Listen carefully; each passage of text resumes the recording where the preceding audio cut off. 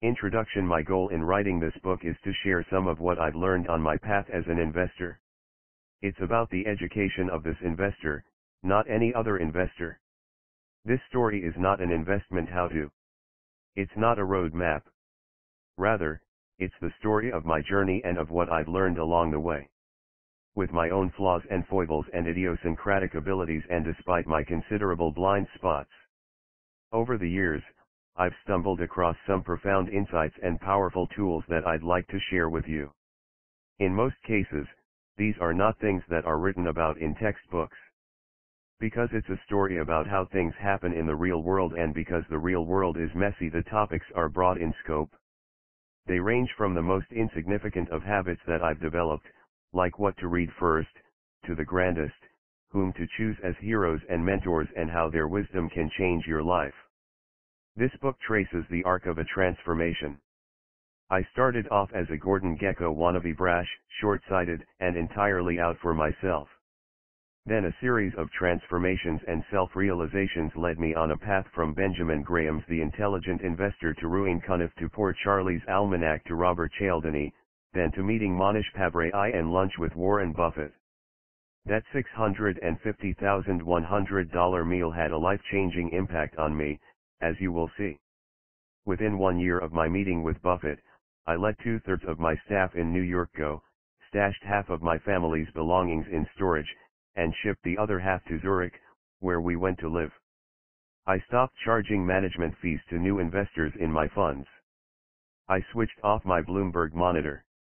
And I renounced my perilous addiction to checking stock prices on a minute-by-minute -minute basis.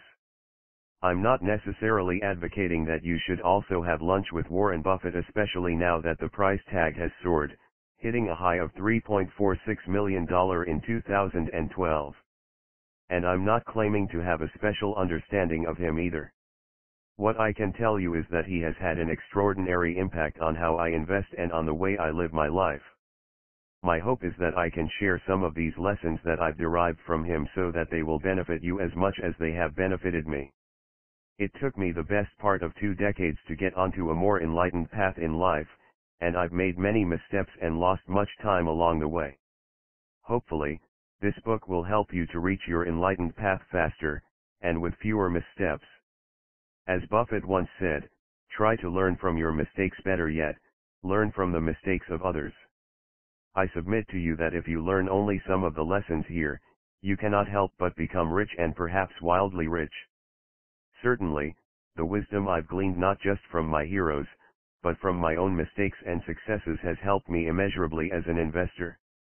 As I write this, I've had a cumulative return of 463% since founding the Aquamarine Fund in 1997 versus 167% for the S&P 500 index.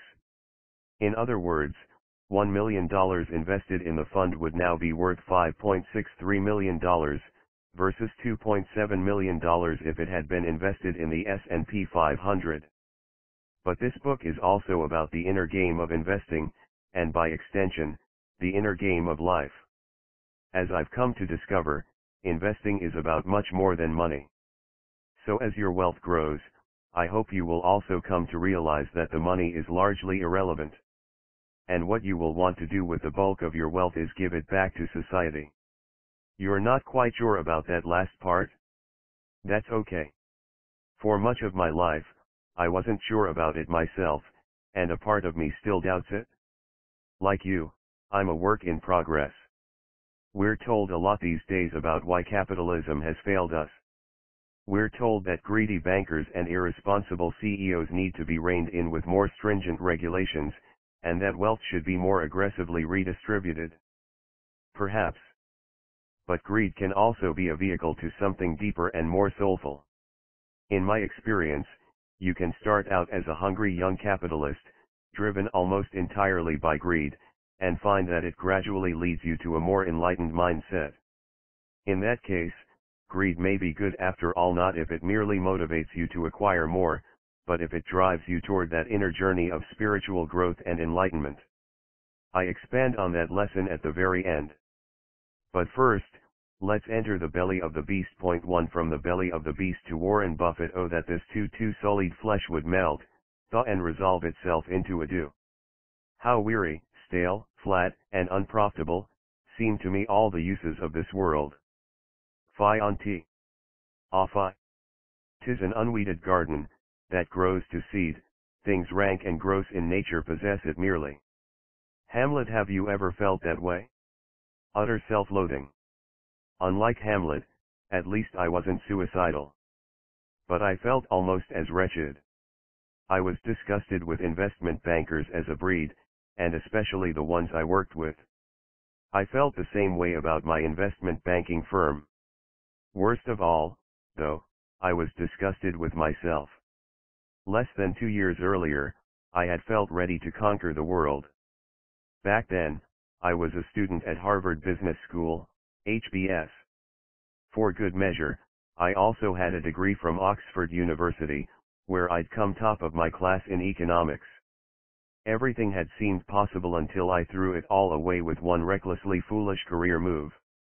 In 1993, a few months before I graduated from Harvard, I stumbled upon a job listing for an assistant to the chairman at D.H. Blair Investment Banking Corp. I'd read a bit about investment banking and fancied myself as one of these budding masters of the universe. Brimming with youthful confidence, I headed to New York City to meet with D.H. Blair's chairman, J. Morton Davis. Morty had started out as a poor Jewish kid from Brooklyn. He graduated from Harvard Business School in 1959 and went on to become the owner and chairman of D.H. Blair, which had been founded in 1904. People told me that he'd made hundreds of millions for himself. I met with him in his wood-paneled corner office at 44 Wall Street. The place hadn't been renovated in years, and it looked like a traditional investment banking partnership from John Pierpont Morgan's era. In fact, JP Morgan's headquarters were almost next door. Morty was a consummate salesman, and he did a brilliant job of beguiling me. He talked to me about some of the great deals he'd pulled off in hot areas like biotech, adding, you'll be doing deals right away, working directly with me. He assured me that there was no limit to what I could achieve there with him and later gave me a book by Frank Bettger called How I Raised Myself from Failure to Success in Selling. I liked the fact that Morty was an outsider unconventional, self-made, and highly successful. Shortly afterward, I read a New York Times article that referred to D.H. Blair as an infamous brokerage house whose brokers have been known to refuse to let customers sell when they request that a stock be liquidated. The article also mentioned that securities regulators in Delaware had tried to revoke Blair's license and that regulators in Hawaii said Blair was using fraudulent and deceptive sales practices. When I went back to ask him about the article, Morty told me that people envy success and try to take you down. I was gullible enough to believe whatever he told me.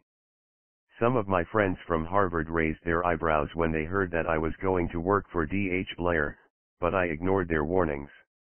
I was arrogant and slightly rebellious, and I was determined not to follow the standard route to establishment firms like Goldman Sachs and J.P. Morgan. I wanted to blaze my own trail and be more entrepreneurial. It felt as if Morty had made me an offer that I couldn't refuse, although I should have.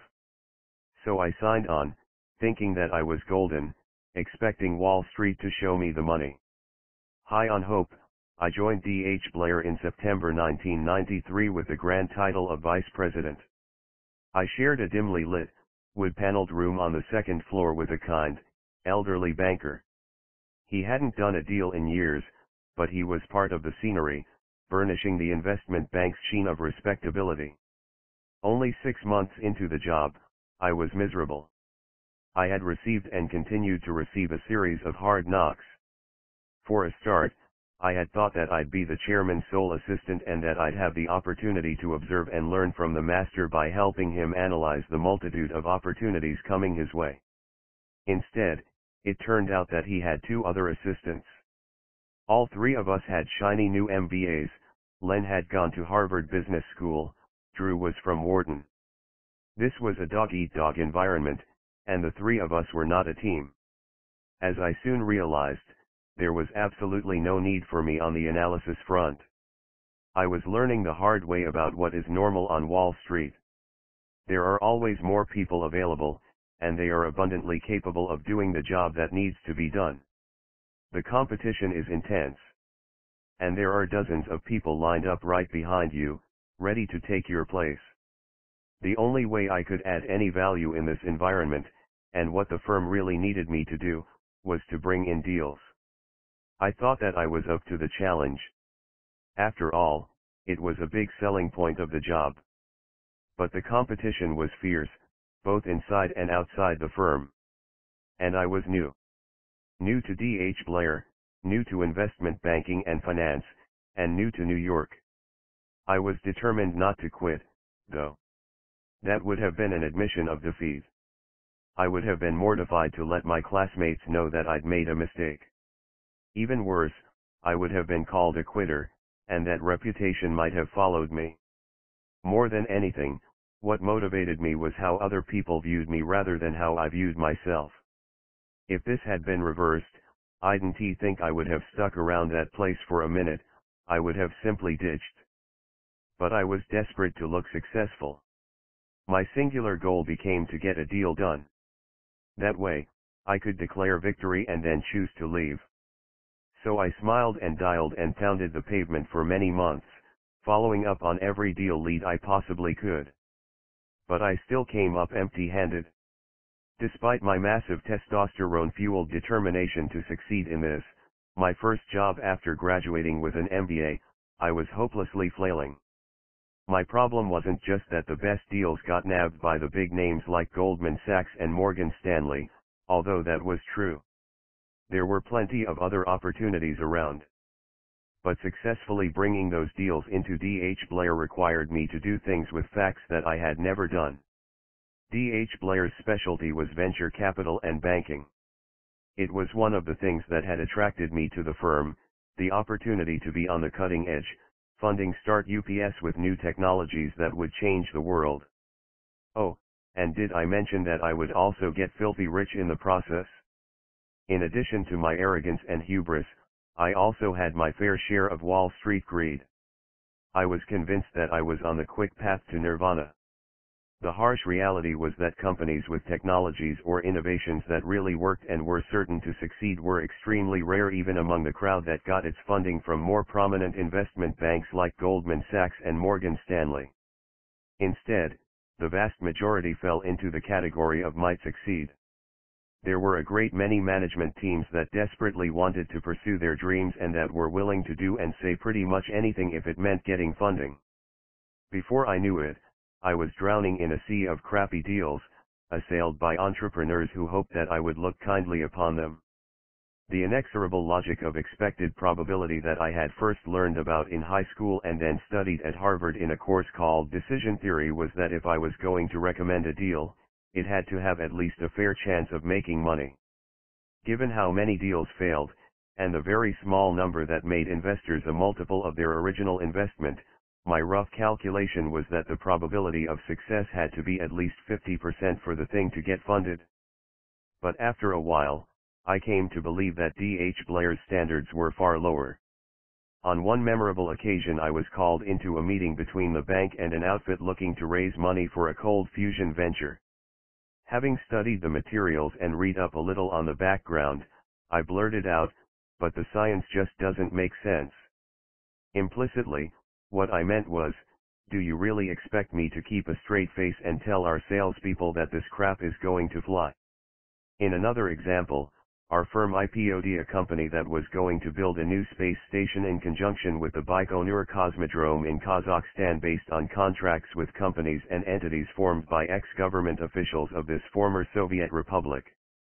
The company's only assets seemed to be sketchy contracts written in a foreign language that were unlikely to be enforceable in a Kazakh court, let alone in New York or London.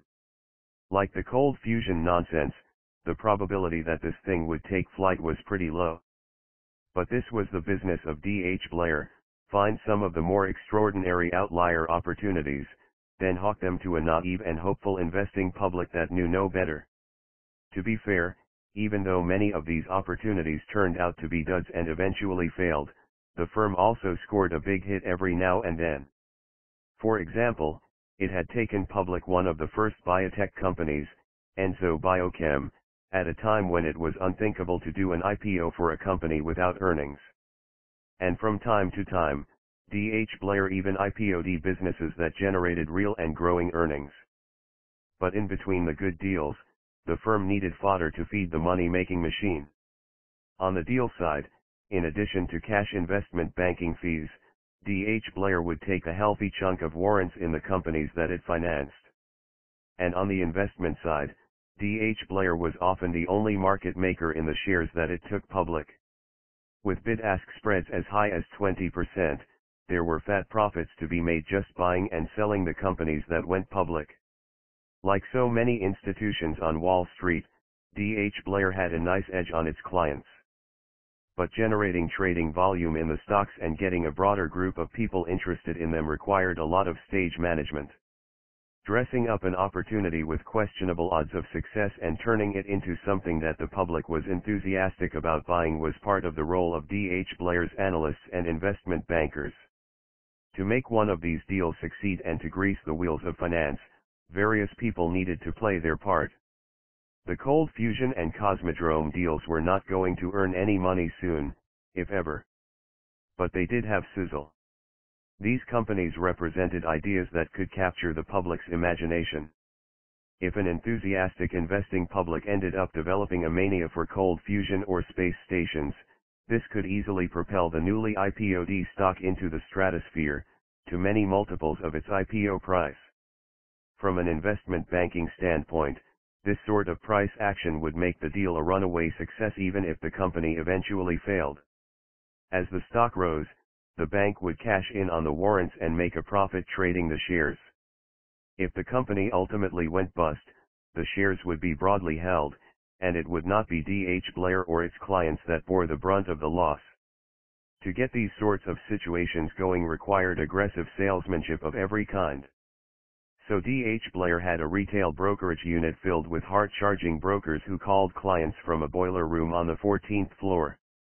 They were physically and legally separated from the investment bankers like me, and they officially worked for another company. While they were part of D.H. Blair & Co., I was employed by D.H. Blair Investment Banking Corp. Our tiny team of bankers constituted the acceptable, respectable face of the company, while the brokers were the backroom boys, touting these dubious deals to unsophisticated retail investors. They were chillingly reminiscent of the brokers in Martin Scorsese's movie The Wolf of Wall Street, which was exaggerated but not misleading. The 14th floor of D.H. Blair was a swirling sea of testosterone, someone once told me that hookers would sometimes go up there to reward the most successful salesman of the day. I had no direct dealings with these guys, but they depended on our investment banking team to come up with deals for them to tout. The bankers could live with themselves because they were holed up in the handsome, wood-paneled cocoon of the second floor, while the really eye-opening activities went on 12 floors above. Still, the brokers needed us bankers as enablers. It was only after a year or so at D.H. Blair that it really started to dawn on me that this was a big part of the role I was expected to play. I was supposed to dress up the least sketchy of these deals in such a way that the downsides were heavily de-emphasized or ignored while the sizzle the blue sky upside was highlighted. I wasn't there to act as a careful, well-trained analyst. They had no use for a forensic arbiter who painstakingly researched an idea, examined the opportunity, and pronounced, as accurately and honestly as possible, what this thing really was. In hindsight, I can see with clarity that the real value to the firm of my Oxford degree and my Harvard MBA was to adorn its deals and documents with my pristine credentials. I thereby provided a kind of Ivy League fig leaf. When I look back to our meeting with the Cold Fusion Company, I can see how naive I was. In truth, everyone there was expecting me to play my part. The elephant in the room was an unspoken dialogue that went something like this, Cold Fusion Company Management, execs of DH Blair, yes, we are rebullshitting you. This is almost certainly not going to work, but we've been working on it for years and have invested substantial personal funds in it. In any case, nobody can prove 100% that it won't work. Moreover, think of the excitement that this thing will cause among investors and the press. It would be the only publicly traded nuclear fusion power company in the world. Other D.H. Blair investment bankers, yes, this is extremely unlikely to fly, but we need to fill our pipeline of deals so that you, the company management, can get rich on the founder's stock and we, the investment bank, can get rich on fees and from trading the stock. And who knows, it might even succeed, in which case our clients might even make money too. In the midst of this cynical ritual, I was oblivious enough to mention that the physics was apparently bogus, remarking, there are so many people out there who've claimed that they have made cold fusion work, and there's nothing new here. I was so tactless that I actually laughed out loud. Only in retrospect did I realize that I had instantly become the most hated person in that room. How could this deal ever fly if nitwits like me couldn't keep their big mouths shut? There was no way I was going to succeed in this environment with that kind of reckless honesty.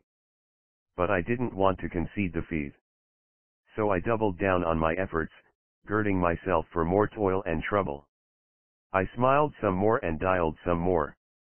And I pounded many more pavements. Eventually, I found a deal with far better chances than most. This time, I could put my hand on my heart and say that, in spite of the risks, it deserved to get funding. The company was called Telechips, and in 1994 it had a communications device that was both a computer and a telephone. The management team was led by C.A.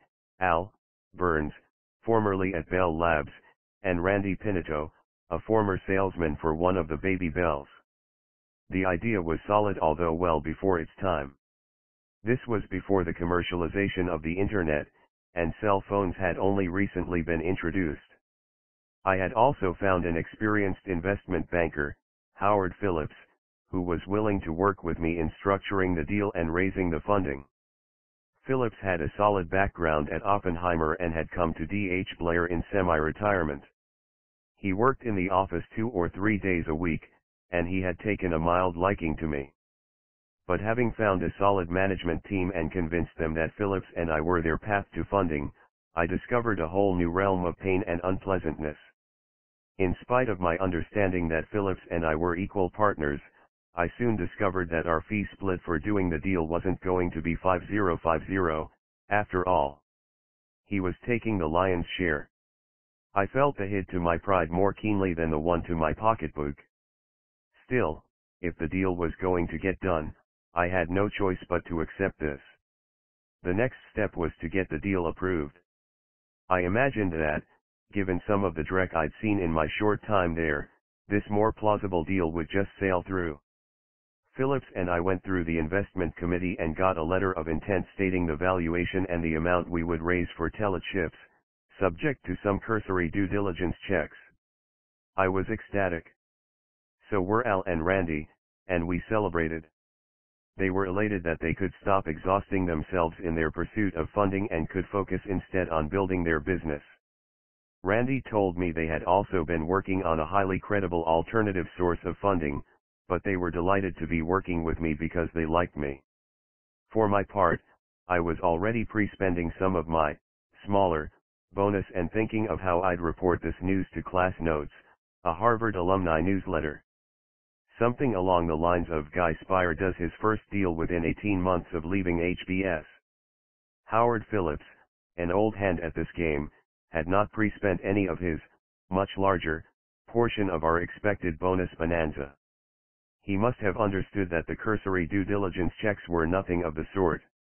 Our chairman, Morty Davis, had assigned this task to one of the other young investment bankers, who then proceeded to nitpick the deal to death. I couldn't believe it. He had been perfectly happy to cheerlead many other, much worse deals. Eventually, with Telechips management wondering what the holdup was, and with me at a loss for answers, we were all summoned to another meeting. By now, the Telechips team was desperate for funding as the company was burning through cash. I learned that because of the nitpicks, sorry, I mean serious due diligence, the deal could still get done, but at a far lower valuation than our original term sheet had promised and with much heftier fees now payable to the investment bank. I got a call from Randy, telling me how appalled he was by the bank's behavior and with me for stringing them along. All I could do was apologize and say that I honestly hadn't known that it would turn out this way. I hoped he believed me, but I'm still not sure he did. On a personal level, I'd certainly lost his trust, not to mention his friendship. A day or two later, Telechips accepted the term sheet as everyone knew they would. They had been strung along until the investment committee was confident that the company would have no alternative. I was incensed and disgusted not least with myself. Looking back, I now realize that I was potentially teetering on the edge of a moral cliff. If I had been drawn any further into this firm's culture, either willingly or unwillingly, I would have fallen irretrievably off that cliff. In fact, a few years after I left, D.H. Blair, having run afoul of the regulators, was reduced to a shadow of its former self. The retail brokerage business, D.H. Blair & Co., closed down entirely in 1998. In 2000, the Wall Street Journal reported that this retail brokerage unit and 15 of its officers and employees had been indicted on 173 counts of stock fraud. Among other things, the retail brokerage firm was charged with manipulating stock prices for its own benefit and engaging in illegal sales tactics. Four executives at the retail firm Chairman Kenton Wood, Vice Chairman Alan Stoller and Calman Renov, and head trader Vito Capotorto pleaded guilty to securities fraud and collusion to fix stock prices. USA Today reported that D.H. Blair & Co. and its executives paid $21 million to reimburse defrauded customers. The investment bank, which was a separate company, emerged unscathed and no criminal charges were brought against its chairman, Morty Davis. But it must have been a terrible time for him, not least because Stoller and Renov were his sons-in-law. In the press, Morty himself took a beating. For example, a 1998 article in Forbes referred to the controversial figure of penny stock king, J. Morton Davis, who got rich by raising money in the private and public markets for companies that Tony or firms wouldn't touch. When I left Harvard and went to work on deals with him, this wasn't quite what I had in mind. What's sad is that Morty truly wasn't a bad person. I remember going for a family dinner at his house one Friday evening and being touched by how kindly and warmly he included me. There was much to admire in him, and it's certainly not for me to judge anyone. Still, from what I had seen of the culture at D.H. Blair, its problems with regulators were hardly surprising. For my part, I don't know for sure how close I was to the edge of that moral cliff. But knowing what I know now, I can tell you that a thousand miles away would have been too close. In retrospect, I had been dangerously blind about the motives and ethics of my colleagues. This was powerful proof of just how dumb even smart, well-educated people can be. It certainly took me far too long to grasp that this business was set up in such a way that, if I wanted to win, I would have to lose whatever was left of my moral compass.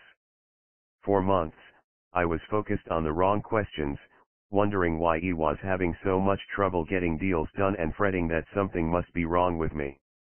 I didn't have the experience or the perspective to understand that this whole environment was wrong.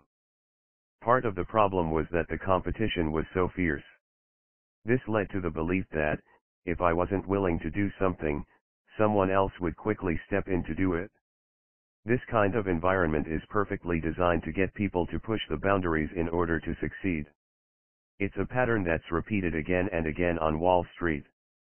Through ambition, greed, arrogance, or naivete, many bright, hard-working people have strayed into gray areas. Still, it's important to clarify one point. No member of D.H. Blair's management ever directly asked me to lie or misrepresent anything even though I believed that a big aspect of the place was about misrepresenting opportunities to a credulous marketplace. For example, they would have appreciated my claiming that I had done my due diligence on cold fusion and that it checked out. Bang. They would have had one piece of the ideal scenery they needed in order to close the deal. But they never said as much in so many words. The rules of the game were implicit. At D.H. Blair, I observed another pattern that plays itself out countless times on Wall Street. Everybody wants to make money. So the senior greedy bankers who should know better turn a blind eye while the younger greedy, naive bankers push the boundaries. At Lehman Brothers, they pushed leverage. At Countrywide, they ignored default rates on subprime. At SAC Capital, they turned a blind eye to rampant insider trading. My experience at DH Blair has helped me to see how often this sort of thing recurs in a wide variety of environments on Wall Street. During the tech bubble of the late 1990s, lousy companies were talked up and sold to an unsuspecting public. For example, analysts like Henry Blodget at Merrill Lynch were wildly bullish about internet stocks, dressing up pigs with lipstick. Years later, the same thing happened at credit rating agencies where analysts issued blindly positive ratings for the CMOs and CDOs that would ultimately lead to the housing crisis. As for me, my 18 gut-wrenching months at DH Blair had destroyed my clean copybook and brought my career to an absolute low. The resume and reputation I had built for myself at Oxford and Harvard had been reduced to dust. And reputation in business especially the investing world is everything. For years after I left D.H. Blair, I felt so sullied by the experience that it was as if I couldn't wash the dirt off my hands. Even as I write about this now, my skin crawls. Part of me wonders if it's a mistake to write about it at all. But I think it's important to discuss just how easy it is for any of us to get caught up in things that might seem unthinkable to get sucked into the wrong environment and make moral compromises that can tarnish us terribly. We like to think that we change our environment, but the truth is that it changes us. So we have to be extraordinarily careful to choose the right environment to work with, and even socialize with, the right people. Ideally, we should stick close to people who are better than us so that we can become more like them. I hope the decision to work at DH Blair will turn out to be the worst mistake of my professional life. But, thankfully, it didn't break me. In an article entitled Trauma Reveals the Roots of Resilience, the psychologist Diana Fosha quotes a line from Ernest Hemingway, the world breaks everyone and afterward some are strong at the broken places. Why is it that some people are strengthened by their traumas and not broken by them? It's a great question that can also be asked about business and investing. Warren Buffett made one of his bigger mistakes when, in his 30s, he invested in the loss-making Berkshire Hathaway textile mills. This could have been his undoing, but he later transformed Berkshire Hathaway into the towering monument of his life. He did so in part by learning to invest in better businesses instead of betting on the cigar butt stocks, like Berkshire, that Ben Graham had taught him to buy. Perhaps D.H. Blair was my own cigar butt move, a formative experience of toxic shock.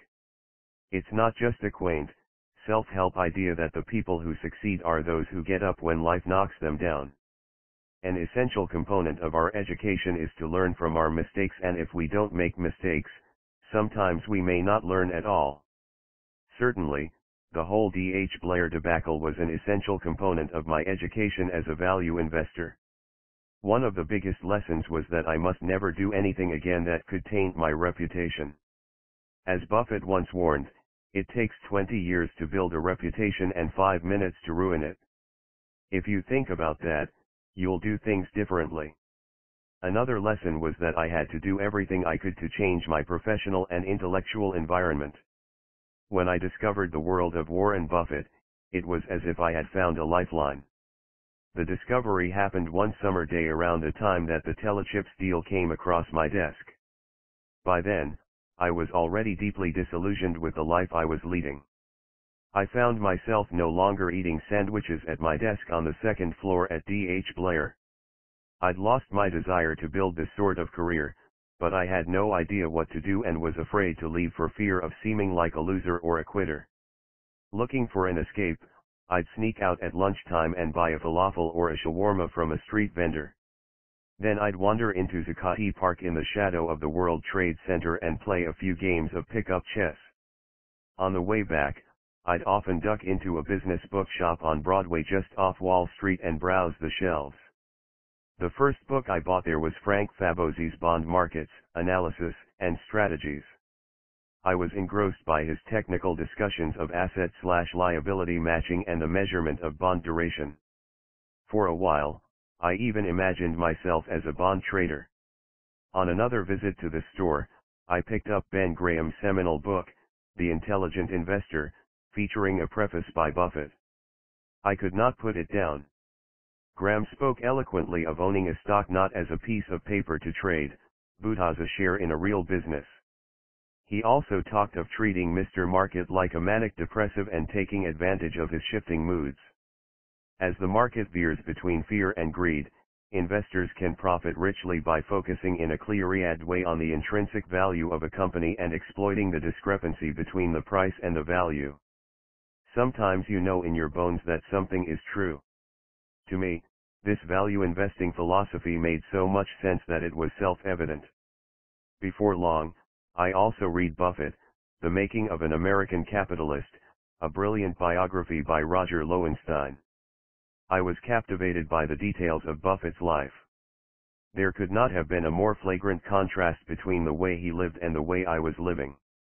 And there could not have been a starker contrast between my deal-making experiences at D.H. Blair and his own business ethos. Buffett wasn't working in a snake pit.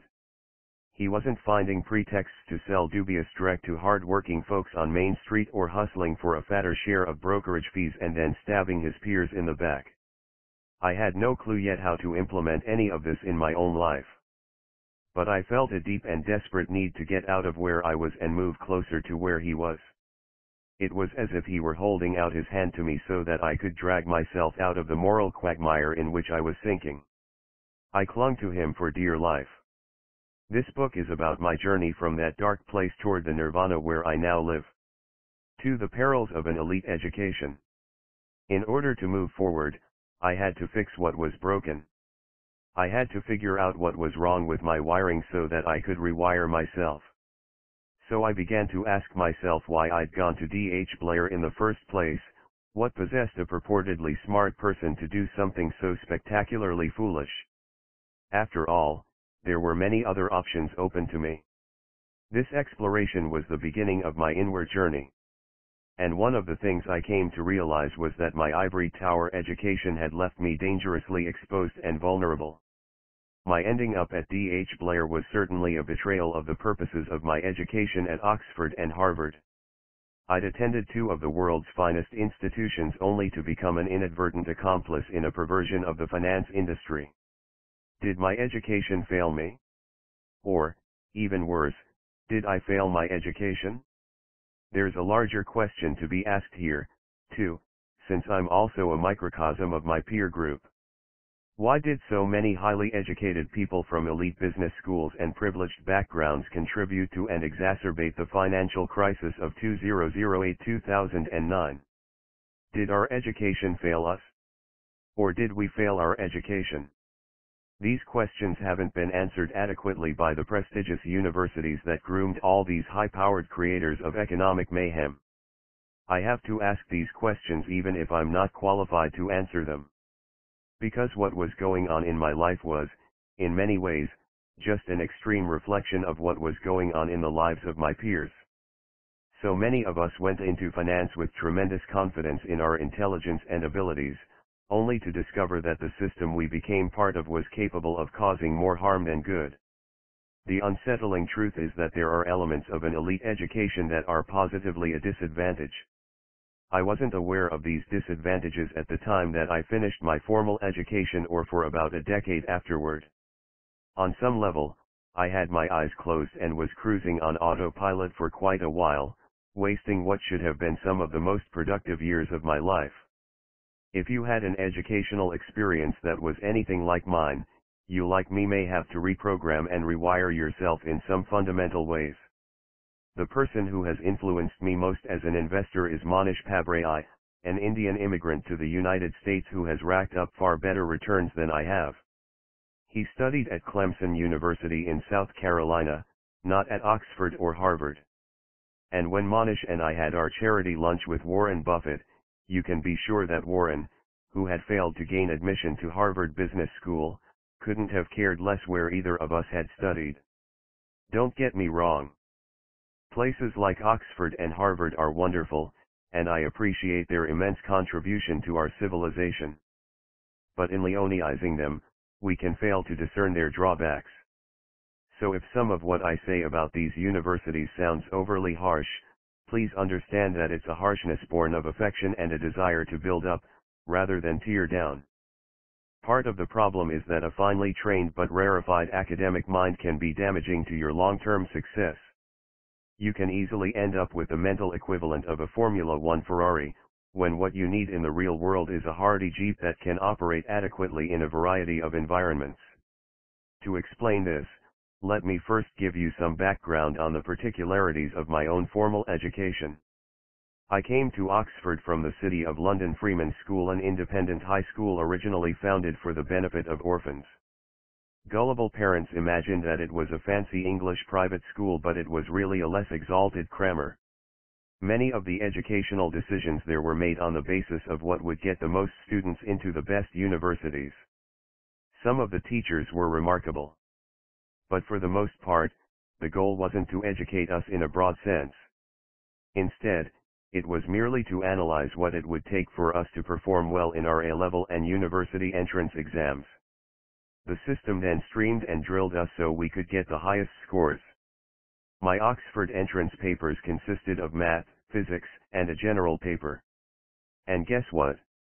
The system worked, I'd been so well trained that, despite disastrously misreading the instructions on one exam, I was accepted at Brasenose College, Oxford, to study law. But now I was alongside students who had been more broadly educated and who knew stuff that I did not. Although I loved jurisprudence, or legal philosophy, the curriculum also required me to wade through dozens of British common law cases each week. Now, British common law is a phenomenal subject. But not for an 18-year-old whose family had immigrated to the United Kingdom seven years earlier and who had little social or historical knowledge of the country.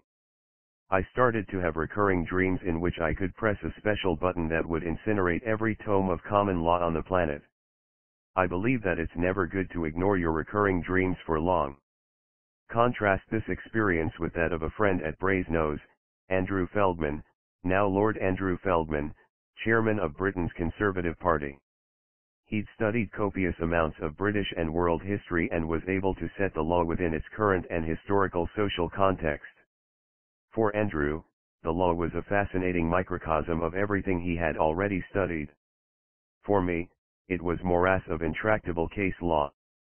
I had been prepared to pass exams, but I didn't have the benefit of his broader framework.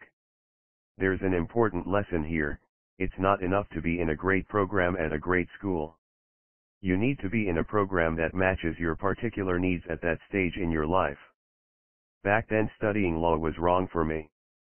It was in this state of dissatisfaction that I noticed Peter Sinclair, a Brasenose economics professor, every time we passed each other in one of the college quads. He always had such a kind smile for me, as he did for all of the students. Anybody who met him could feel that he was this incredibly benevolent soul. One day at the end of my second year, I woke up with the realization that there was absolutely no way I could study law for another day. It felt as if an inexorable force had welled up in me until this wasn't even a debate. These moments of clarity are so rare in life, and even the people closest to us may question whether we should act on such instincts. I believe it's crucial to pay attention to these non-rational convictions that percolate inside us even if we can't explain them. My academic training with its emphasis on hyper-rational analysis would deny the value of these almost inexplicable instincts and yearnings but we need to respect these deeper recesses of our minds. This is not dissimilar to the way George Soros learned to tune into his acute back pain as a signal that there was something wrong in his portfolio. Who is to say where the mind ends and the body begins? I felt a similar sense of clarity and certainty when I decided to marry my wife, Lori. I knew with all my body and soul that we should be together. I had the same absolute clarity when I discovered value investing, I didn't think this was the right path for me, I simply knew it. I'm convinced that Warren Buffett makes his investment decisions the same way, performing an extraordinarily complex set of analyses almost unconsciously.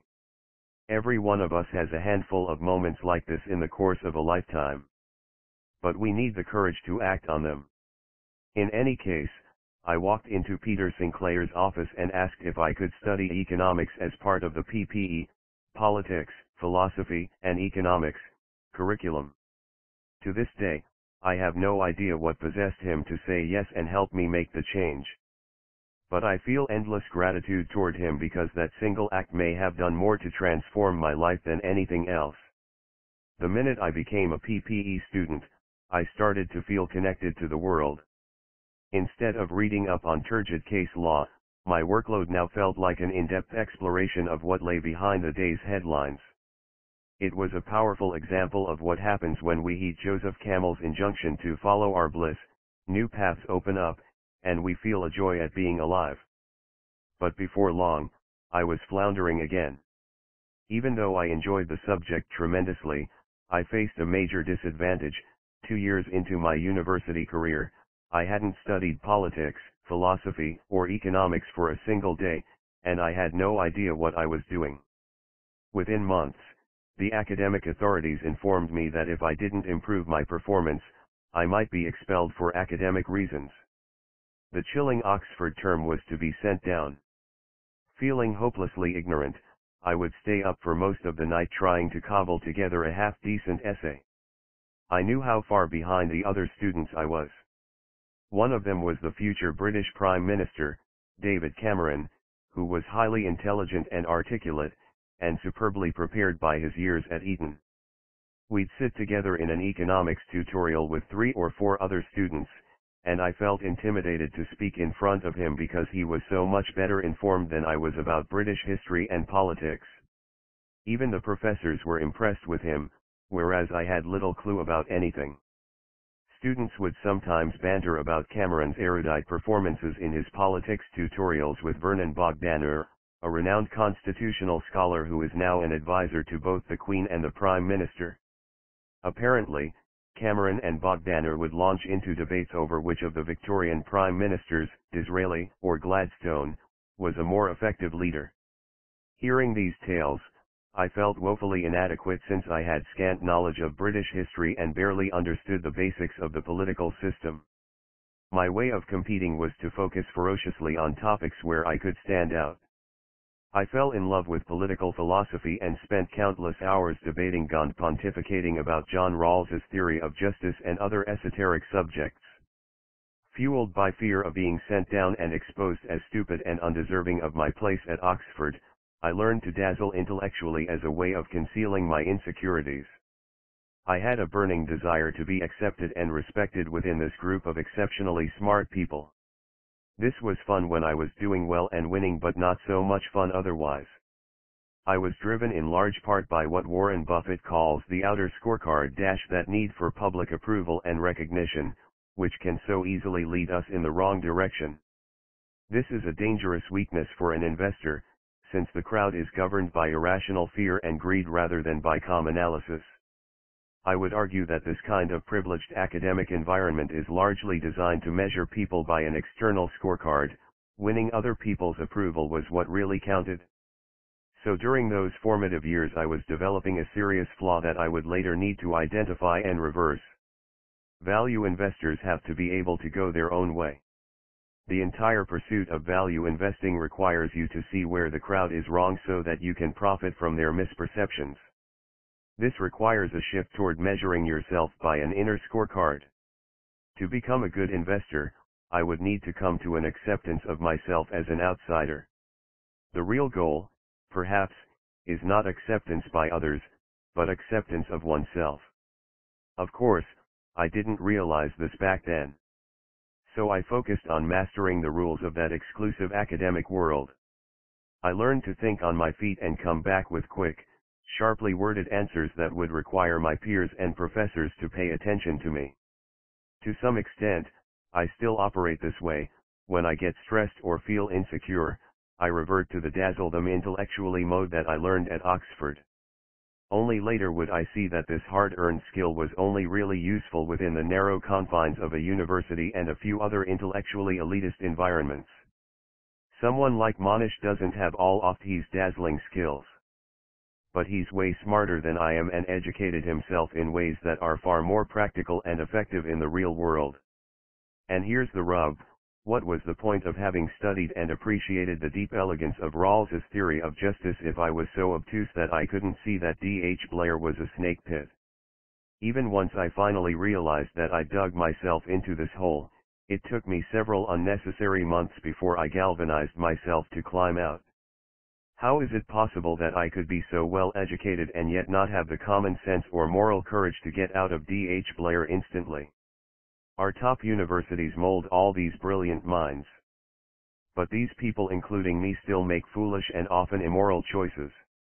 This also goes for my countless peers who, despite their elite training, failed to walk away from nefarious situations in other investment banks, brokerages, credit rating agencies, bond insurance companies, and mortgage lenders. For university educators, a little soul searching would also not be remiss. My study of economics at Oxford did at least develop my technical skills and my ability to reason.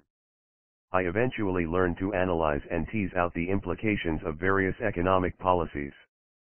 Some of this technical knowledge is not only intellectually elegant, but is also of inestimable practical importance to anyone who wants to understand what policies drive economic success. But there are also economic theories that, for all of their elegance, turn out not to be useful at all in the real world. I didn't have the ability to evaluate them critically, and this academic environment wouldn't have rewarded such heresy. So I swallowed everything wholesale, without question. The most important example of this is the efficient markets hypothesis, which is a powerful and theoretically useful assumption about how the world works. This hypothesis holds that financial prices reflect all of the information available to participants in the market. That has profound implications for investors. If it were true, there would be no bargains in the stock market since any price anomalies would be instantly arbitraged away. In the real world, this is simply not true. But it took me a decade to realize it.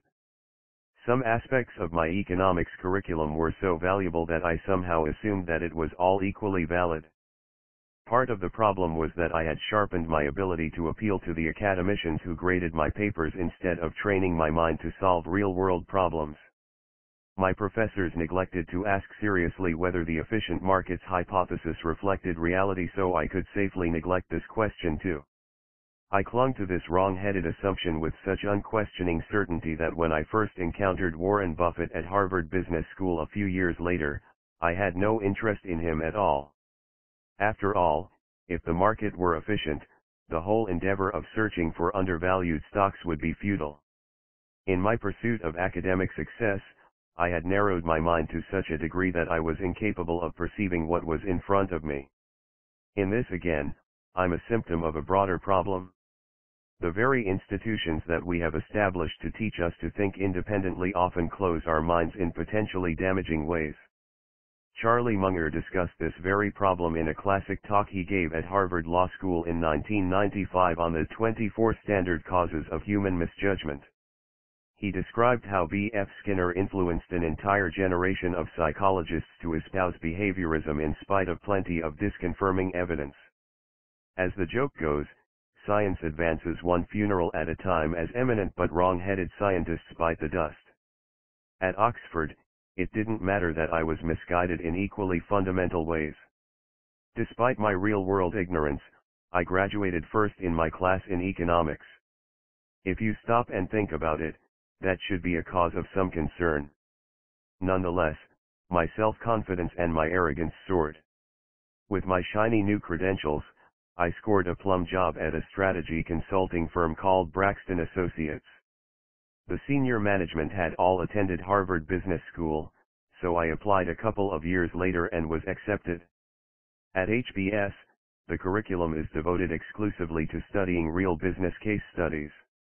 Rather than focus on theories of how the world should work, we focused on practical discussions of what had actually happened.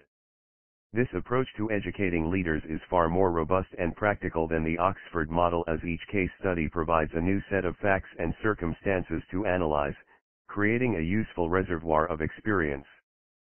But Harvard also accentuated my hubris. To use an Indian phrase that I love, I was a topper, and my glossy academic credentials reinforced my feeling that the world owed me a living in return for my general awesomeness. In my first semester at Harvard, Warren Buffett came to speak at the business school.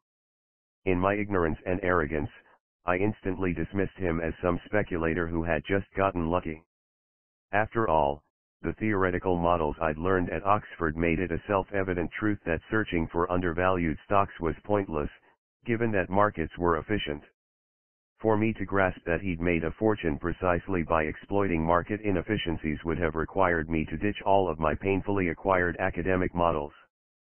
And so I did what many people do when the facts disagree with their theories, I dismissed the facts and clung to the theory. What I might well have said to him at the time was, Mr. Buffett, don't confuse me with the facts, because I already have my firm opinions about efficient markets. But if the truth be told, I was only in the lecture room at all because I was chasing after a woman in the second year who'd upset me by going out the previous night with another classmate. I didn't even sit down during Buffett's lecture, and I can't remember a single word he said. It's a tragicomic reminder that my fragile ego mattered far more to me than the opportunity to learn. By contrast, part of what makes Warren himself so successful is that he's never stopped seeking to improve himself and that he continues to be a learning machine. As Munger has said, Warren is better in his 70s and 80s, in many ways, than he was when he was younger. If you keep learning all the time, you have a wonderful advantage. Back then, however Buffett was utterly wasted on me. Still, as the saying goes, when the student is ready, the teacher will appear. Sure enough, Warren Buffett reappeared in my life four years later when I stumbled upon his introduction to the intelligent investor and then read about him in Lowenstein's biography. By then, I was going through hell at D.H. Blair. My arrogance had taken such a beating that I was open to Warren's teachings in a way that I never would have been as an MBA student. I had been so humbled and humiliated by my experience at D.H. Blair that it forced me to re-examine everything I believed. Such are the sweet uses of adversity. There is, of course, a certain irony here. Joining D.H. Blair was the worst decision of my life. But it was also a gift not only because this humiliation opened my mind but also because my experience there taught me lessons I could never have learned in the classrooms and quadrangles of the finest universities. In fact, D.H. Blair may paradoxically have been the perfect place for me to start my career because it showed me, in a raw and unvarnished form, everything that was wrong with Wall Street. I saw up close the willingness to distort the truth in order to further one's own narrow self-interest the tendency to treat clients as marks to be exploited, not served. At their worst, elite investment banks like Goldman Sachs and JP Morgan are not all that different but the shafting of clients happens with a much greater veneer of respectability. When I began to understand the principles that Warren Buffett embodied, I realized that there was another way to succeed. This discovery changed my life. 3. The Fire Walk. My first steps as a value investor after leaving D.H. Blair, I had the hardest time finding another job. There was this stain a damned spot on my hitherto pristine resume that I couldn't wash out.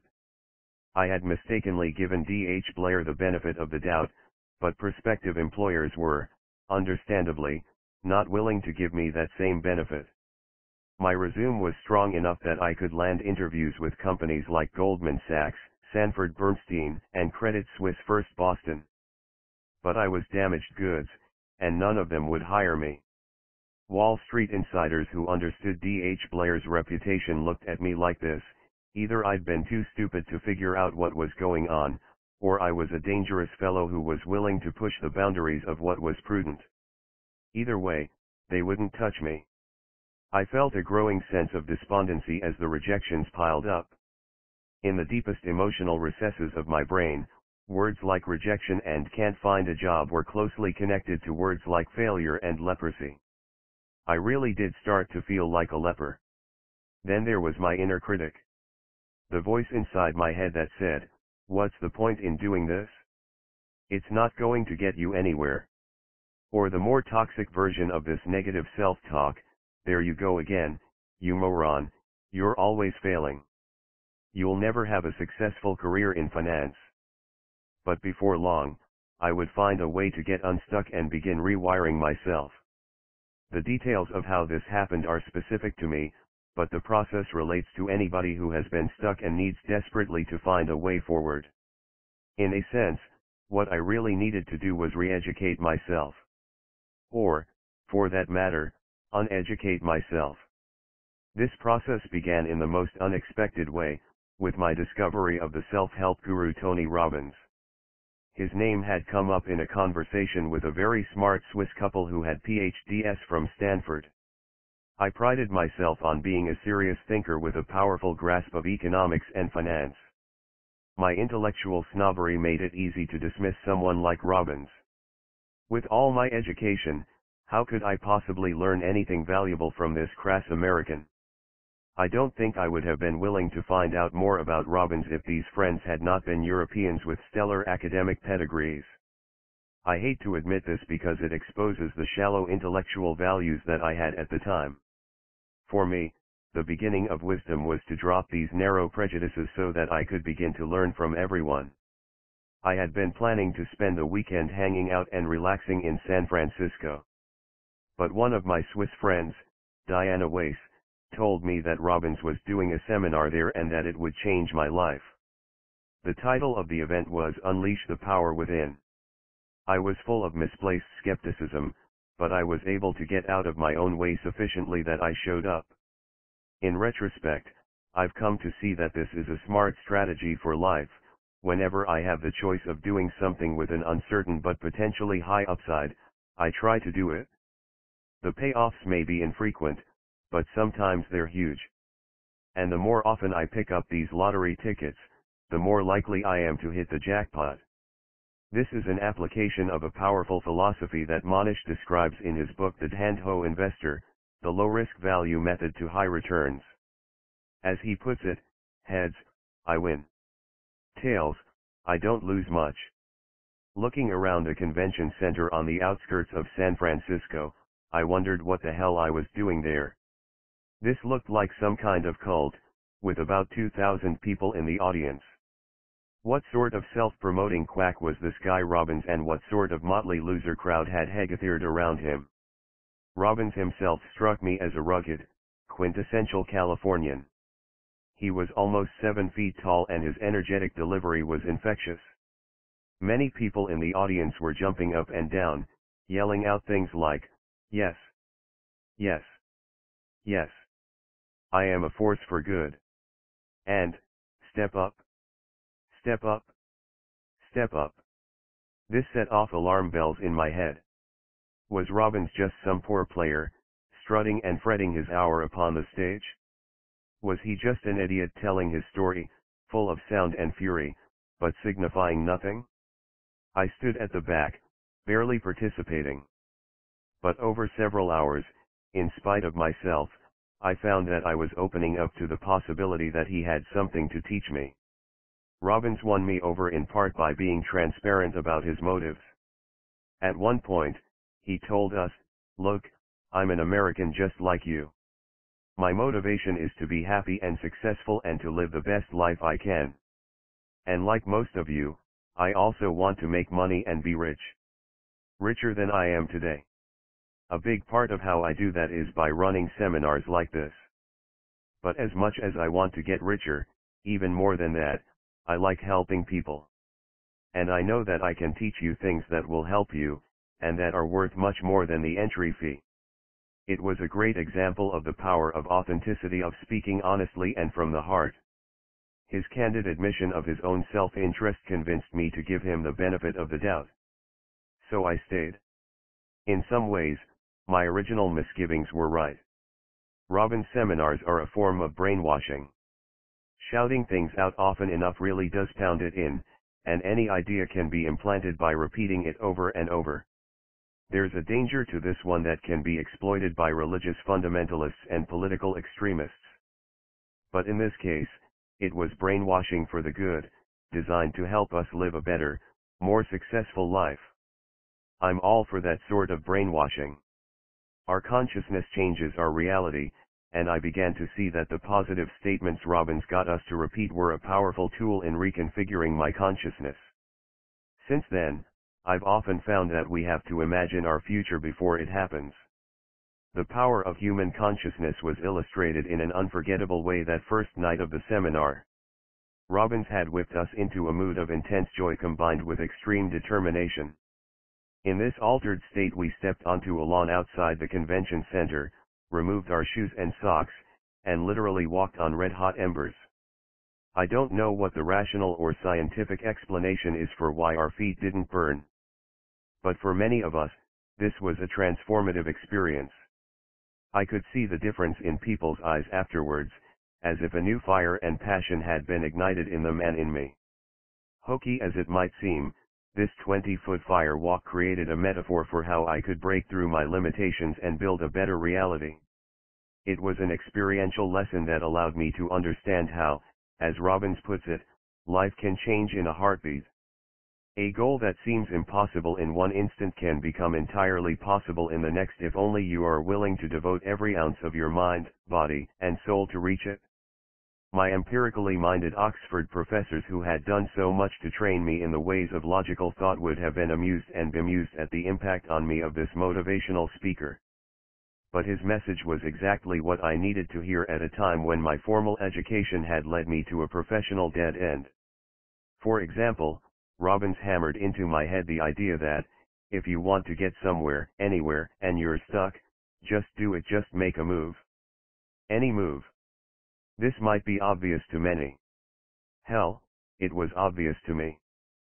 But my bias toward analysis paralysis meant that it was easier for me to pontificate in a library than to act. Robbins convinced me that I had to break the patterns of negative thought, push through my fears, and get moving. As Theodore Roosevelt told an audience in Paris in 1910, it is not the critic who counts, not the man who points out how the strong man stumbles, or where the doer of deeds could have done them better. The credit belongs to the man who is actually in the arena, whose face is marred by dust and sweat and blood. Having opened up to Robbins, I started voraciously reading books by other self-help gurus. Before attending his seminar, I would have rolled my eyes at a book entitled How to Win Friends and Influence People. But Warren Buffett himself credits the author, Dale Carnegie, with having helped him enormously.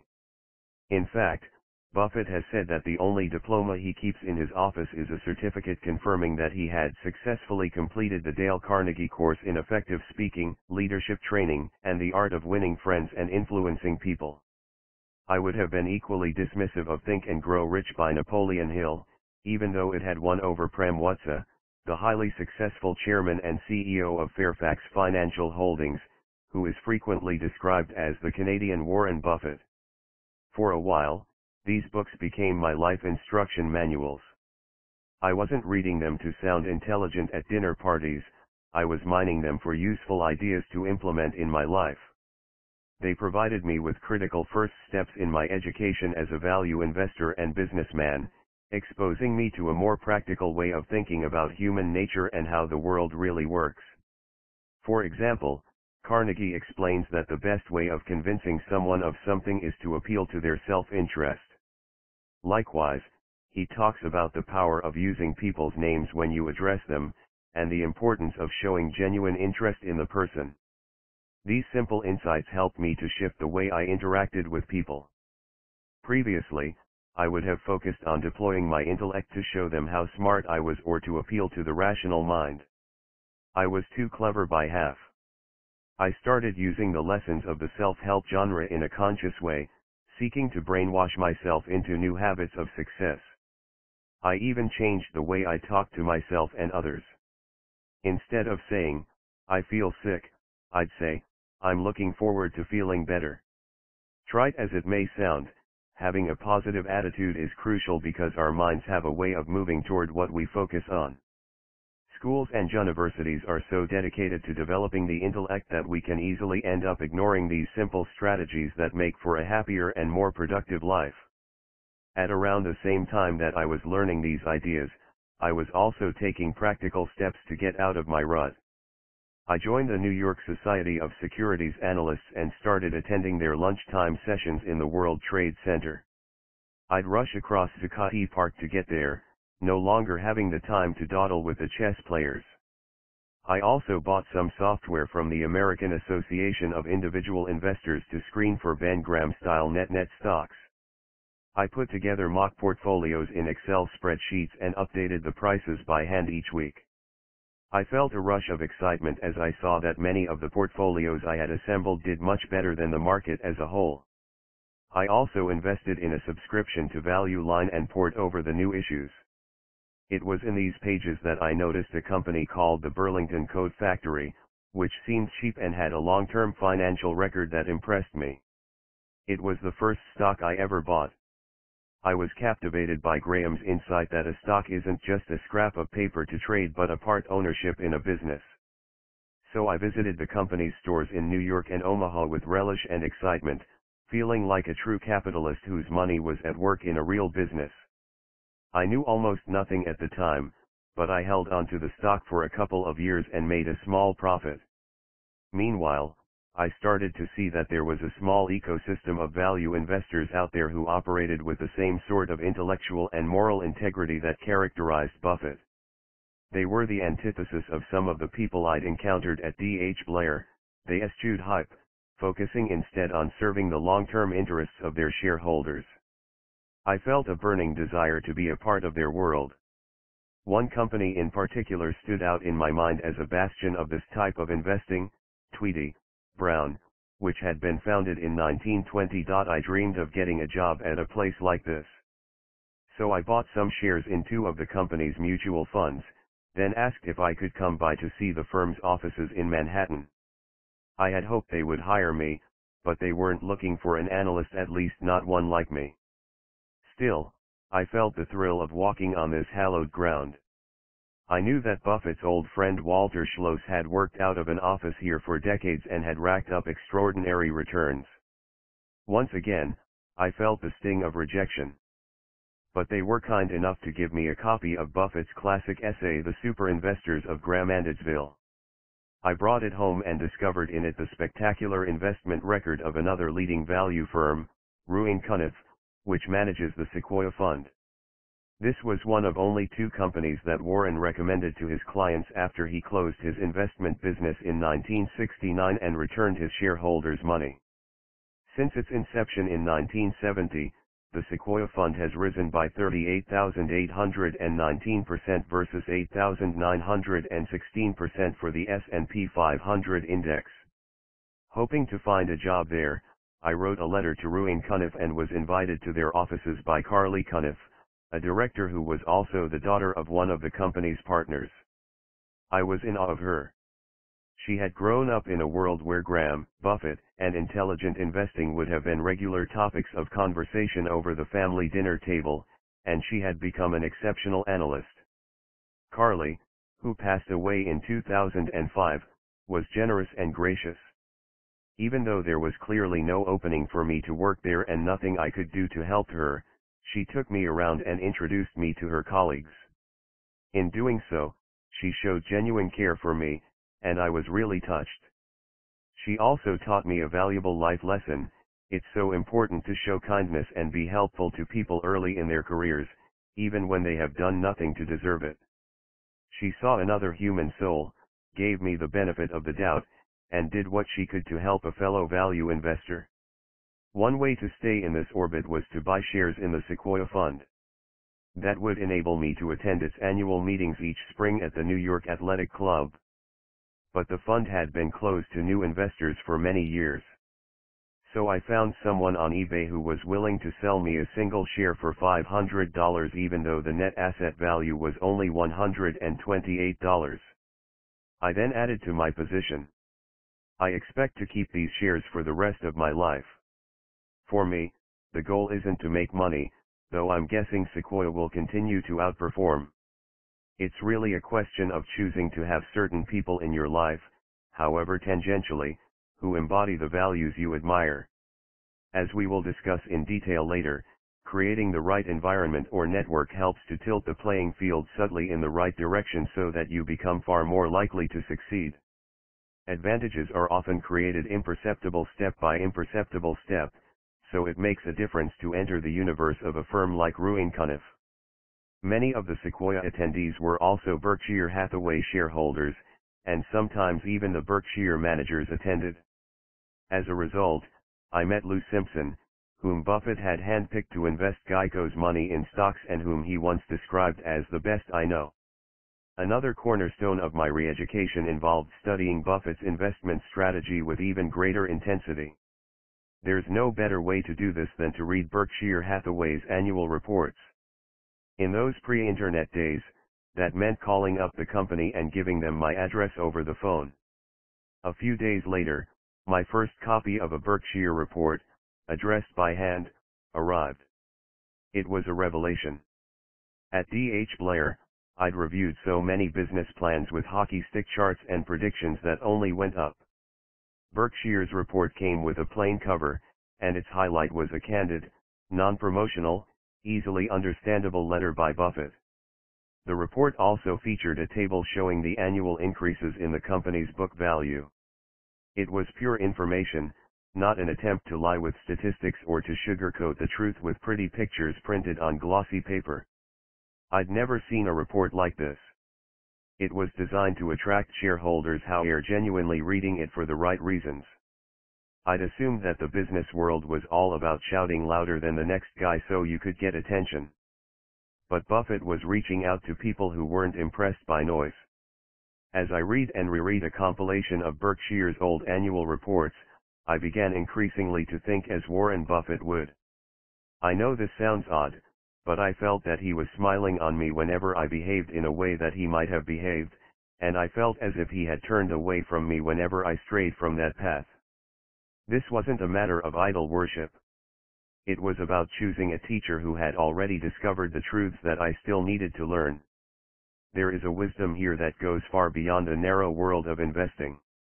What I'm about to tell you may be the single most important secret I've discovered in all my decades of studying and stumbling. If you truly apply this lesson, I'm certain that you will have a much better life, even if you ignore everything else I write. What I stumbled upon was this. Desperate to figure out how to lead a life that was more like his, I began constantly to ask myself one simple question, what would Warren Buffett do if he were in my shoes? I didn't ask this question idly while sitting in a coffee shop sipping a cappuccino. No I sat down at my desk and actively imagined that I was Buffett. I imagined what the first thing would be that he would do if he were in my shoes, sitting at my desk. Robbins describes this process as modeling our heroes. The key is to be as precise as possible, picturing them in as much detail as we can. A related technique that he teaches is called matching and mirroring, which might involve changing the way you move or even breathe to match the other person's movement or breathing. In my experience, you start to feel what they feel and you even start to think like them. This might sound peculiar, but the ability to mimic is one of the most powerful ways in which humans advance. Just think about how children learn from their parents. Given that this is a natural human instinct, it's important to be careful about whom we choose to model. The truth is, they don't even need to be alive. As Charlie Munger has explained, it also works if you go through life making friends with the eminent dead who had the right ideas. Luckily for me, this isn't a scientific book, so I don't have to prove or explain any underlying science, if there is any. But I can tell you authoritatively that, on a subjective level, this has worked for me. The minute I started mirroring Buffett, my life changed. It was as if I had tuned into a different frequency. My behavior shifted, and I was no longer stuck. So how can you apply these insights? We all know that mentoring is a big deal. Students and young professionals are often told to seek out mentors, just as those of us who are further along are supposed to find people to mentor. That's all well and good if your heroes are accessible. Mine wasn't. Buffett wasn't sitting in his office in Omaha waiting for a call from this tainted graduate of D.H. Blair. Thankfully, this didn't matter. I could get many if not all of the benefits of having him as a mentor by studying him relentlessly, and then imagining what he would have done in my shoes. Imagining that I was Buffett, I also began to study the companies in his portfolio, wanting to see them through his eyes and to understand why he owned them. So I ordered up the annual reports for his major holdings, including Coca-Cola, Capital City slash ABC, American Express, and Gillette. This again gave me that uncanny feeling that Warren and perhaps God himself was smiling at me. Then the annual report started to arrive. I vividly remember reading the report for Capital City slash ABC. Until then, I had never looked closely at the accounts of such a successful media company. When I saw the cash flow statement, I found it hard to believe my eyes. The company was swimming in cash, and the income statement didn't come close to conveying the might of this cash-generating machine. Most of the companies I'd analyzed as an investment banker were either hemorrhaging cash or grossly overstating their cash-generating ability. It felt as if I were embarking on a second MBA. I then decided to attend Berkshire Hathaway's annual meeting. Through a friend of a friend who was already a shareholder, I got hold of a ticket and flew out to Omaha, not knowing a soul who would be there. I felt a rush of excitement on seeing Kiewit Plaza, the building where Buffett works where the magic happens. I rented a car and drove past his pleasant but nondescript house with that same giddy sense of childlike joy. I also dined at his favorite restaurant, Gorat's Steakhouse, sitting with a group of Berkshire shareholders who were also in Omaha for the first time. In investing terms, I had emerged from the desert, crossed the Red Sea, and found my promised land. There were two particularly memorable meetings for me in Omaha that year. One of them was with Rose Blumkin, a Russian Jewish immigrant who had founded the Nebraska Furniture Mart in 1937, using $500 that she'd borrowed from her brother. She transformed it into America's largest home furnishings company, and Berkshire bought a 90% stake in 1983 for $55 million, based on a handshake, without even auditing her books. Buffett later declared, put her up against the top graduates of the top business schools or chief executives of the Fortune 500 and, assuming an even start with the same resources, she'd run rings around them. When I met Mrs. B, as she was known, she was 101 years old. But she was still an unstoppable force. She was a tiny lady driving a cart, surrounded by admiring fans who clearly bored her. When I got the chance, I looked her in the eye and asked, impertinently, so, Warren tells me you sell carpets. Can you make me a good price? Her eyes lit up. Aha, she replied. Are you a real customer, or do you just want to make small talk like all these other people? In that instant, I could see why Warren revered her. She was all business, all the time, and she was completely transparent. She had briefly tried to retire at 95, but had soon gone back to work. Her motto was, sell cheap, tell the truth and don't cheat nobody. Just as I wanted Warren Buffett in my life, this is the sort of person he wanted in his life. Over decades, he had created this environment. I was just beginning to create mine, and I was learning to discern the type of people I should have in it. The other encounter was with the Oracle himself, shortly before the annual meeting began. I was on my way into the toilets and who was coming out but Warren? He smiled at me and said, I always get a little nervous before these things. And then he walked on. When I had last seen Buffett in person, back when I was a student at Harvard, I couldn't be bothered to listen to him at all. Now I was excited to see him coming out of the men's room. Given his success, I had half expected him to be a distant figure. It hadn't occurred to me that he'd be so personable and down to earth to a total stranger. Even from this brief encounter, I could see the goodwill he harbored toward his shareholders. Throughout the meeting, I could also see that he had no pretenses, no airs, and graces. He is who he is. Inspired by Robbins and Buffett, I had a growing sense of opportunity. Instead of feeling that every door was closed, I started to realize that it was possible to move forward. I was so obsessed with value investing that I hoped somebody would hire me as a stock analyst. But I still couldn't get a job.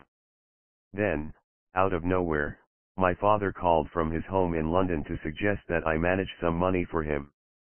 It was 1996. At the time, he was probably the only person who would have trusted me, given my D.H. Blair blemish.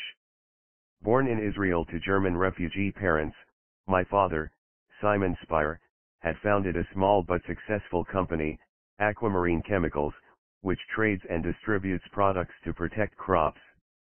He had seen my mounting fascination with investing, and he told me, Guy, if you don't break out on your own now, you'd be completely nuts.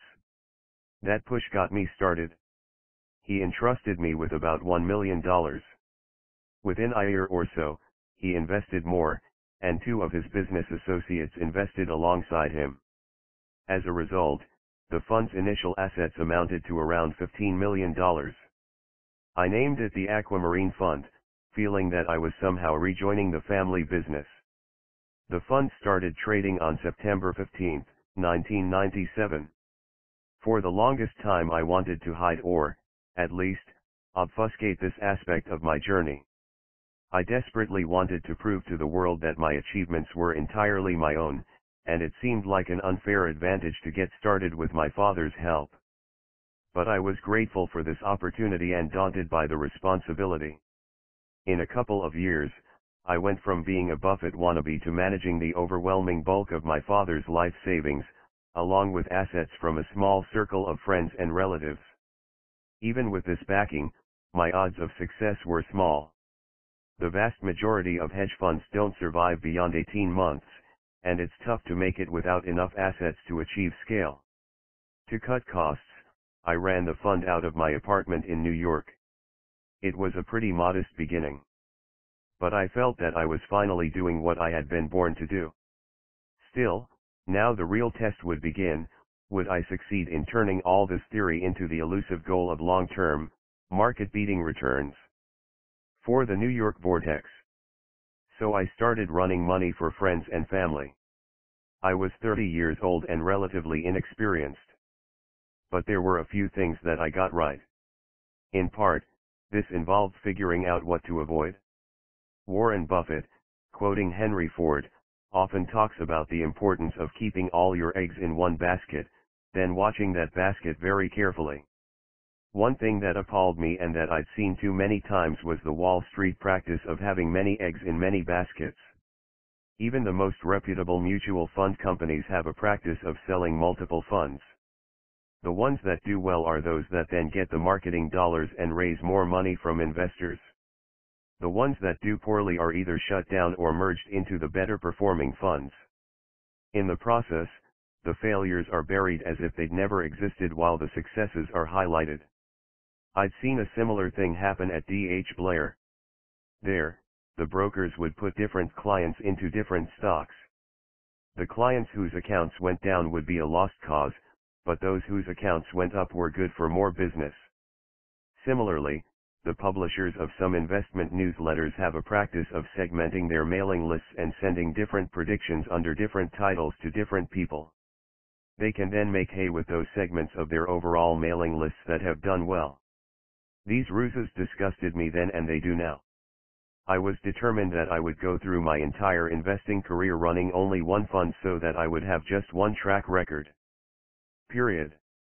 If the long-term performance of that fund I lousy, this will be obvious to everyone, there's no place for me to hide. Equally important, my family's money would also be in that one fund alongside my investors' money. Indeed, I've invested almost 100% of my net worth in the Aquamarine Fund. As a result, I'm truly eating my own cooking. This alignment of my own interests and my shareholders' interests is inestimably important. This isn't a sales pitch. It's simply a matter of pointing out that this approach is conducive to good investing, not least because it enables me to focus on that one portfolio instead of having scattered interests. In this, I consciously modeled Buffett, who has focused all of his investing energy on Berkshire Hathaway for decades but there were other ways in which I deviated from the hard-won principles that he had taught me. For example, I should simply have copied the fee structure of his pre-Berkshire investment partnerships. He charged no annual management fee, but took a quarter of the profits above a 6% hurdle. This is an extremely unusual structure, but it's the best alignment I've ever seen between an investor and his shareholders. It truly embodies the principle of making money with them, not off them. Unless they do well, the fund manager earns nothing. However, in starting the Aquamarine Fund, I opted instead for the standard New York hedge fund fee structure.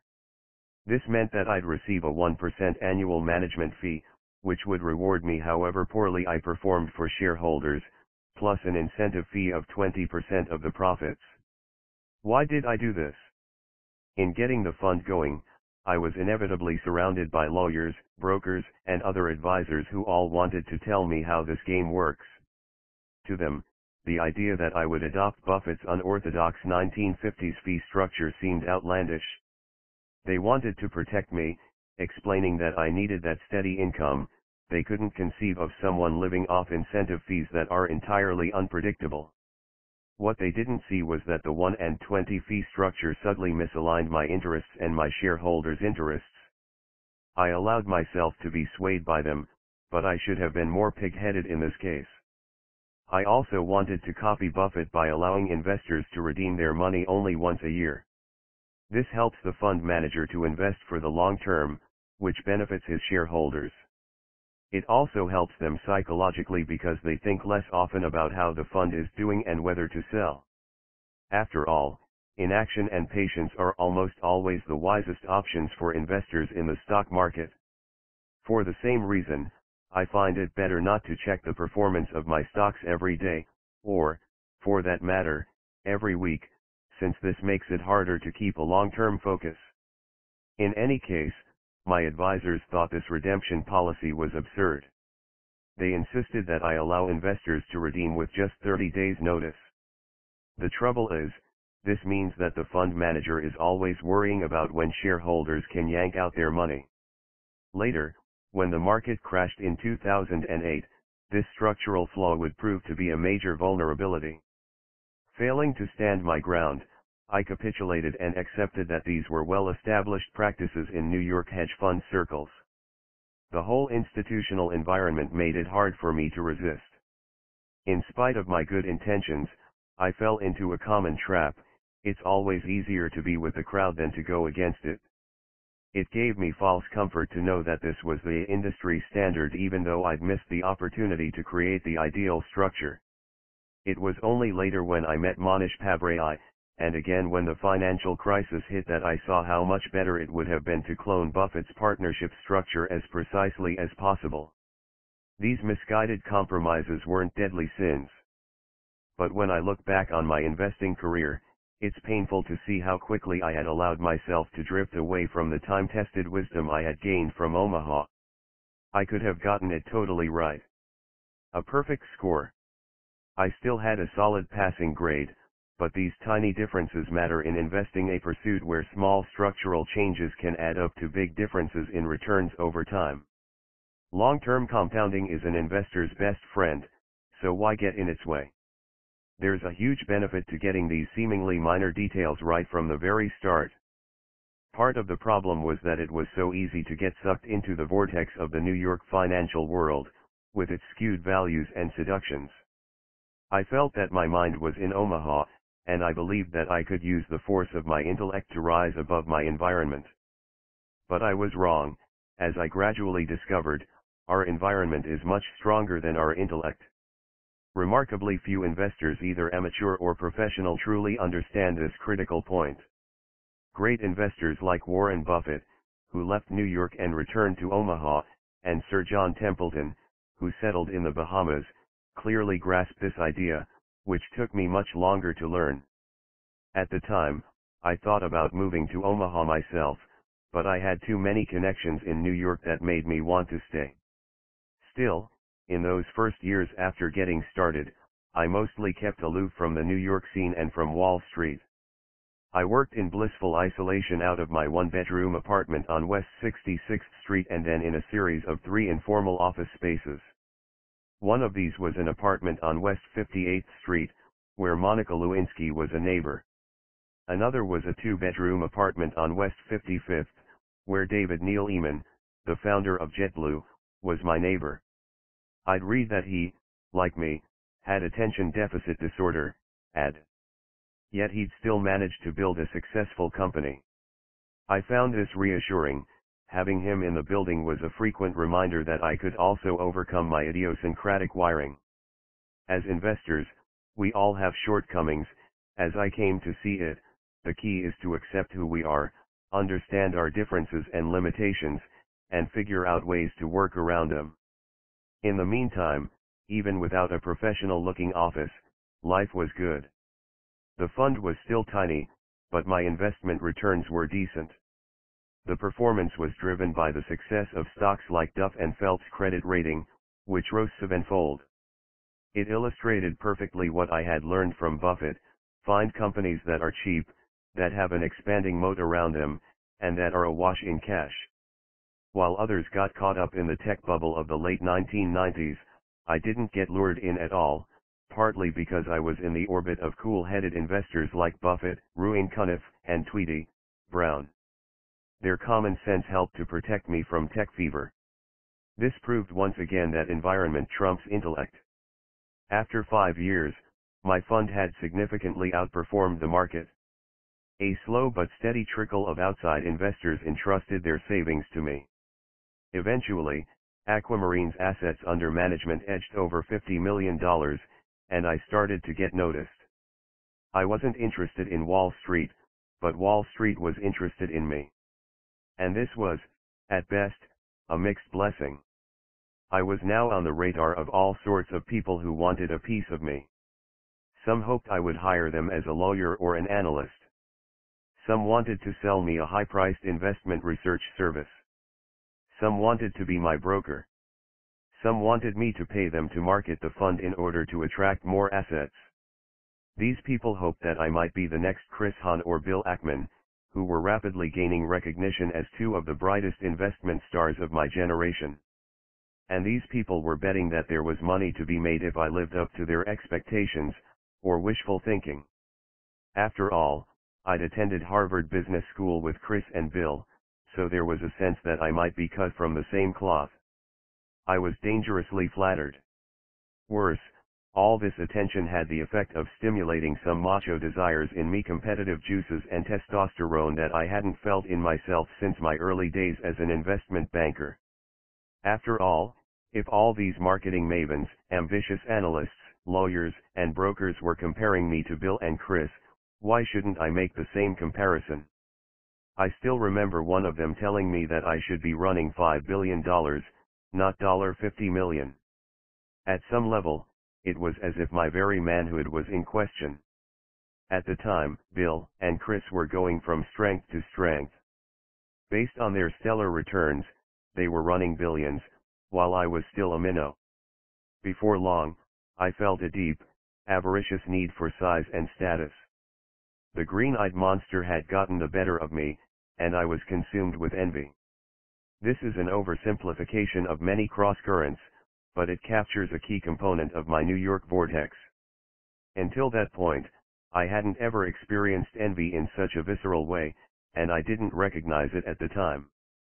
But that's what it was. Buffett and Munger joke that envy is the only one of the seven deadly sins that isn't any fun. Envy is crazy, remarks Munger. It's 100% destructive. If you get those things out of your life early, life works a lot better. In my view, envy is also an emotion that we deny at our peril. In the financial markets, envy is a silent killer, it leads people to behave in ways they wouldn't if they were more honest with themselves. For example, investors see their friends make a killing off tech stocks that are crazily overvalued, and they plunge in right before the bubble bursts.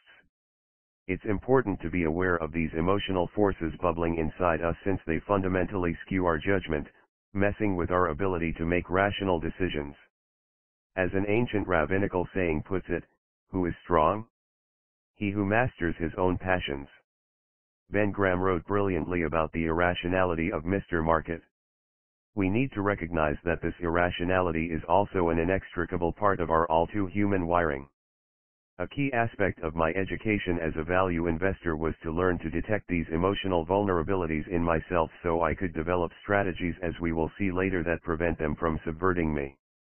This process of self-correction begins with self-knowledge. The reason all of this matters is that investing has a way of exposing our psychological fault lines whether it's greed, a lust for power and social status, or any other flaw.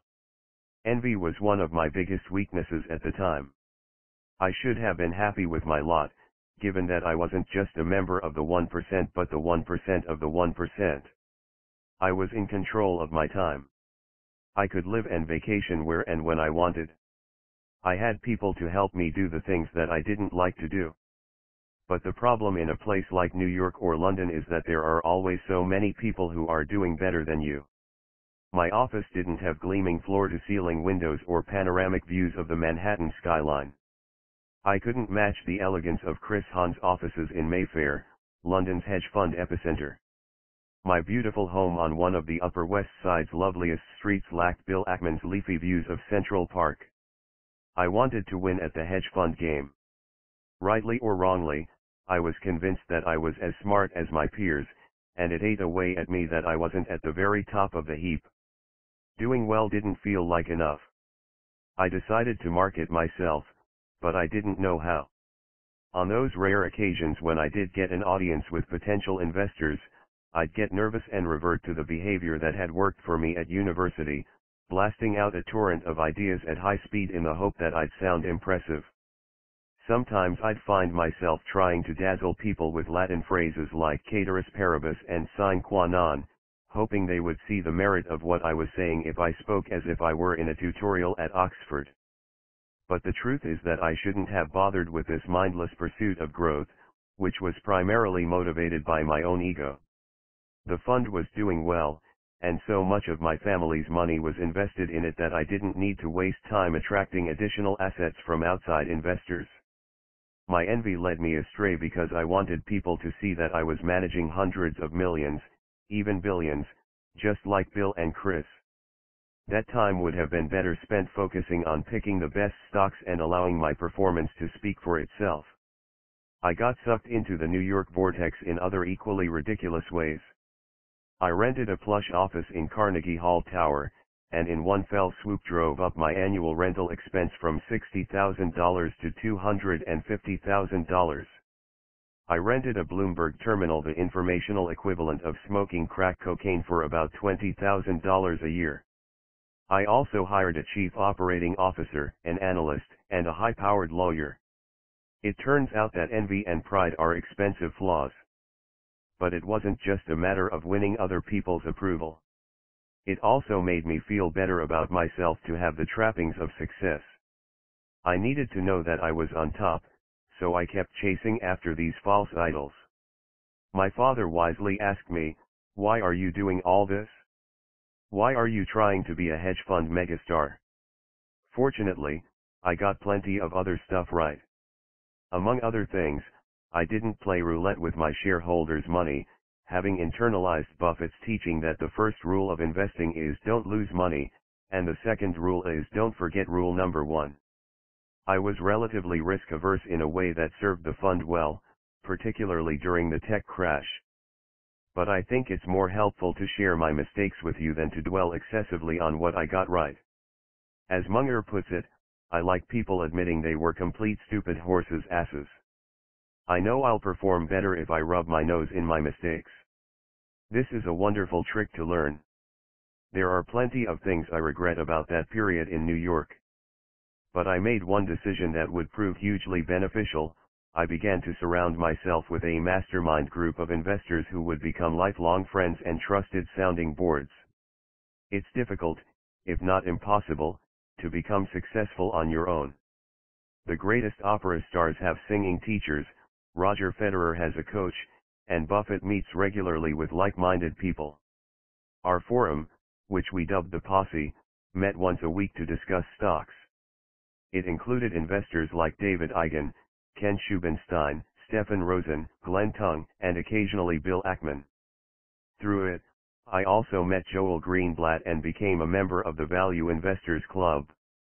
The posse met one morning a week, and at least one of us had to come prepared with a stock idea, which the rest of us would debate and dissect. This expanded my knowledge beyond anything I could have learned from a textbook or MBA course. We not only learned more about investing but gained a deeper understanding of each other about what made us tick, or not tick. The posse's meetings produced friendships that are a reward in their own right. From a pure investing perspective, these allies have also become a source of competitive strength because we look out for each other. If I call members of that group and run an idea by them, it's not just what they say that's important, my knowledge of them also allows me to evaluate the information they give me. It's critical that we understand one another's biases and filters. On one memorable occasion, this group saved me from myself and reinforced for me the benefit of being open to other perspectives. I had discovered what I thought was a fantastic company. It was called Farmer Mac. One way that I look for investments is to study the masters and then explore whether I should buy the same stock or a better one with similar characteristics. Buffett had a huge investment in Freddie Mac and a substantial stake in Fannie Mae. Both companies would subsequently lose their way. But at the time, Freddie and Fannie were great businesses. Their key asset was the implied faith, backing, and credit of the U.S. government, which meant they could borrow at virtually risk-free rates. I looked for a firm with a similar advantage and found Farmer Mac a tiny government-sponsored enterprise in the U.S. farm sector. It struck me as an undiscovered gem of the same ilk. In 2003, I invited the company's management to give a presentation to the posse. Whitney Tilson, who is a well-known hedge fund manager, author, and TV commentator, later shared the idea with Bill Ackman. Bill, who started an investment firm called Gotham Partners after graduating from Harvard, is a brilliant analyst with an extraordinary gift for seeing what other investors miss. A few weeks later, Bill took me aside after a breakfast meeting with the posse and said, Guy, there's something I want to talk to you about. Knowing his generosity and his relish for acting as a matchmaker with his single friends, I was convinced that he wanted to set me up on a date. In fact, he wanted to tell me more about Farmer Mac, having heard that I owned the stock. Apparently, Bill had stayed up until about 4 a.m. researching the company after Whitney mentioned my interest in it. The next morning he phoned Whitney and thanked him for the most incredible opportunity I've ever seen. But it turned out that Bill wasn't buying the stock, he was shorting it. In other words, he was convinced that Farmer Mac was going to implode. As we walked about 20 blocks to his Midtown office, Bill explained what he thought I was missing, and why he'd established a massive short position. He thought the stock was not just going to implode, but fall to zero. He proceeded to tell me why Farmer Mac was nothing like Freddie and Fannie. I felt my stomach turn. Seeing that I didn't yet fully understand, he invited me up to his office. There, to my amazement, he showed me a shelf filled with more than a decade's worth of printed filings for Farmer Mac. These were covered with annotations and sticky notes. He had also printed out the filings for many of the company's securitizations.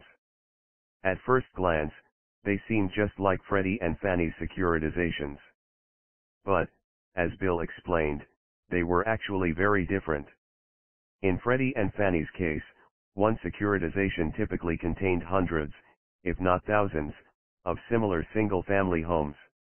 In Farmer Mac's case, the securitizations often contained only a handful of farm loans, each with very different characteristics. Bill's view was that this was not an asset that could be securitized and that this was really more like regular business lending. As he saw it, these packages of loans were far riskier than they seemed, and the company could easily go bankrupt. At one point, I said to him, but this is a government-sponsored enterprise.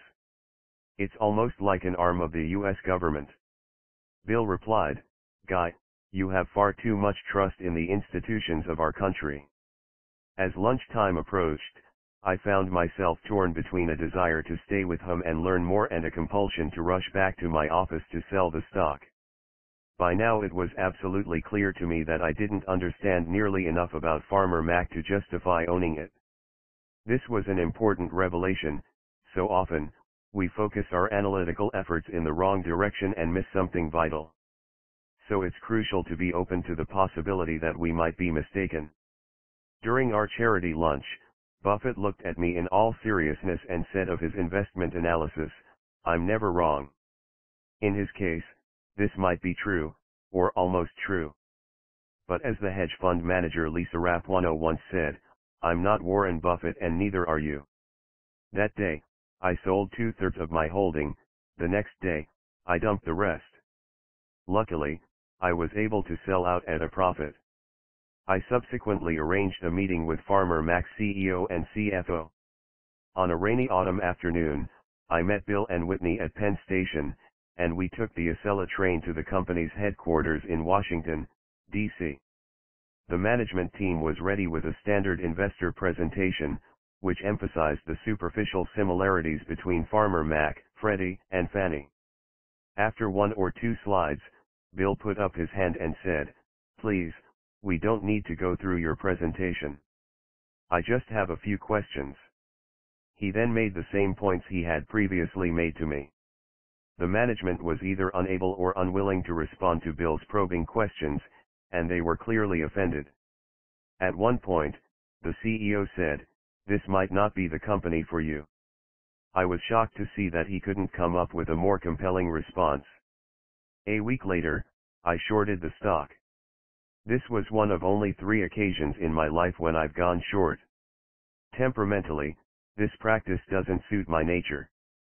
But, to my mind, the management's reaction confirmed that Bill was right. Afterward, he told me that they had even excluded him from the company's quarterly conference calls. I started to get carried away with the whole combat sport of shorting a stock. I got on these conference calls myself and asked pointed questions designed to highlight the company's weaknesses. I was determined to show other investors the risks that lurked behind the veneer. I also spoke to the New York Times, explaining these concerns. These were valid and important points, and investors had a right to know that the company was riskier than they thought. But there was a righteous, or self-righteous, indignation in my attitude that didn't reflect well on me. In retrospect, I feel as if I lost my way and acted like a petty tyrant. My goal as an investor is to compound money for my shareholders, not to pick unnecessary fights or conduct myself like an avenging moral crusader. I'm not criticizing other fund managers who want to do this, but it's not my role in life, and I think it distracted my mind and muddied my hands. Not long afterward, I got my comeuppance. The Wall Street Journal published an article suggesting that various hedge fund managers might be banding together to manipulate the price of stocks they were shorting. These included MBIA, Allied Capital, and Farmer Mac.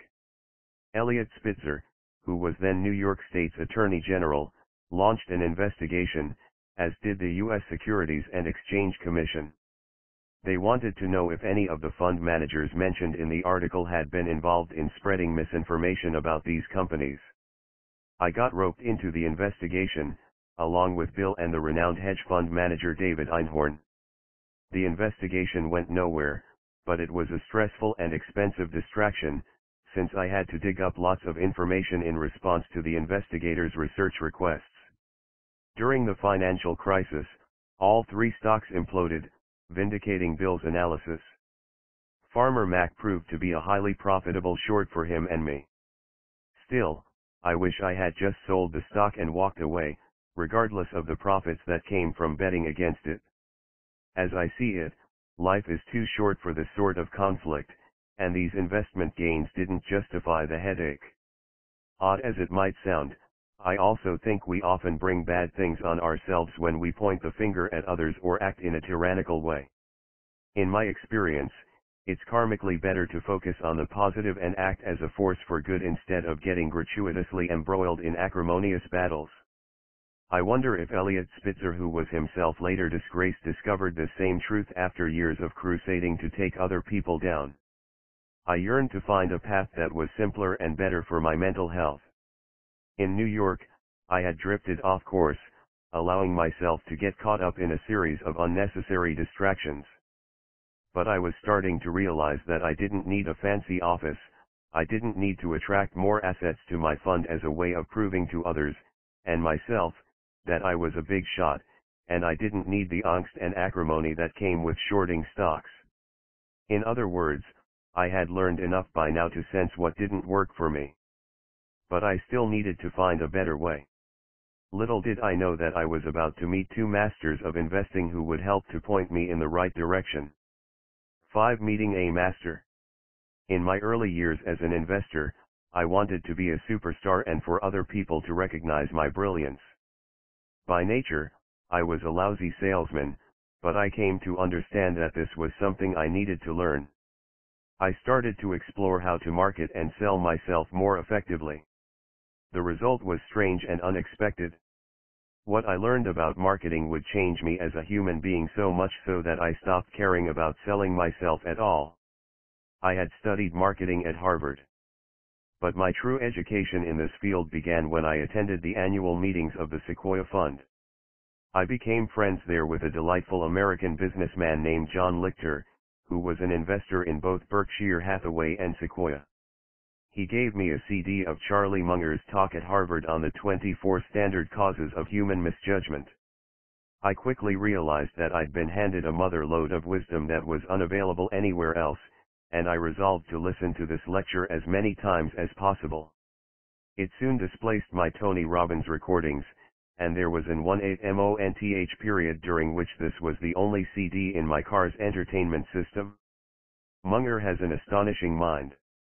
Mohnish Pabrai, who has spent time with him, later told me that Charlie is the smartest guy he's ever met even smarter than Buffett. What's more, Munger has an extraordinary grasp of different disciplines, and this speech distilled and integrated his knowledge of psychology, economics, and business in a way that blew my mind. For example, he spoke about the way that extra vivid evidence distorts our thinking. During a crazy run-up in tech stocks, say, an investor sees that Yahoo is skyrocketing and hears on CNBC how everybody is getting rich off these hot internet investments the investor's reptilian brain reacts irrationally to this extra vivid evidence, making it harder to understand that the stock price no longer reflects the company's intrinsic value. This primitive wiring which is deeply embedded in all of us was helpful for cavemen faced with a wild beast or a fire, but it's woefully ill-suited to analyzing the nuances of the stock market.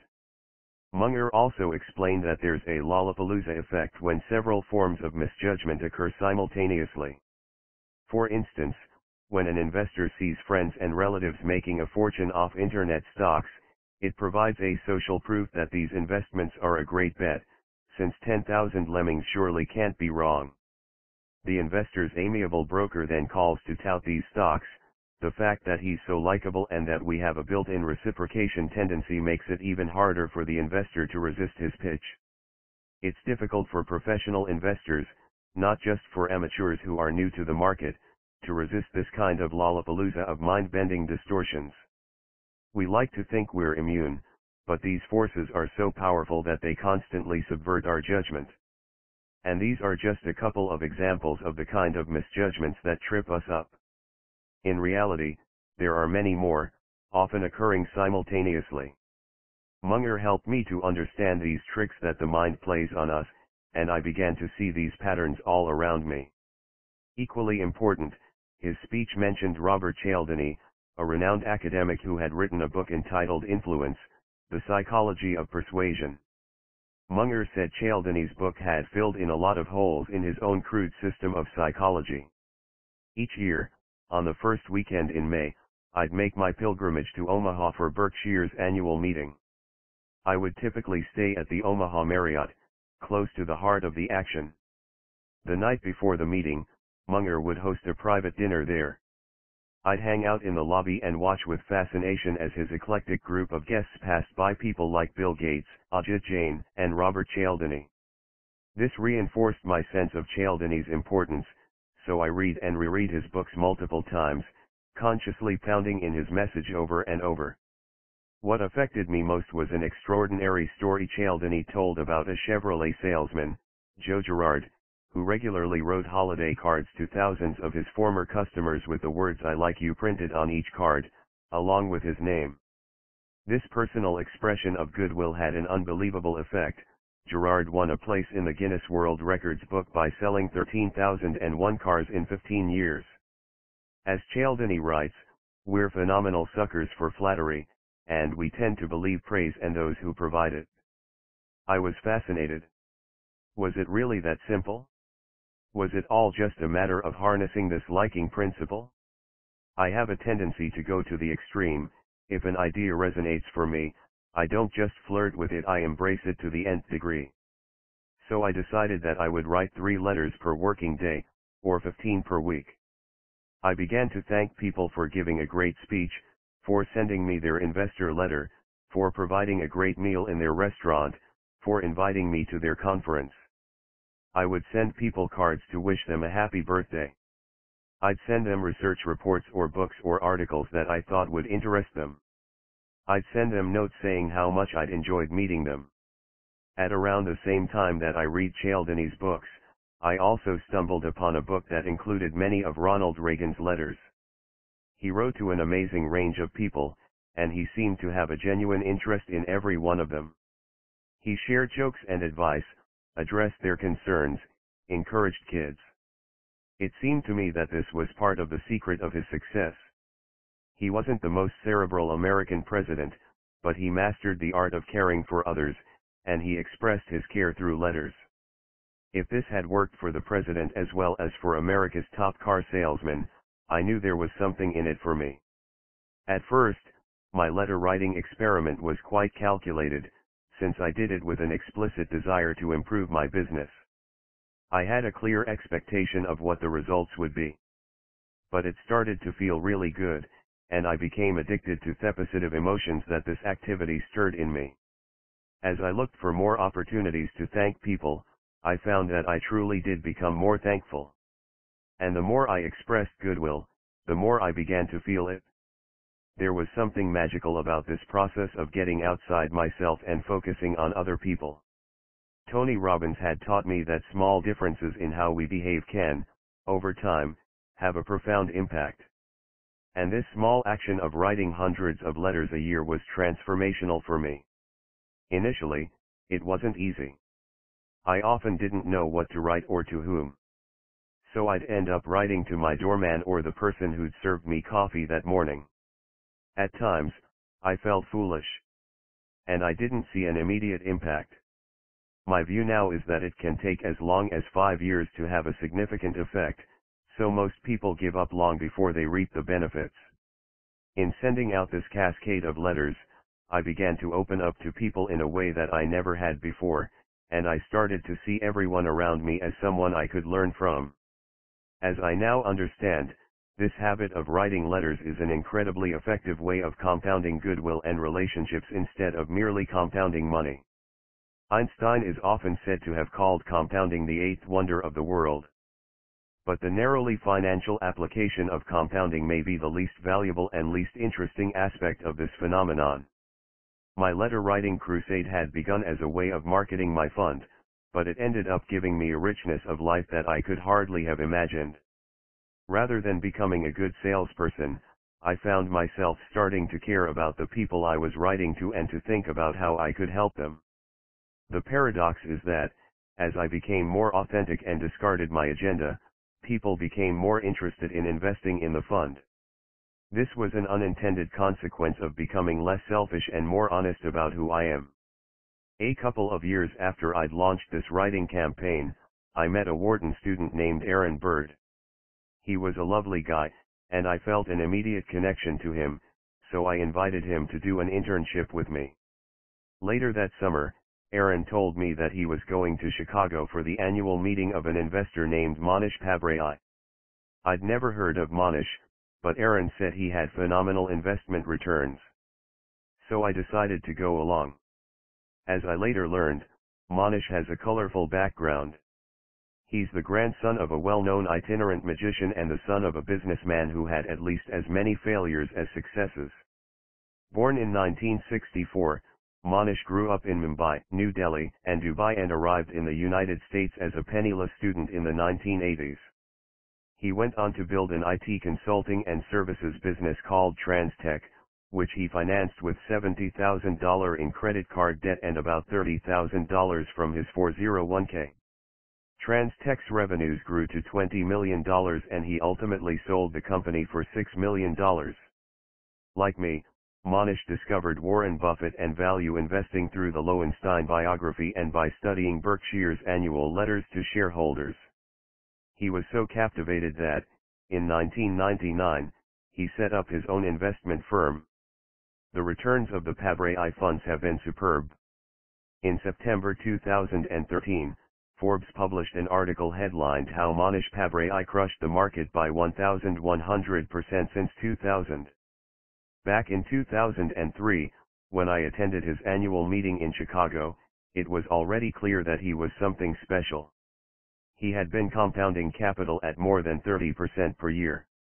But I was equally struck by his understated and idiosyncratic way of conducting business. Anyone in the New York investment world has been to their fair share of rubber chicken lunches. These tend to be held in fancy hotels like the Pierre, and they involve a manager or management team presenting all of the reasons why you should buy their stock or fund. The Pabrai meeting was completely different.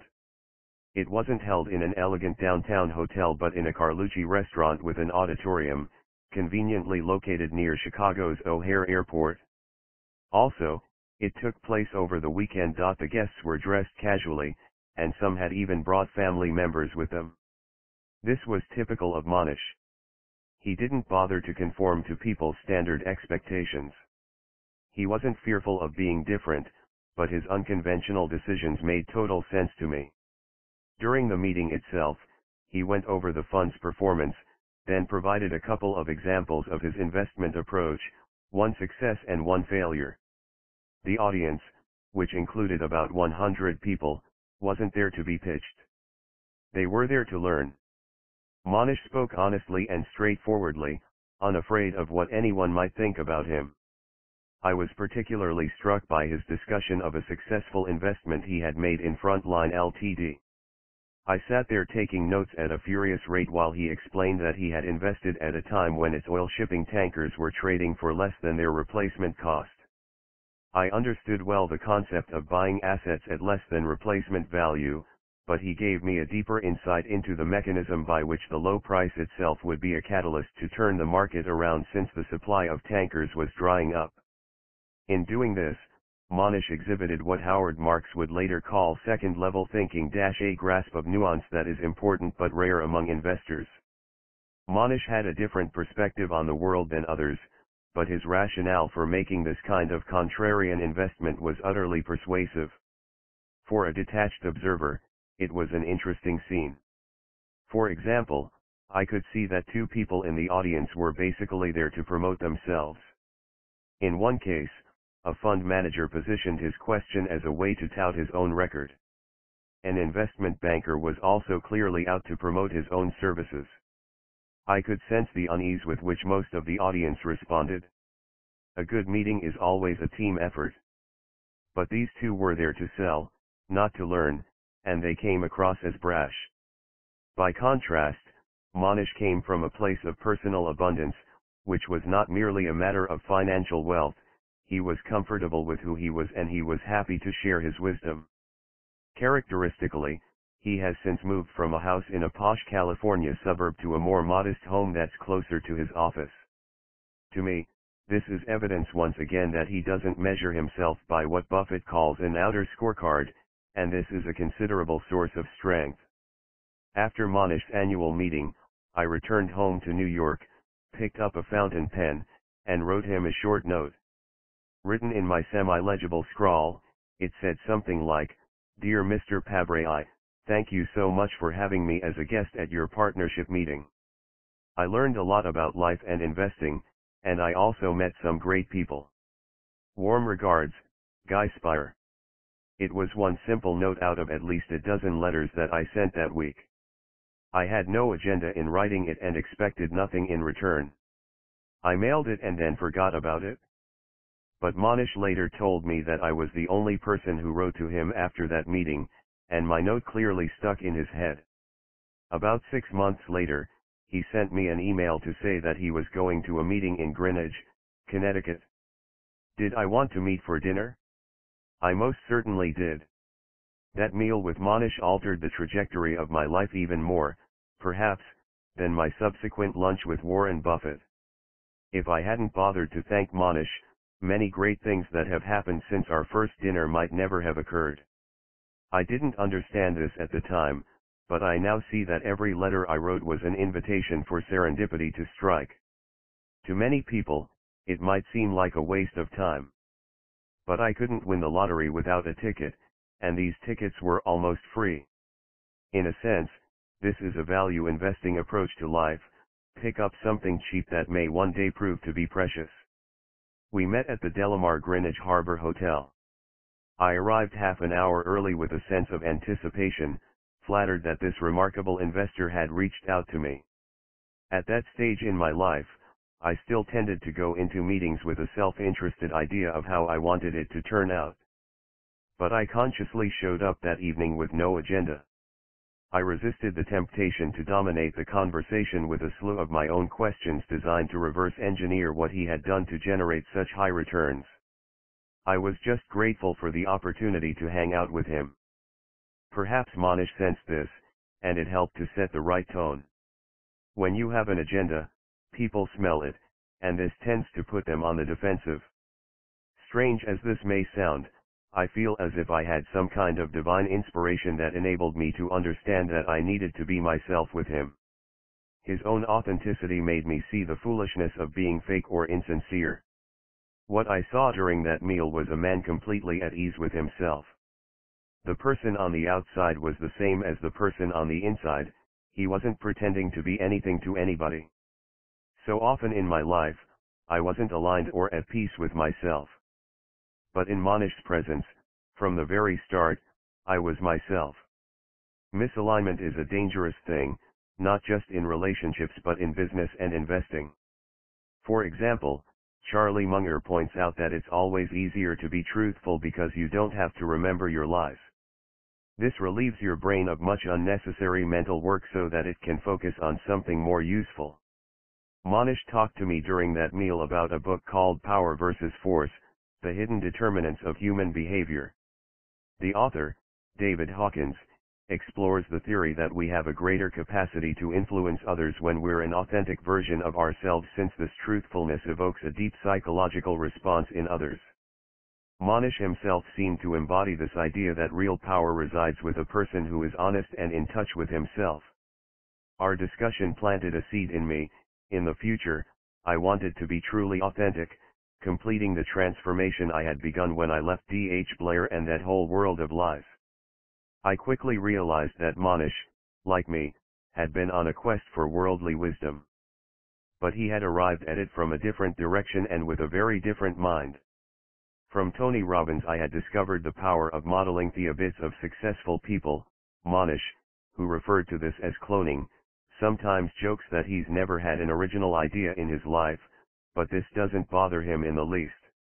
Indeed, this is often the way progress works, we copy the best ideas and make them our own. Mohnish understood that this applies to businesses too.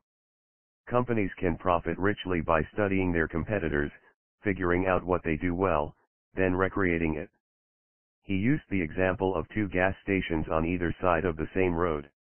One has a smart owner who provides a full serve at a self-serve price, doing things like cleaning windscreens and checking fluid levels for free.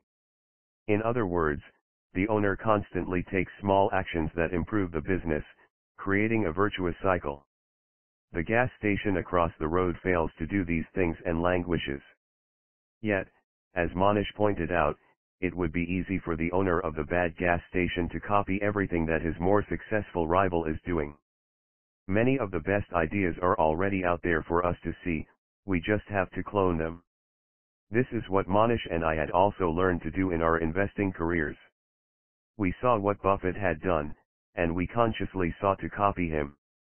But Mohnish was a much better cloner than I was, thanks to his relentless attention to detail.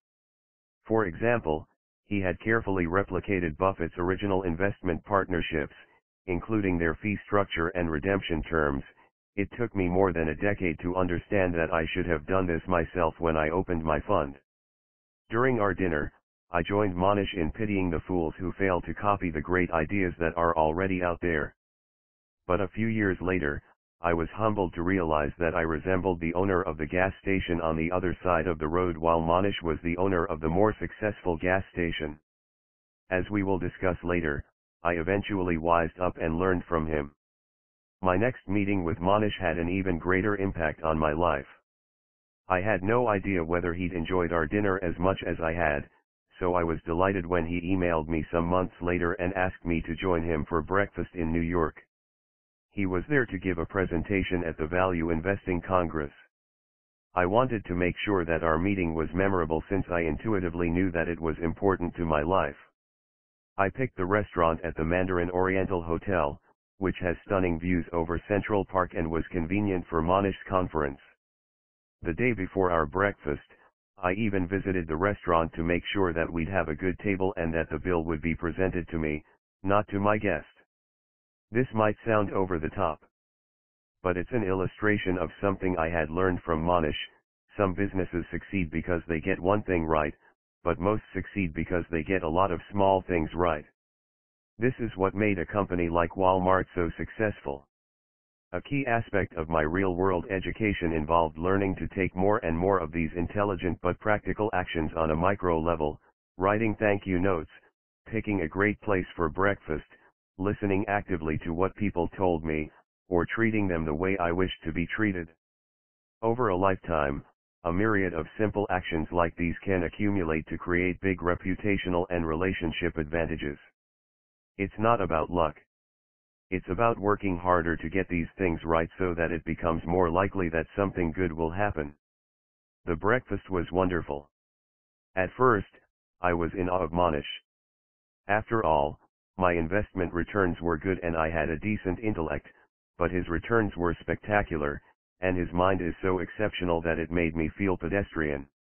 We also have different cognitive styles, I can be scatterbrained, with a mind that darts all over the place, while he's totally directed.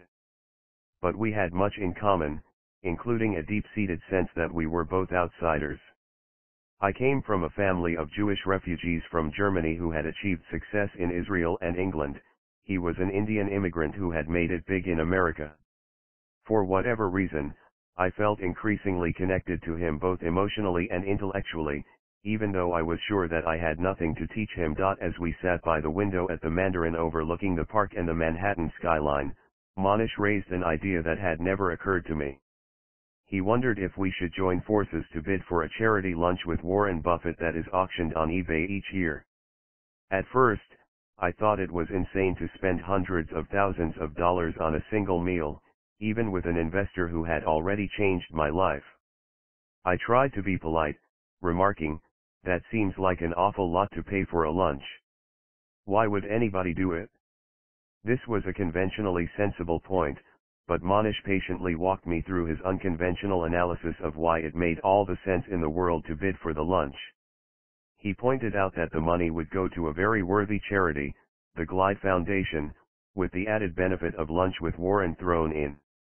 As Mohnish understood, so many charitable donations come with nothing more than a meaningless plaque featuring the donor's name, which is designed primarily to burnish their reputation or inflate their ego.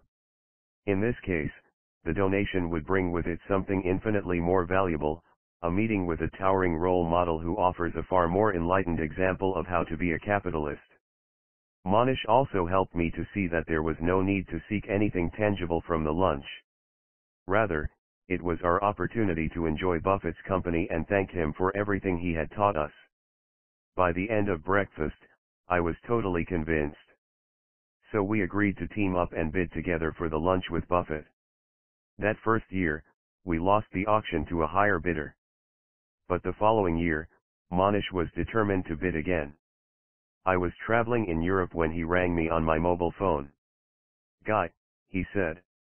This time we've got to win it.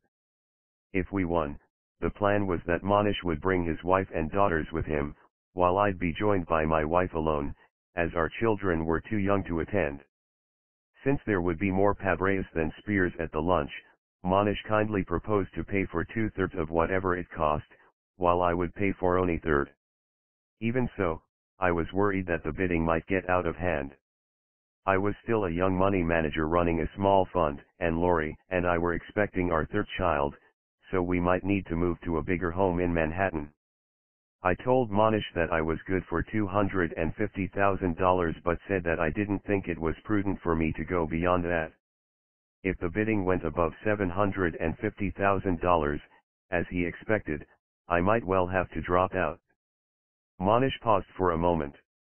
Then he assured me that, if this happened, he'd cover the balance himself so that my contribution would be capped at $250,000. I was flabbergasted by his generosity. We didn't even shake hands on this deal, let alone draw up a written agreement. I found this level of trust deeply touching. It reminded me of the way that Buffett himself had often made financial agreements with barely a written document. Nobody in business other than my father had ever treated me this way. In the end, we won the auction at our second attempt, with a bid of $650,100. I was so excited and so anxious for Mohnish not to think that I might let him down that I wired my third of the money to the Glide Foundation the very next morning. Only then, once the money had gone through and it was a fait accompli, did I call Mohnish to tell him how ecstatic I was. Our lunch was set for June 25, 2008. This would give me several months to prepare myself just enough time, I hoped, to make sure that I was worthy of meeting the Grand Master himself. After all, if you're going to meet someone better than you, you had better work on yourself first. 6. Lunch with Warren. For several years now, I'd been moving closer to Warren Buffett's orbit. In the late 1990s, as tech stocks soared, Berkshire Hathaway lagged, and there was plenty of misguided muttering about how he had lost his touch. The skeptics wondered why he stuck to his supposedly outmoded style of investing in unsexy but highly profitable businesses while the herd made a killing off hot tech stocks that traded at crazy multiples of their revenues. Amid this insanity, Berkshire's unfashionable stock slumped to what struck me as an irrationally low price. So I loaded up, investing over 20% of my fund in the company. Since then, the stock has more than quadrupled while many of those once hot tech darlings have gone the way of the dodo. Berkshire has remained a big investment for me, providing an important anchor for my fund, and it's still capable of generating high returns for many years to come. In the meantime, I was constantly striving to model Buffett's way of thinking and investing. I read about him incessantly, studied the stocks he bought, and did my best to replicate what made him great. By the time of our charity lunch, I had also visited Omaha about a dozen times to attend his annual meeting. In those early years of going to Omaha, I was still stuck in my New York vortex, so I typically hung out at the Omaha Marriott with other high finance types from the Big Apple. This gradually changed. Instead of mingling with the New York crowd, I began to stay at the Doubletree Hotel, joining the members of a Buffett fan club called the Yellow BRKers. Their website warns, the Yellow BRKer gathering is a 100% informal and unofficial gathering of Berkshire shareholders. The gathering is not intended as a forum to promote any particular product or service. The people in this group weren't dressed for success, and they didn't have the slightest interest in doing business at the Berkshire meeting. They were there to learn, to celebrate friendship, and to drink from the well of wisdom. These were primarily amateurs who had invested their own money in Berkshire. In many cases, they had owned the stock for decades. They had a different energy from that of my New York colleagues professional investors and networkers who often wore a standard uniform of khaki pants and blue blazers. Through Mohnish, I also met various Indian fans of Warren, some of whom had traveled thousands of miles to be in Omaha. I liked hanging out with all these non-professionals who weren't interested in deal-making or working the room. They didn't take themselves too seriously, and we became a raucously funny gang. For me, the values and ethos of this understated group seemed healthier and more down-to-earth. Instead of showing up in my jaded and superior Oxford Harvard New York mode, I allowed myself to let go and join the fun as just another Buffett fan and disciple. On the day of the annual meeting itself, I no longer strolled in at the 8 a.m. start time so that I could avoid the rush. Instead, I began to get up at 5.30 a.m. so that I could join the hardcore faithful in a line by the south door of the convention center. As a result, I would find myself sitting with Mohnish at the front of the room, enjoying a perfect view of Warren and Charlie. This was a much better place from which to learn than the back row, where I had previously been a more passive and even judgmental observer. As I had come to realize, if you're going to do something, it's best to commit to it with wholehearted gusto. Other serious investors including Prem Watsa, Li Lu, and Mario Gabelli had clearly come to the same conclusion because I found them at the front too. Once again, the point is that these small actions make a major difference at the margin. Other than my one decidedly brief exchange with Buffett as he left the men's room in the Omaha Convention Center, I had never had any personal interaction with him at all. For all these years, I'd simply watched him and studied him from afar. But my letter writing campaign which had led to my meeting with Mohnish and then to our successful bid for the charity lunch now propelled me into a whole new realm of possibility. Suddenly, I was about to meet my hero in person, for lunch. It seemed unreal. I was only just beginning to align myself with the universe, and I hadn't even done that much that was right. But when you begin to change yourself internally, the world around you responds. I hope this idea resonates because it's important more important, perhaps, than the fact that I had lunch with Warren Buffett. As I hope you can see from my experience, when your consciousness or mental attitude shifts, remarkable things begin to happen. That shift is the ultimate business tool and life tool. I had already changed a lot in the years since D.H. Blair, but there were aspects of my hedge fund's business model that were still misaligned. As the lunch with Buffett approached, I felt a growing sense of discomfort about this. A part of me feared that he would see me and recoil at the sight of just another greedy hedger from New York, reaming investors by charging a 1% annual management fee and 20% of the profits. Mohnish didn't charge an annual management fee, he got compensated only if his shareholders did well. As for Warren, his annual salary for running Berkshire was 100,000 almost comically low given the many billions of dollars in profits he had made for his fellow shareholders. So I'd be showing up at the lunch with the highest fees and the most selfing fee structure despite running the least amount of money and having the lowest returns of the three of us. It's painful to write this, but it's true. I could have tried to exculpate myself by pointing at the many hedge fund managers who charge a 2% annual management fee. But the fact that their fee structure was even more egregious than mine gave me little comfort. I wasn't the worst offender, but I wanted to be on the right side of the line. Buffett wasn't aware that he was having this impact on me, but he set such a great example with his own fee structure that he made me want to treat my own shareholders more fairly.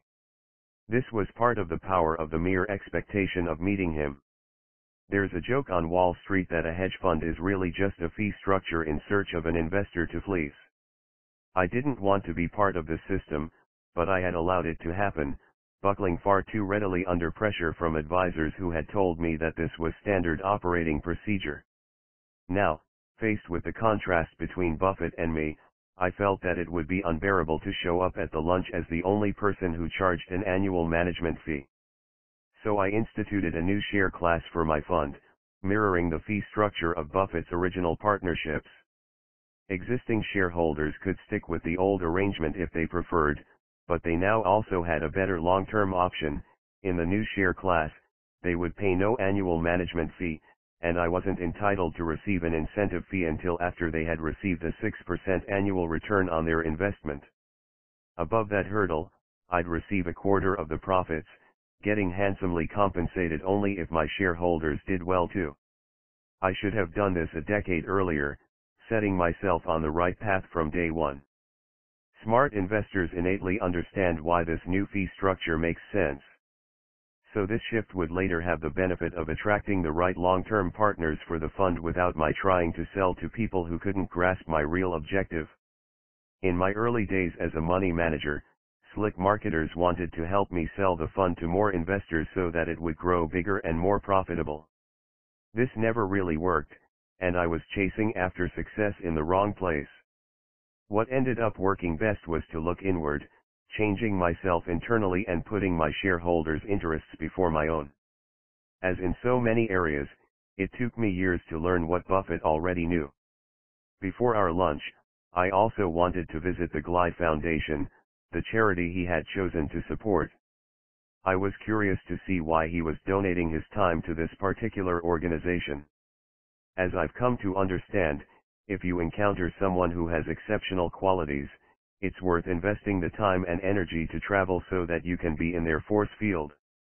Glide was in Buffett's force field, and I wanted to know why.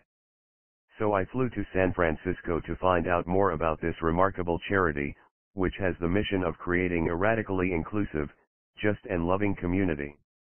Among its initiatives, Glide runs a church in the impoverished Tenderloin district, provides health services, and serves over 800,000 meals a year to the needy. Warren had been introduced to Glide by his late wife, Susan, who was an extraordinarily generous soul. He began to support the charity by auctioning his annual lunch online, and he continued to do so after Susan passed away in 2004. I was greeted outside Glide's headquarters by its beaming founder, Reverend Cecil Williams, a minister and social activist on behalf of the poor and marginalized. Here was a man who, like Buffett, did his job with every ounce of his being. Later I had lunch with him in Glide Soup Kitchen, seeing for myself how he bantered with everyone and how they were drawn to him. It didn't take long to realize that this is a wonderful organization that extends genuine warmth and humanity to people who have given up on themselves. As Buffett once put it, Glide recognizes that everyone has a potential, no matter what their circumstances. This is a proven process, that a combination of love and time and energy and resources can produce a different human being. What also dawned on me was that Reverend Williams was a quintessential Buffett manager not that different from the CEOs who run Berkshire's businesses. He was authentic to the core. There was no facade. He gave his own attention and energy to the people he helped. And he obviously relished his work. Later that day, I recorded a video for Glide in which I mentioned that Buffett was not just a very discerning picker of businesses but had also clearly identified a very special charity. More important, perhaps, the Glide visit showed me how concerned Buffett was with using his power to do good. His example encouraged me to keep looking outside myself to see who I could help and the more I did this, the happier my life became. According to the rules of the auction, Mohnish and I had specifically won a power lunch for seven people plus Warren at the Smith and Wollensky Steakhouse in Manhattan. Our party would include Mohnish, his wife Harina, their two daughters Monsoon and Mamaki, along with Lori and me. In other words, there were only six of us, which meant that there was technically a spare seat. Various acquaintances had approached me to buy that last seat. One London-based fund manager offered me $100,000 to join us. A swaggering private equity guy suggested that we give the seat to David Cameron and also disinvite our families. When Lori heard about these bids, she selflessly offered to give up her own seat so that we could give it to someone who would value it more highly. But this wasn't a business deal, and her seat wasn't for sale. Still, I felt obliged to mention the $100,000 offer to Mohnish. He was adamant, this was a family event and a way of thanking Warren. There was no hidden agenda. Auctioning off the seats or allowing non-family members to come with us would have quickly destroyed that spirit. At last, the day of the lunch arrived. It was a beautifully sunny morning in late June. Lori and I rode in a cab from our apartment to the restaurant, which is on 49th Street and 3rd Avenue. We arrived an hour early as I wanted to savor the moment and didn't want to be late for such an important occasion. Television cameras from CNBC and elsewhere were already stationed outside the restaurant. With Warren's permission, we had also hired our wedding photographer to memorialize the event. I was so nervous that I was run down and had a cold. I knew that Buffett was a penetrating judge of character, and I was afraid of being exposed. What if he saw through me and detected any lingering remnants of the Gordon Gekko side of my nature? But I was also enormously excited. From my meals with Mohnish, I'd seen what a huge impact it can have simply to hang out with a person you revere. So I was thrilled at the prospect of seeing Warren up close, of observing what made him tick. This would be the ultimate capitalist master class. At around 12.30 p.m., the seven of us sat down for lunch in a cozy, wood-paneled alcove near the kitchen. It was only semi-private, and there was a buzz among the other diners when they peered into the alcove and saw that Warren Buffett was there. He wore a business suit, a white shirt, and a bright yellow tie with a black pattern. Mohnish's daughters sat on either side of him. I sat two seats to his right, between Mamaki and Lori. Mohnish and Harina sat to Buffett's left. It was lovely to have our wives and Mohnish's kids there since this made it a light-hearted and joyful family affair instead of a more formal business meeting. Warren, who had brought gifts for the two girls, beamed with pleasure and goodwill more like an amiable grandfather than one of the world's richest men and the greatest investor of all time. As I'd seen at Berkshire's annual meetings, he had no pretenses or stuffiness about him. Warm and friendly, he insisted on our calling him Warren and went out of his way to put us all at our ease. He asked the girls how old they were, and then replied, You're 12, you're 11, and I'm 77. Then, when the menus arrived, he joked with the kids that he doesn't eat anything he wouldn't touch when he was less than five years old. Sure enough, he ordered a medium rare steak, hash browns, and a cherry coke an appropriate choice, given that Berkshire is the biggest shareholder in Coca-Cola. Not wanting to dwell on the menu, I followed his lead, ordering a steak, hash browns, and a Diet Coke. Before the lunch, Buffett had obviously gone to the trouble of reading up on us. He asked Lori about Salisbury, North Carolina, where she was born, mentioning that he'd spent time there with a friend from his student days at Columbia University. He also made a point of saying how impressed he'd been by a remarkable annual report for Mohnish Charitable Foundation, Dakshana, which educates children in India. He floored Mohnish by saying that he'd sent the report to Charlie Munger and Bill Gates. Indeed, when Buffett spoke to Fox News about our lunch, he specifically mentioned Mohnish charity, remarking, he thinks as well about philanthropy as he does about investments. This guy has thought a lot about what he's going to do with the money he makes over time. He's going to turn it to the benefit of really, I think, thousands of people. I admire him enormously. It was clear that Buffett himself had thought a lot about what to do with his money.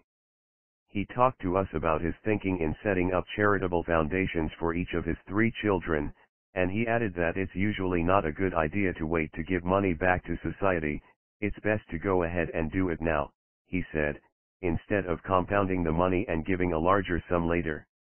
I joked that he was technically the least wealthy person at the table, since he'd already pledged most of his Berkshire Hathaway shares to the Bill and Melinda Gates Foundation, as a result, he was now working virtually for free, much like Glide's founder, Cecil Williams. He grinned happily and said that was absolutely right. He seemed glad that I understood how little he cares about personal enrichment and how much he cares about using his wealth to help others. When we thanked Warren for making this lunch possible, he said that he was excited to do it. For one thing, it gave him a great opportunity to honor Reverend Williams and also his own late wife, Susan. He said that he had known right away, at 18, that she was the person he wanted to marry, and that he would never have gotten where he is today without her. He spoke with tender admiration about her kindness, recalling how she had taken terminally ill AIDS patients into her home and given them her own bedroom, seeking to ease their pain in their final days. He told Mohnish's children that choosing the right person to marry would be the most important decision of their lives. For three hours, we relished the most wonderfully wide-ranging conversation. For example, Harina and Mohnish asked Warren about Sir Isaac Newton, since he had once remarked that Newton was the historical figure with whom he'd most like to have lunch. He explained to us that Newton was probably the smartest human in history but joked that he'd thought this through some more and would actually prefer to have lunch with Sophia Loren. He said Charlie Munger would most like to share a meal with Ben Franklin, since Newton was smarter, but Franklin was wiser. At one point, Warren also spoke about a trip he'd taken to China with Bill Gates. Cruising up the Yangtze River, they had talked about a man whose job was to drag the boats in when they reached the dock. Warren recalled telling Gates that, no matter how smart that guy was, he'd never get a chance to do anything more with his life. He said that, in his own life, it would have been a major disadvantage to be born anywhere but the United States since he might not have read Ben Graham's The Intelligent Investor, which wasn't available then in any language but English. He said Graham's book Security Analysis had been his holy grail, and added that he'd been amazed when he then discovered that Graham was teaching at Columbia. Hoping to grab Graham's attention, he wrote him a letter that said, I thought you were dead. Early in the conversation, I made a confession, I told Warren how I had changed my fee structure so that he wouldn't think I was just another greedy, 2 and 20 hedge fund guy. I also mentioned how hard it had been to convince my fund's lawyers that this unorthodox approach made sense since it was fairer to my shareholders. I'll never forget Warren's response, people will always stop you doing the right thing if it's unconventional. I asked if it gets any easier over time to do what's right. He paused, looked away for a moment, and replied, a little. He then went on to explain how crucial it is to adhere to values that you know to your core are right rather than being swayed by external forces such as peer pressure. It's very important always to live your life by an inner scorecard, not an outer scorecard, he said. To illustrate this, he then asked us, would you prefer to be considered the best lover in the world and know privately that you're the worst or would you prefer to know privately that you're the best lover in the world, but be considered the worst? At that moment, I remember thinking, yes, that's true. But it was only later that I felt the full force of this advice. In the months that followed, I began to realize just how much of my life I had spent measuring myself by an outer scorecard. I had always been so eager for people to like and respect me to win the plaudits of my professors at Oxford and Harvard, to be seen as a successful investment banker and deal maker at D.H. Blair, to be admired as a top-notch fund manager. This neediness had inevitably led me astray. What I really needed was to measure myself by an inner scorecard.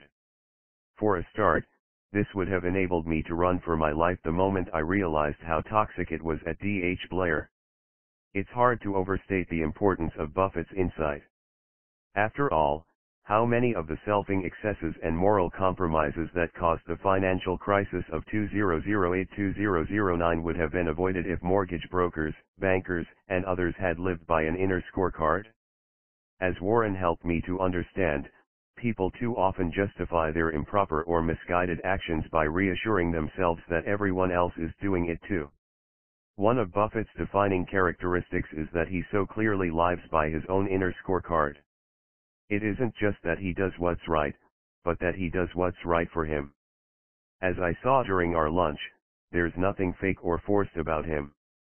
He sees no reason to compromise his standards or violate his beliefs. Indeed, he has told Berkshire's shareholders that there are things he could do that would make the company bigger and more profitable, but he's not prepared to do them. For example, he resists laying people off or selling holdings that he could easily replace with more profitable businesses. Likewise, some investors have complained that Berkshire would be much more profitable if he'd moved its tax domicile to Bermuda as many other insurers have done. But Buffett doesn't want to base his company in Bermuda even though it would be legal and would have saved tens of billions in taxes. This was one of the greatest lessons of our lunch. His strength comes in part from this rock-solid sense of who he really is and how he wants to live. There's no artifice. No need to live according to other people's standards or opinions. Sitting with him at Smith and Wollensky, I could see that he makes no compromises in terms of his own happiness even in something as small and insignificant as his gleeful enjoyment of the restaurant's desserts. Clearly, he has set up his life so that it suits him and so that he enjoys it. When I asked if he had consciously created Berkshire's unique decentralized structure, he emphasized that it operates that way because it suits his personality, not because it maximizes returns. As an investor, he has always remained true to himself. During the tech bubble, when so many other people got carried away, He had no trouble sticking to his principles, even though this meant that he massively underperformed the market before it imploded. Likewise, it wasn't difficult for Buffett to resist the temptation to invest borrowed money, which could have made him richer but could also have landed him in trouble. Indeed, one of the key lessons of our lunch came when Mohnish asked what had become of Rick Guerin, a friend of Buffett's whom he had mentioned in his article on the super investors of Graham and Doddsville. For a while, Guerin's investment record had been spectacular. But Warren told us that Guerin had been in a hurry to get rich and had used leverage to juice his returns.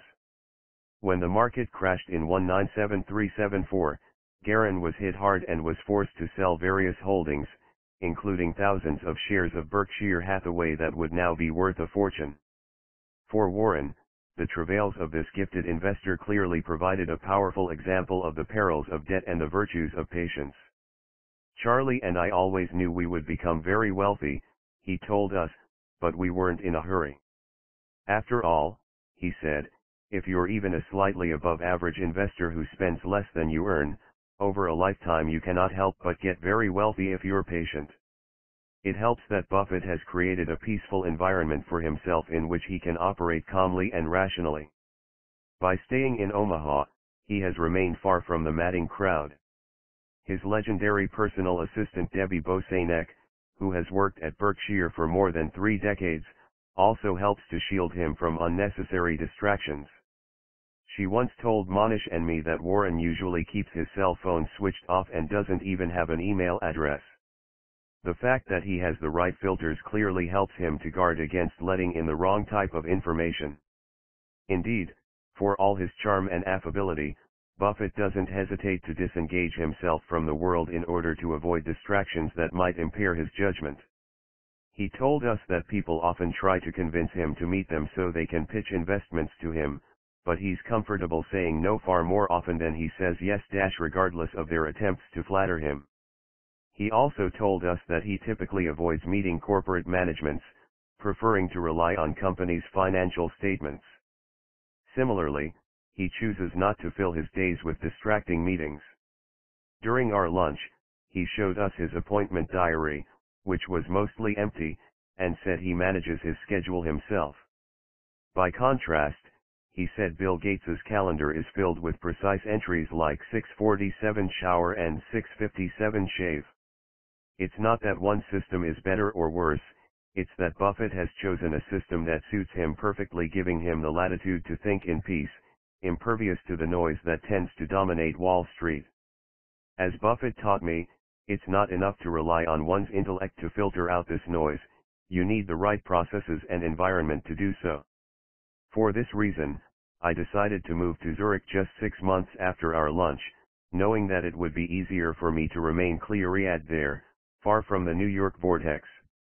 Thankfully, this is one aspect of what Buffett does that other investors can replicate, we can clone the environment and processes he has created to keep the noise at bay. For me, this has meant not only moving away from Wall Street, but blocking out other types of noise that would otherwise muddy my thinking. For example, I totally ignore market predictions and focus instead on investing in companies that should grow significantly over the long term. At lunch, I was happy to admit the extent to which I tried to study and clone Buffett's actions. I explained my attitude by telling him a Talmudic story about two students who were so eager to learn from their rabbi that they even slipped under his bed to watch him at night. Warren joked that he'd be checking under his bed from now on to see if I was hiding there. But there is at least one aspect of Buffett that is entirely inimitable, his brain power. During our lunch, I felt that his mind was operating on about five different levels simultaneously. His biographer Alice Schroeder has since described a similar feeling in his presence. It's hard to explain. But when I sat at the table with Buffett that day, I felt the sheer intensity of his mind and simply knew that he was operating at a much higher clock speed than I was. In the past, having come top of my class at Oxford, I'd somehow convinced myself that I had the mental capacity to compete with him, and I had hoped that I might one day learn to perform equally well. Seeing him in person that day, I was left with no doubt at all that I could never hope to match him. This could have been dispiriting, but I found it weirdly liberating. For me, the lesson was clear. Instead of trying to compete with Buffett, I should focus on the real opportunity, which is to become the best version of Guy Spier that I can be. It reminded me of an old joke that Warren likes to tell, how do you beat Bobby Fischer? Answer, play him at anything other than chess. I couldn't beat Warren at his own game. But I could certainly follow his example. What impressed me most about him that day was not just his mental firepower, but the fact that he lived in a way that was totally congruent with his own nature. Nothing seemed to be misaligned. He had evidently spent his life trying to be true to himself. This became my own goal, not to be Warren Buffett, but to become a more authentic version of myself. As he had taught me, the path to true success is through authenticity. The financial crisis into the void value investors pride themselves on being able to buy when the market is imploding. We like to think that we possess the calmness, courage, and strength not to mention the intellectual clarity and understanding to act rationally when almost everyone else is panicking. But what really happens when the market crashes and there's blood in the streets? I would find this out firsthand in 2008-2009 when the financial world tumbled into the void, dragging me and my fund with it. As Warren Buffett has said, if you weren't scared, you weren't paying attention. God knows I was scared. The experience of the crash was sufficiently painful that it's difficult for me even now to write about it in a totally honest and forthright way. This isn't a conscious decision. There are memories from that time that I've no doubt suppressed because they are almost too wrenching to face. William Green, a friend and shareholder who is helping me to write this book, recently reminded me of a call we had back then in which I told him, only half joking, we're bleeding from every orifice. I have no recollection of this at all. Still, there are certain moments from that time that are unforgettable even if I would prefer to forget them. One of the worst of those moments came with the delivery of the Financial Times one morning in March 2008. Over breakfast, I read on the front page that Bear Stearns was teetering on the brink of insolvency. My fund was a brokerage client of Bear Stearns, and the firm held all of our assets in various accounts. I remember my wife, Lori, exploding at me because I was so distracted and had been totally ignoring my family. I turned to her and said, don't you get it? All of Aquamarine's money is in Bear Stearns. It could all disappear tomorrow. I spent much of that weekend in my office, researching the names of experts who, come Monday, could advise me on what it would mean for the fund if Bear Stearns went bankrupt. I needed to know what would happen to our accounts, whether it was possible that they could be frozen for years while a bankruptcy trustee sifted through the rubble of the firm. As a conservative, risk-averse investor, I had intentionally placed all of our securities in Bear Stearns cash accounts that were fully owned by our fund.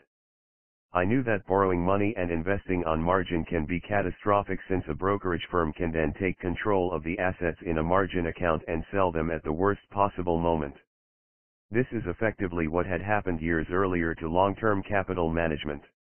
I had been maniacally focused on avoiding such risks, acutely aware that I needed to protect our assets, and I didn't have a single cent of leverage or debt either personally or in the fund. Bear Stearns was simply our custodian, which meant that our cash accounts were theoretically not vulnerable at all. Even so, the unpredictability of the situation was terrifying. In reality, who could say what would happen to these segregated accounts if Bear went under? All bets were off. I was sitting at my desk in my office in Manhattan on the afternoon of Sunday, March 16, watching financial history unfold. The office was eerily quiet. Everything seemed to be happening in slow motion. I knew that I wasn't in control, that my fate was in the hands of Hank Paulson, Ben Bernanke, and other policymakers whose sole interest, rightly, was to protect the global financial system not me, my fund, or my investors. Potentially, almost all of my family's net worth was at risk, along with the savings of dozens of friends, relatives, and business associates. Even so, in this moment of crisis I felt strangely calm. All of a sudden, my Bloomberg monitor came to life, lighting up with a news flash that JP Morgan Chase had decided to acquire Bear Stearns. I reached for the phone and called my father to share the news. Later that evening, I dialed into a conference call and listened with overwhelming relief to Jamie Dimon's assurance that JP Morgan stands behind Bear Stearns guaranteeing its counterparty risk. Never have such prosaic words meant so much to me.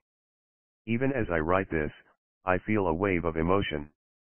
The Bear Stearns bullet, which I had not even known to exist until a few days earlier, had come appallingly close. But we had been saved. I've never met Jamie Dimon, but I've sent him a Christmas card every year since.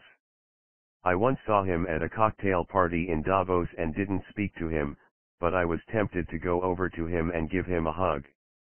Another ordeal that is seared into my memory occurred in September 2008. We had just returned from a wonderful family vacation in Europe. Lori and I had recently had our third child, and we were happily ensconced in a new apartment on Manhattan's Upper West Side. Then, on that sunny September afternoon, my father phoned me out of the blue to ask if I thought Lehman Brothers would go bankrupt. Most of his money was invested in the Aquamarine Fund. But it turned out that he had also stashed a sizable chunk of his liquid assets in Lehman Brothers bonds. Now it looked like Lehman was in a death spiral. I was almost speechless. We had recently escaped disaster with Bear Stearns and now this? I paced around my living room, listening to my father in disbelief. Lehman Brothers bonds? You bought Lehman bonds. Why? I couldn't imagine how he could possibly have stepped into this minefield. Less than a year earlier, I had listened to a superb presentation on Lehman by David Einhorn at the Value Investing Congress. He had picked apart the bank's financial statements to show just how vulnerable it was, so I knew not to touch it with a 10-foot pole. Yet I now discovered that my own father had invested a significant sum in Lehman bonds without thinking to tell me. He explained that a financial advisor from one of the world's largest and most prominent banks had called him up to recommend these bonds, assuring him that they had a AAA rating from Moody's. He had felt particularly confident in buying them because he was aware that Moody's was one of my holdings, and he knew that I invested in companies with good products. But I understood exactly how this game worked. Professional investors were fleeing from Lehman in droves. So the Wall Street selling machine had kicked into high gear, touting this dross to overly trusting clients. With Lehman's usual investors shunning its bonds, the firm had to seek out a more gullible client base. My father's bank no doubt pocketed a fat commission as a reward for abusing him to serve its own ends. I let loose an angry tirade. How many times have I said that one should never buy anything that's being sold by Wall Street? Never. I like Moody's business, not their ratings. They always lag the market. As I spoke, it felt as if my throat was burning. My father wanted to know if he should get rid of the bonds, which were now being quoted at around 34 cents on the dollar. Yes, I said. Sell them now. But it turned out that there was no liquidity at all, and his order was never executed. A few days later, on September 15, Lehman filed for Chapter 11. It was the biggest bankruptcy in U.S. history. I felt angry and humiliated. A big part of my identity is wrapped up in an image of myself as the protector and builder of wealth for my family and friends. I'd failed, and I was hurt that my father had inadvertently disempowered me by neglecting to inform me before he bought the bonds. But this wasn't just a blow to my ego. It also rattled me because it made me wonder what else I didn't know and what other chinks there were in my armor. I had assumed that my defenses were totally solid, but I was starting to sense that this wasn't the case. For one thing, my father was easily the largest investor in my fund. The fact that he had been duped into buying Lehman bonds could have a serious knock-on effect. With the market crashing, I had a long-awaited opportunity to be a dispassionate buyer of companies whose shares had plunged to ridiculously low prices. I knew that I had to pick my spots, but I had spent enough time studying economic history and investors like Buffett to know that this might well be the best time in my entire life to buy stocks. To do this, I needed my investors especially my father to stay calm during the storm. If his liquid assets were getting eroded, it would be that much harder for me to go against the crowd and continue buying while almost everyone else was in a panic. Knowing that my shareholders were facing these emotional and financial pressures placed an additional mental burden on me at a moment when I needed to be icily analytical. The pressure intensified in other ways that I could never have predicted. For example, at the time, I employed a bright, hard-working equity analyst whom I regarded as a dependable ally. Then, one day in the fall of 2008, he came into my office, which I had come to think of as my bunker, and told me that he'd sold all of the stocks in his personal brokerage account. I've gone to cash, he said. I'm going to wait till things settle down and the outlook is clearer. I was stunned. Are you out of your mind? I asked, unable to conceal my disgust. Here was a guy who had proudly claimed to be a value investor and whom I was paying to be rational. He was supposed to be a like-minded soul, helping me to seize these incredible opportunities that the market was gifting us. Yet his emotions were so out of control that even he was getting swept up in the panic. He just couldn't take it anymore. This is a measure of how acute the stress can become at a time like this even for an intelligent and level-headed analyst who had previously come up with some highly profitable investments for the fund. I would later decide never to hire another analyst, preferring not to expose my own mind to these insidious distortions. As usual, I should have done a better job of cloning Warren and Mohnish, neither of whom employed a full-time analyst. Needless to say, they were both buying cheap assets hand over fist at precisely the moment when weaker-minded investors were seeking the emotional comfort of cash.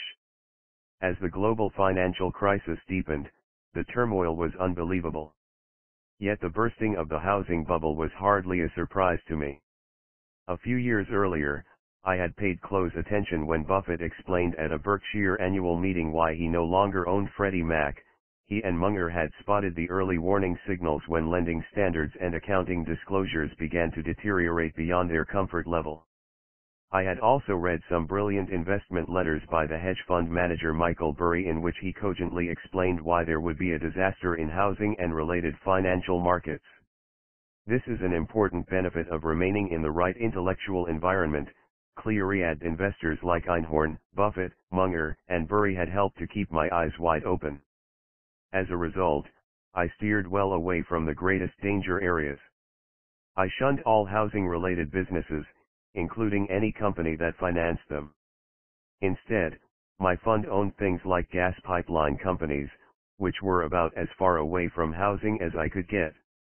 Drilling for shale gas was a big growth market, and pipelines provided the cheapest mode of transportation from the gas fields to end users. I did own some financial stocks, but I was certain that they were safe and had access to the liquidity they needed.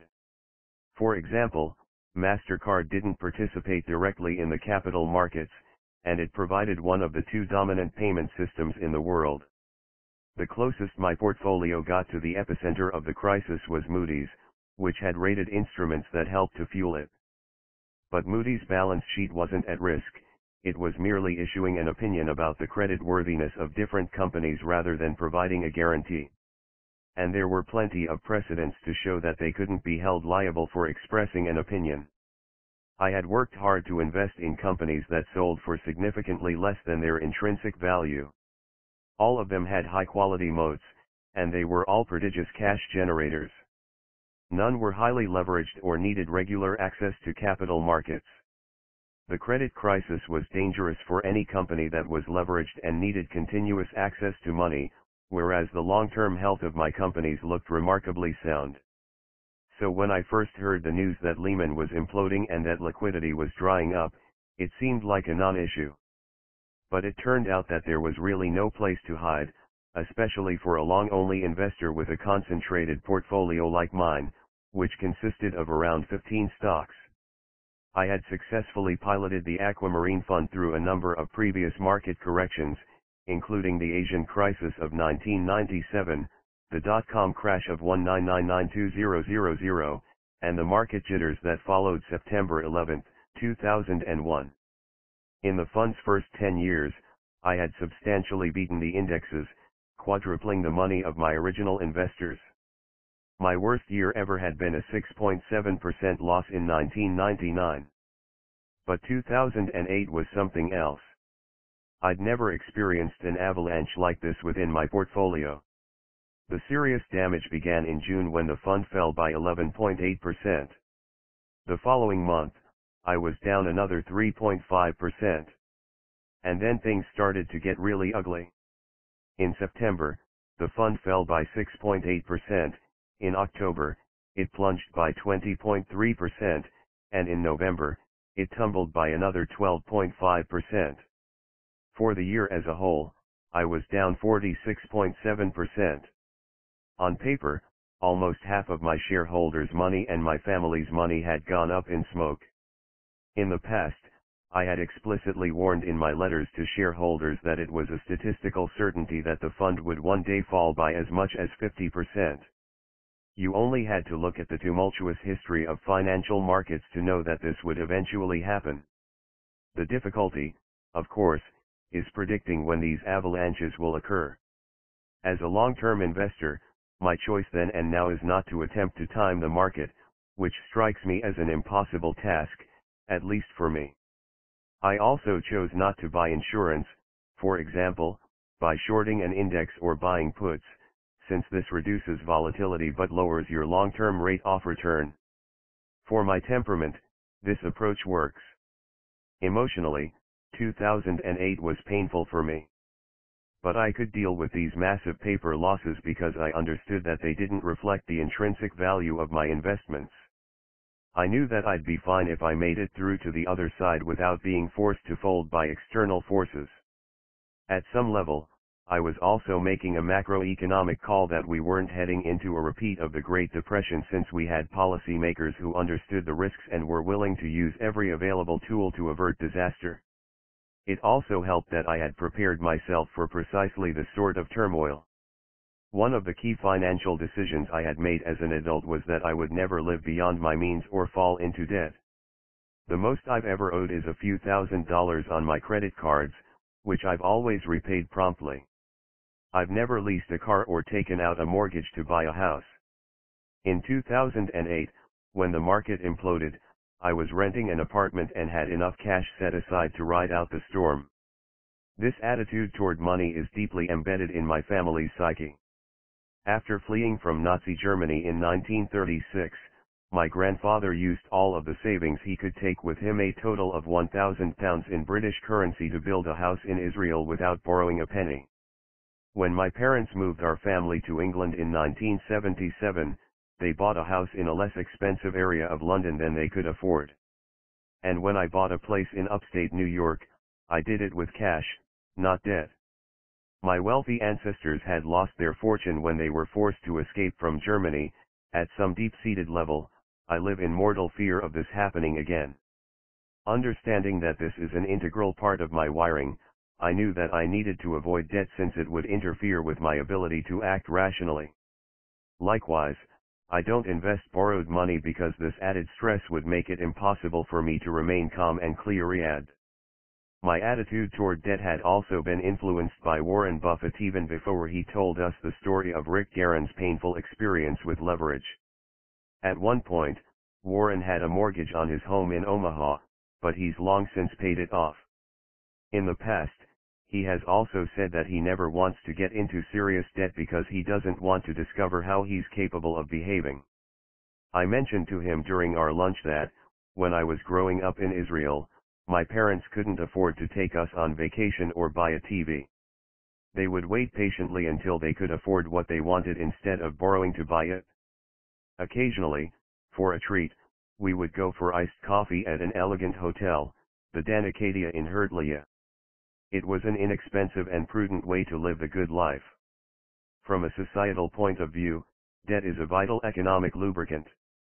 Used in moderation, it's positively healthy. But for an individual investor, debt can be disastrous, making it even harder to stay in the game both financially and emotionally when the market turns against you. As Buffett wrote in his 2001 letter to shareholders, you only find out who is swimming naked when the tide goes out. One of my shareholders was a third-party marketer who had previously persuaded me to travel with her to Europe for dog and pony shows designed to attract new investors to my fund. She was so keen on the fund's long-term value approach that she'd invested $2 million in it herself. But her faith in long-term investing suddenly disintegrated, and she cashed out in January 2009. I was flabbergasted. It wasn't clear if she couldn't bear the pain or if she was desperate for cash because she simply couldn't afford the losses we were suffering. What was clear was that her despair was an almost perfect signal that we had reached the point of maximum pessimism. A few months later, the markets bottomed and began to climb. All but one of my institutional investors also bailed out, partly because they had a need for liquidity themselves. Still, the vast majority of my shareholders stayed firm, trusting that things would turn around. Most important, my father who had faced life-threatening dangers as an Israeli soldier remained extraordinarily calm. At the height of the crisis, when nearly half of his life savings had been vaporized, he asked me if he should withdraw some money from the fund. I said it was the worst possible moment to sell stocks, and I told him that I'd rather live in a shack than take any cash off the table. To his eternal credit, he didn't withdraw a dime, even though he could have yanked out his money at short notice. His stake was large enough that he could effectively have shut down my business. But he never lost confidence in me. In retrospect, I realized that I was standing on the shoulders of a giant. Without his strength as a silent partner, I wouldn't have succeeded. For fund managers, this whole issue of shareholder redemptions can be fraught with stress and difficulty. Before the crisis, my fund had about $120 million in assets under management. The market crash had slashed this to barely $60 million. To make matters worse, shareholders redeemed around $10 million more. One reason was that my fund's 90-day notice period made it a relatively easy asset to liquidate. Some other hedge funds actually suspended redemptions, taking advantage of selfing clauses buried deep inside their offering documents by shrewd lawyers. I found this unconscionable. To meet my investors' redemption requests, I had to be a net seller of stocks in an environment where they had never looked so cheap. By bailing out at this inopportune moment, a small minority of my investors made it far more difficult for me to act rationally and take advantage of these bargains. Instead, I had to allocate mental energy to the inordinately difficult task of deciding what to sell. This taught me an important lesson. At that moment, what I most envied about Buffett was not his prodigious intelligence, but his structural advantage, he had permanent capital to invest since Berkshire is a company, not a fund. This meant that he didn't have to worry at all about how to meet shareholder redemptions.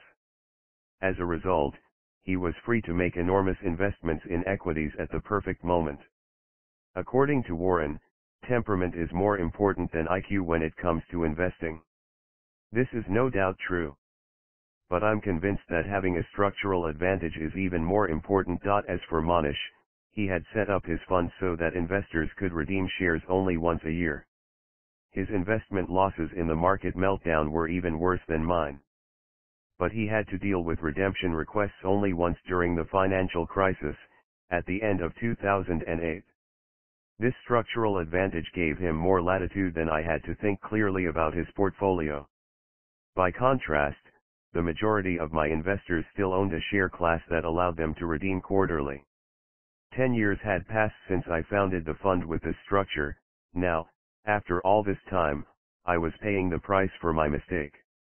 It was a potent reminder of how important it is to create the right structure from the very beginning. In the midst of the crisis, I also envied Warren for his physical detachment from Wall Street and the investment herd.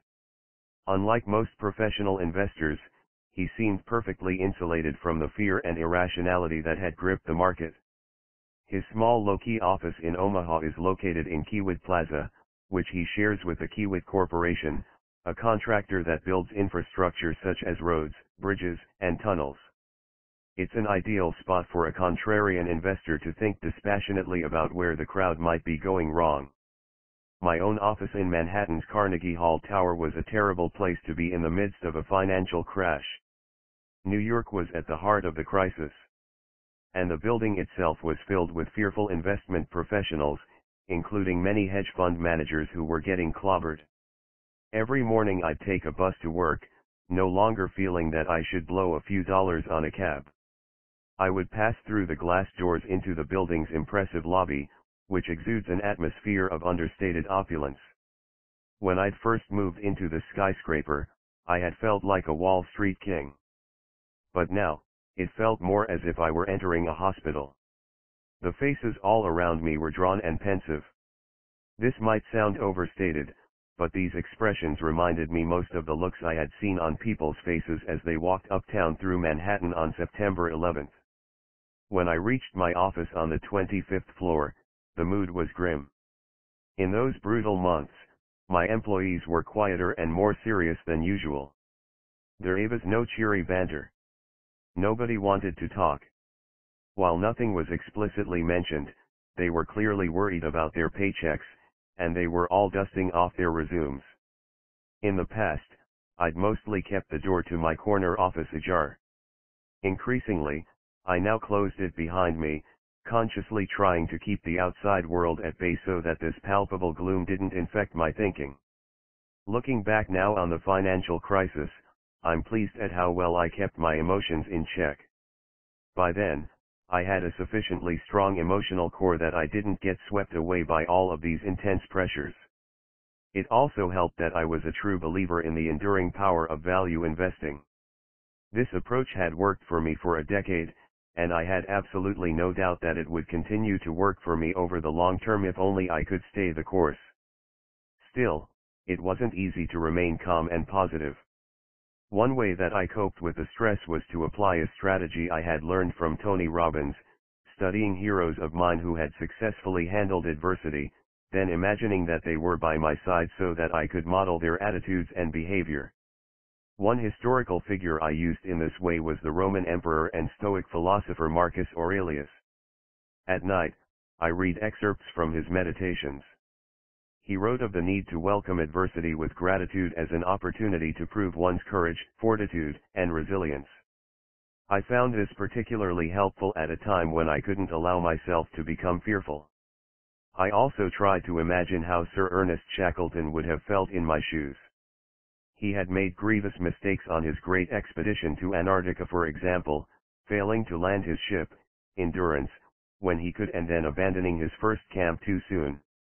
Yet he succeeded in putting these errors behind him, and he ultimately saved the lives of everyone on his team. This helped me to realize that my own mistakes were an acceptable part of the process. Indeed, how could I possibly pilot the wealth of my friends and family without making mistakes or encountering the occasional storm? Like Shackleton, I needed to see that all was not lost and to retain my belief that he would make it through to the other side. With this support from the eminent dead, I managed to keep my wits about me. I quietly went over my portfolio again and again, double and triple checking to be sure that my holdings had the wherewithal to survive.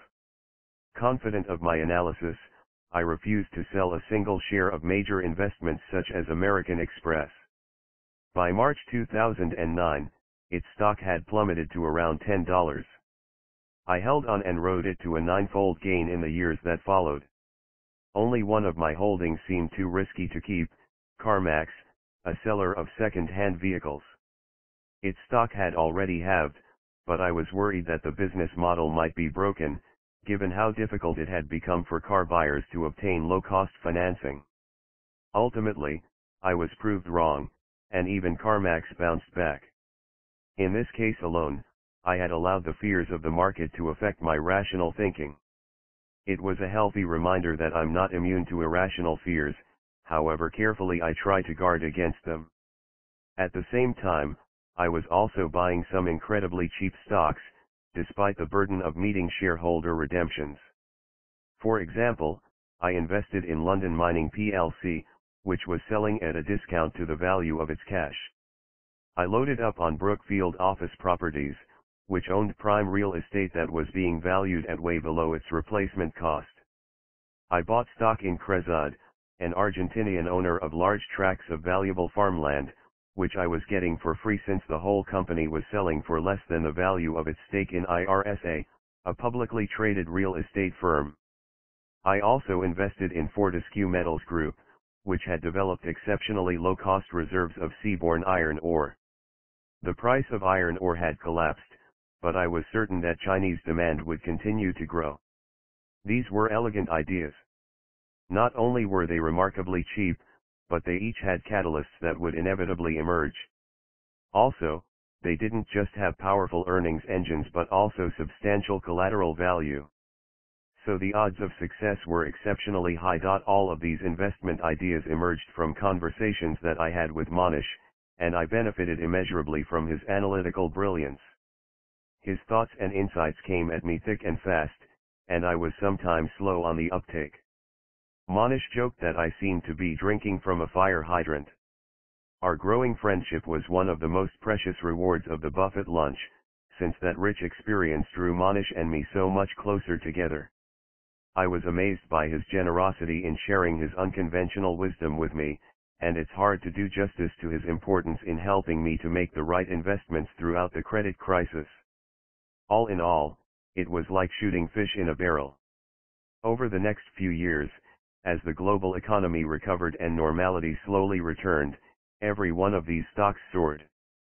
For example, Brookfield doubled, Cresud tripled, and London Mining quadrupled. As I had thought at the time, the financial crisis may well have been a once-in-lifetime opportunity. On the investing front, I'd acquitted myself well. My core stock picking process was good but I could see that there were still fundamental things that I needed to change about how I ran the fund and, for that matter, how I ran my life. The financial crisis had shown me that investment success isn't just a matter of identifying great stock ideas. As I had learned through painful experience, I also had to create the best possible environment for myself physically, intellectually, and emotionally so that I could operate more effectively and make myself less vulnerable to the sort of negative influences I'd encountered during the financial crisis. Like Warren and Mohnish, I needed to be more strategic in the way I constructed this environment. I couldn't clone their intelligence, but I could see with increasing clarity that I needed to clone the aspects of their environment that had given them such a structural advantage. So I decided to hit the reset button. Among the biggest changes I would make, leaving New York for Zurich in the summer of 2009. My own version of Omaha creating the ideal environment One of the biggest challenges for any investor is that there are so many forces that mess with our minds. We like to think of ourselves as rational creatures which, to some extent, we are but the truth is a little murkier. The financial crisis had demonstrated with brutal efficiency just how irrational investors can be, especially in extreme situations. The so-called professionals myself included are by no means immune to these mind-warping distortions. I had witnessed this firsthand as my equity analyst, my institutional investors, and my third-party marketer all cracked amid the pressure of a market crash, cashing out at precisely the moment when they should have been buying. It's reassuring to talk smugly about the madness of crowds, but what about the madness of the intellectual and financial elite? In my experience, we are capable of the same insanity. Indeed, it's often people of my ilk who are driving the craziness. The mind itself is a confounded thing, woefully ill-suited to the task of investing. This is not a science book or a weighty tome about the structure of the brain, but it's worth taking a few moments to ponder why it's so hard to think and invest in a rational manner. People often misguidedly regard the brain as one structure, a neocortex that rationally takes in information, computes it, and spits out the answer. Daniel Kahneman, a trailblazing psychologist who won a Nobel Prize for Economics in 2002, describes this aspect of the brain's processes with the phrase thinking slow. For my part, I used to have a deluded image of myself as the equivalent of a fighter pilot, intensely focusing on the instrument panel in the cockpit of my jet, making optimal decisions and operating in full control of all the aircraft's levers. Much of what we do at fine universities is intended to develop this rational, higher thinking aspect of our minds. My friend Ken Shubin Stein teaches an advanced investment class at Columbia Business School. It's a phenomenal course that provides an enormous amount of useful insight into the investment research process. But all this learning and analysis is based upon the assumption that, when students graduate, it will be their rational neocortex that makes the investment decisions. The problem is that there is also a subrational, instinctive part of the brain which Kahneman describes with the phrase thinking fast dash where much of our decision making actually takes place. Of course, I'm grossly oversimplifying an endlessly rich subject. If you'd like to research this further, you can read more lucid explanations by people like Kahneman, Dan Ariely, Jason Zweig, Joseph LeDoux, and Antonio Damasio. Reading works by these and other experts on behavioral finance and neuroeconomics, I became fascinated by the quirks and complexities of our decision-making processes. For example, the neurologist Benjamin Libet showed how a decision to take an action originates in the brain before the subject is aware that a decision has been made. Then there was the famous 19th century case of Phineas Gage, who had suffered an accident that interfered with only one part of his brain, he appeared to function normally, but he was unable to make rational decisions. I was also intrigued by research showing how the brain deals with signals that arrive at different times, the sight of a person's lip movements arrives instantaneously, while the sound they make arrives later, yet we perceive that these signals occur simultaneously. In other words, our brain constructs our reality, and it may not be doing so in an accurate manner. Research of this kind helped me to see that the brain is a much less wieldy tool than we'd like to imagine. For participants in the stock market, one of the biggest problems is that the subrational, instinctive part of the brain is subject to dire mood swings, including outbreaks of irrational optimism and irrational pessimism. Indeed, money-related issues often activate the subrational parts of our brains. In situations of heightened financial risk, when we feel that we are in jeopardy, our subconscious instincts are activated, the neocortex can subsequently rationalize our decisions. To understand who we really are as humans, and investors, it also helps to consider the environment in which we evolved. Roughly speaking, anatomically modern humans with large brains have been around for about 200,000 years. The part of our brain that evolved most recently is the rational neocortex. But for much of our history, we operated in a dramatically different environment. Today there are substantial parts of our mental apparatus that evolved to help us survive in the wilderness that was home to our hunter-gatherer ancestors. These primitive survival routines embedded in our brains are easily capable of bypassing the neocortex. We might like to perceive ourselves as potential Isaac Newtons, but it's perilous to forget that we also have this other aspect of our nature. Indeed, Newton himself would have been better off if he'd recognized this, given that he was an infamously dumb investor who lost his life savings in the South Sea bubble. As Newton wryly observed, I can calculate the movement of stars, but not the madness of men. The problem is not just that our brains are highly irrational. It's also that the economic universe operates in ways that are mind-blowingly complicated. The elegant economic theories that I learned at Oxford and Harvard blinded me to this awesome complexity. A few years after I started investing, the money manager Nick Sleep introduced me to the Santa Fe Institute, a transdisciplinary research community. I knew that Bill Miller, a remarkably smart fund manager at Legg Mason, was on the Institute's board. So I started reading some of its research papers. The key idea that I learned is to think of the economy as a complex adaptive system. Economists hate this notion because we can't model a complex adaptive system or use the type of math we've been trained to deploy. We also tend to be drawn to attractive, harmonious, hard to learn ideas such as the general equilibrium theory. This theory provides a wonderful account of how the world ought to work, and it can be a useful guide for policy makers. But it distorts our perception of reality. Polymath investors like Bill Miller and Charlie Munger were quick to recognize that these standard economic models of the world are inadequate when it comes to the markets and to see that models derived from biology may work better. Inspired by the Santa Fe Institute, I read Journey to the Ants by Bert Hölldobler and Edward O. Wilson. Much of the book is devoted to describing the different survival strategies used by ant species and to exploring how these different species have co-evolved and competed with each other. This one book taught me more about economics than I'd learned in all my years at university. That may sound nuts, but it's true. Why?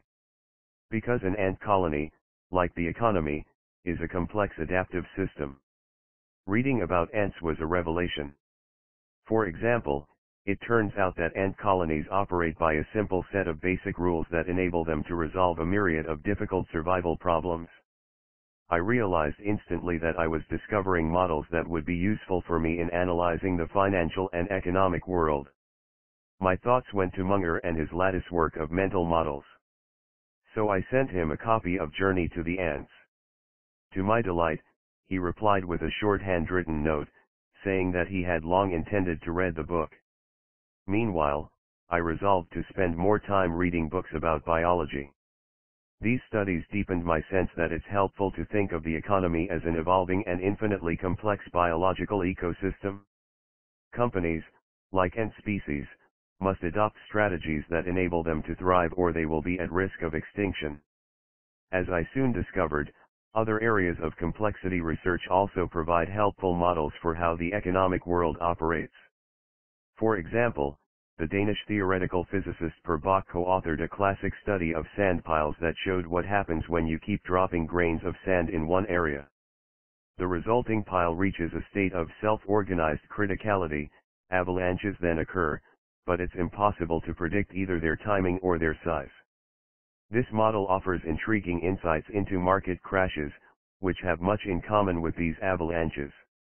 For investors, the bottom line is to avoid states of self-organized criticality, which is essentially what occurred in the stock market before the crash of 2008-2009.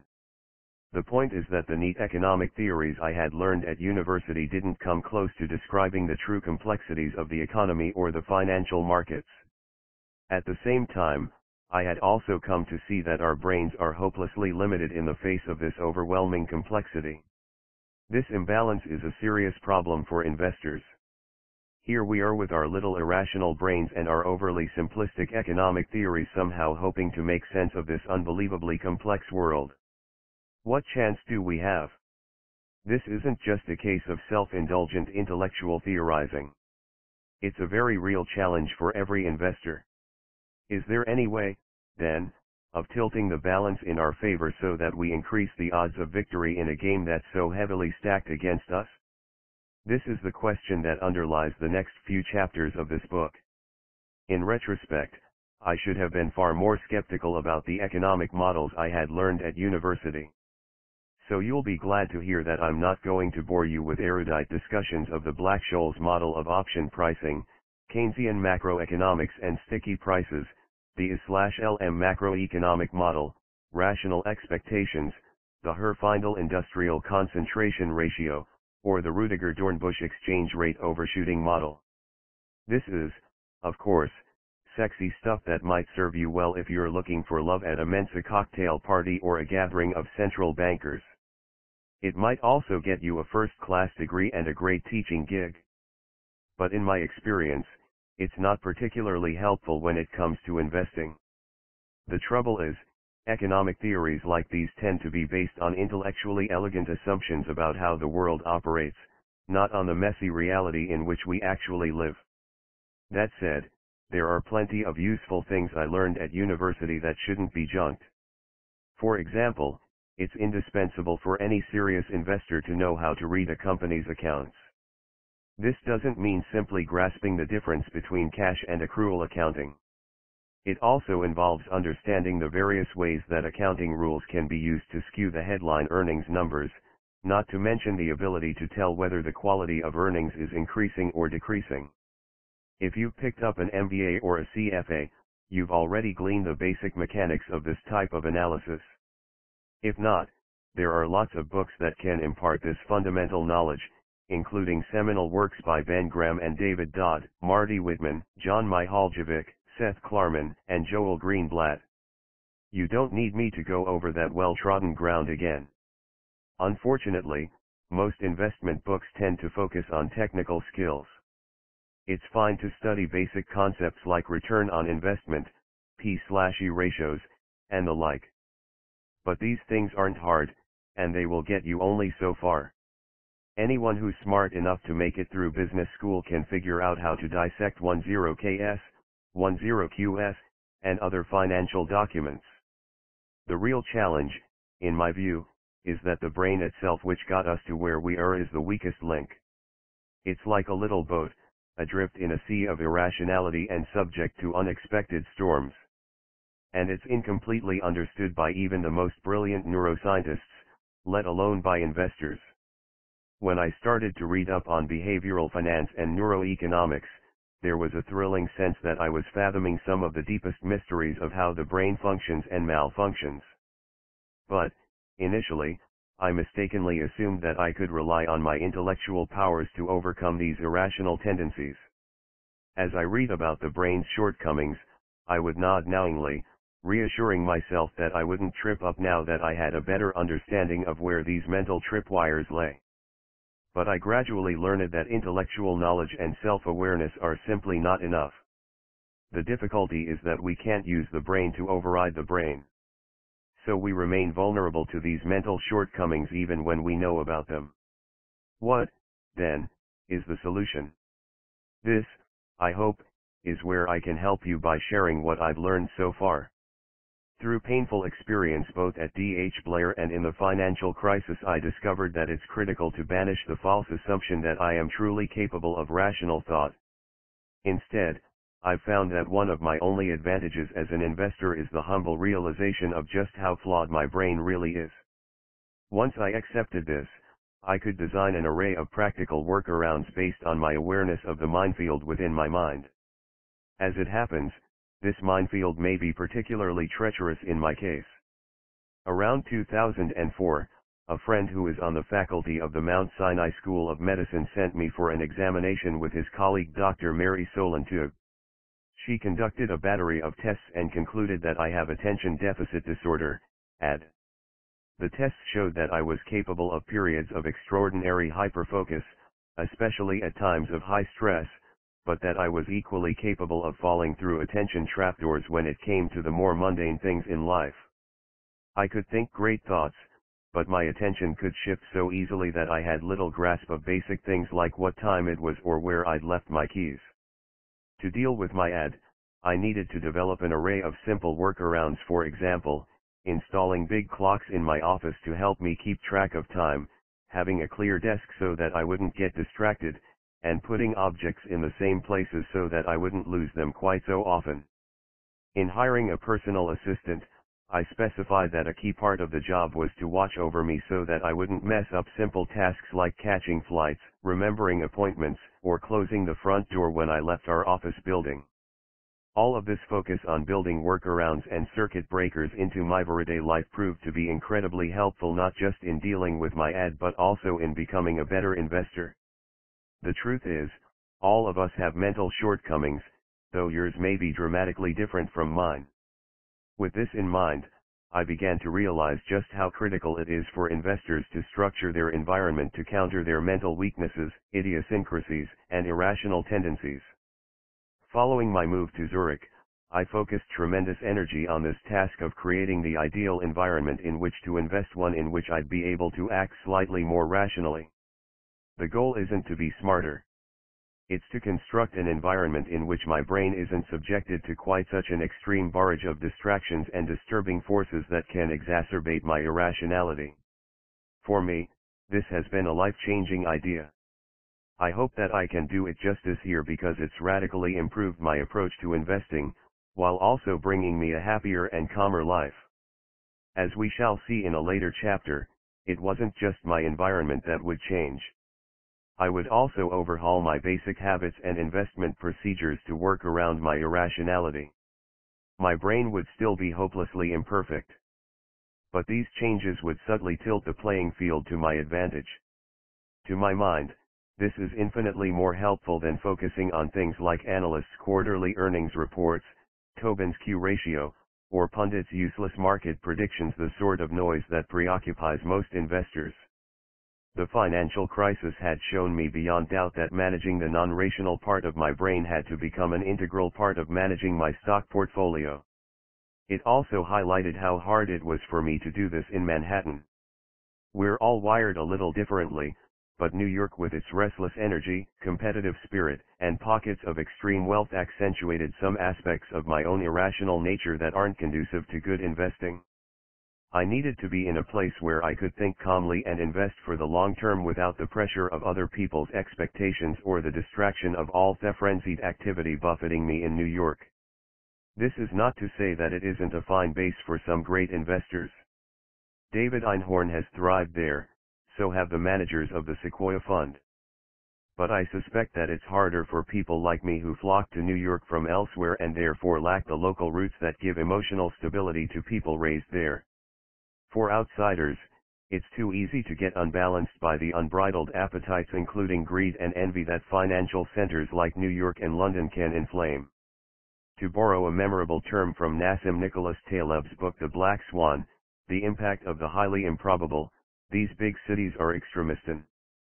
As we know from various studies, the disparity between our own wealth and our neighbor's wealth can play a significant role in determining our happiness. If so, then reading about a New York-based multi-billionaire like the Blackstone Group's Stephen Schwarzman may well trigger a destabilizing reaction in my irrational brain. Unless we have robust ways of dealing with these mind-bending forces, we can't avoid being knocked off course by them. For example, the proximity of so much extreme wealth might make it more tempting for me to swing for the fences with my investments instead of focusing calmly on making a decent compounded return without undue risk. For me at least, it seemed wiser to live in a place where the differences are less extreme. Given my particular set of flaws and vulnerabilities, I figured that I would stand a better chance of operating somewhat rationally in the kind of place that Taleb describes as mediocristan, where life is more mundane. So I started actively to consider alternatives to Manhattan. For a while, I thought seriously of moving to Omaha, given how well it had worked for Warren. I also considered Irvine, California, where Mohnish lives. I contemplated other American cities like Boston, Grand Rapids, and Boulder. And I thought about relatively low-key European cities such as Munich, Lyon, Nice, Geneva, and Oxford. But in the end, Laurie and I agreed on Zurich. I had gone there often as a child and had always liked it. More recently, I'd also read studies in which Zurich was routinely ranked as the world's leading city for quality of life. It wasn't hard to see why. It's a small, safe, manageable place with handsome architecture, clean air and water, and superb physical infrastructure. It has good public schools. There are beautiful mountains and great skiing just minutes away. It also has an excellent airport, easily accessible from the downtown area, with direct flights to places like New York, San Francisco, Singapore, Shanghai, and Sydney. While Zurich is an expensive place to live, it's also highly egalitarian because everybody has access to more or less the same things from pristine lakes to public swimming pools that are even better than the private one I'd enjoyed at our fancy country club in upstate New York. Likewise, Zurich's unsurpassed public transport system is so efficient that even local billionaires use it. The fact that the rich don't exist in an alternate reality that seems way out of reach for everyone else reduces the envy and the sense of lack that it's easy to feel in cities like New York and London.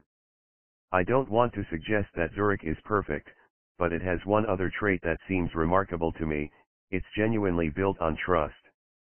For example, on the train system, tickets are seldom checked and there are no turnstiles. In stores, Customers routinely buy wine and other products on credit and have them delivered to their homes, along with the invoice. Residents are part of a web of deserved trust, and this tends to bring out the best in them. In a way, this is a buffetesque view of life. Warren treats the managers of his companies with considerable trust, granting them the latitude to make their own decisions, and they respond by doing everything they can to live up to his expectations. Zurich also struck me as a place where I could live in mental peace a quiet, pleasant, slightly bland setting where there isn't too much going on. Here I could focus on my family and my fund without undue disturbance. Occasionally people ask me, but isn't it boring there? My answer, boring is good. As an investor, that's exactly what I want. Because distraction is a real problem. What I really need is a plain, unobtrusive background that's not overly exciting. And I'm certainly not alone in finding Zurich conducive to clear thought. Historically, the city has provided a space for free contemplation to residents as diverse as Carl Jung, James Joyce, Richard Wagner, Vladimir Lenin, and Albert Einstein not to mention Tina Turner. It was also important that in Zurich I wouldn't be surrounded by people in the investment business. This would make it easier to go against the crowd without the risk that their thinking would seep into my own mind. Zurich is also far enough off the beaten track that not too many people would visit me, the friends and relatives who cared the most would come, but I wouldn't have to devote too much time to relationships that were less central to my life. This might sound cold and unsentimental, but these are the sort of things that I needed to consider as I constructed an environment that suited my idiosyncratic character and priorities. After all, in moving to Zurich I had a chance to start over with a clean slate, putting into practice all that I had learned about how I could function more effectively. I didn't want to blow it. Next, I set about finding the perfect office another key component of my new environment. Initially, I made a mistake, renting an office for a year on the Bahnhofstrasse, a ritzy street that is Zurich's own enclave of Extremistan. It's an elegant area, full of expensive stores. But super rich settings like this are not ideal for me since they stimulate unhealthy appetites so I soon decided to move to an office on the other side of the river, a 15-minute walk from the Bahnhofstrasse glitz and glamour. For me, this feels like a safe distance. The psychologist Roy Baumeister has shown that willpower is a limited resource, so we have to be careful not to deplete it. In fact, his lab discovered that even the simple act of resisting chocolate chip cookies left people with less willpower to perform subsequent tasks. In my case, I don't want to waste my limited energy guarding myself against the envy and greed that a place like the Bahnhofstrasse might trigger in me. It's better simply to construct my environment so that I'm not exposed to these destabilizing forces, which are likely to intensify my irrationality. The key is to free my mind from any unnecessary mental effort so I can use it for more constructive tasks that are likely to benefit me and my shareholders. As I pondered these issues, I also began to recognize that other investors I admire had adopted a similar approach to building their environment, whether consciously or not. Mohnish, for one, works in a less than glamorous office park in Southern California with no other financial institutions nearby. I once asked him why he hadn't set himself up in an attractive office in one of Irvine's fancy shopping centers, close to his favorite restaurants. Oh, guy, he replied. I don't need all that razzmatazz. I have no doubt that he understands what the area around him can do to his mind. Likewise, Seth Klarman, one of the most successful investors on the planet, works out of a decidedly unflashy office in Boston, far from the intoxications of Wall Street.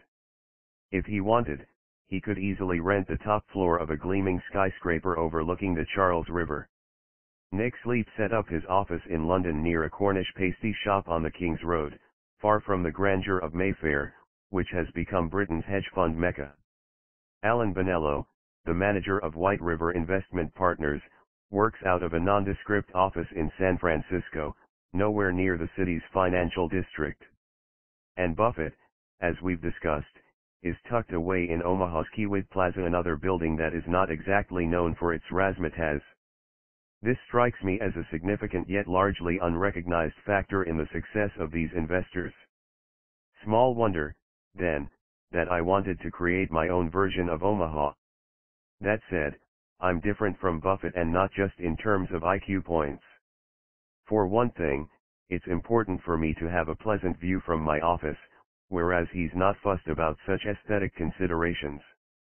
While I like to look out on trees or something similarly cheering, he routinely keeps the blinds drawn in his office. But in other substantive ways, I consciously modeled the environment he'd created in Omaha. For example, Warren lives about a 10-minute drive from his office, which is slightly outside the city center. Mohnish's office in Irvine is also about 10 minutes from his home, and it's slightly outside the city center. I mirrored them, selecting an office that's a 12-minute walk or 7-minute tram ride from my home and that's slightly outside the city center. For me, it works to be outside the heart of the city, partly because this makes it less likely that too many people will drop by the office opportunistically. They need a stronger reason to make this effort, so their visits tend to be more worthwhile. These decisions were carefully considered. For example, Mohnish and I had specifically discussed commuting times, reaching the conclusion that the ideal commute takes around 10 to 20 minutes. This is close enough to improve one's quality of life, but far enough to establish a separation between work and home. For people like me who get obsessive about their jobs, it's useful to have this separation.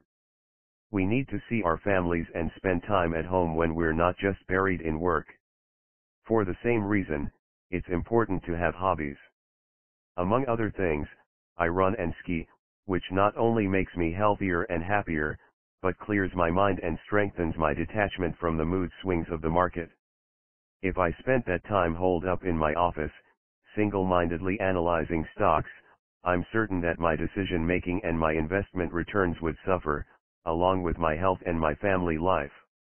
In any case, everything is interconnected.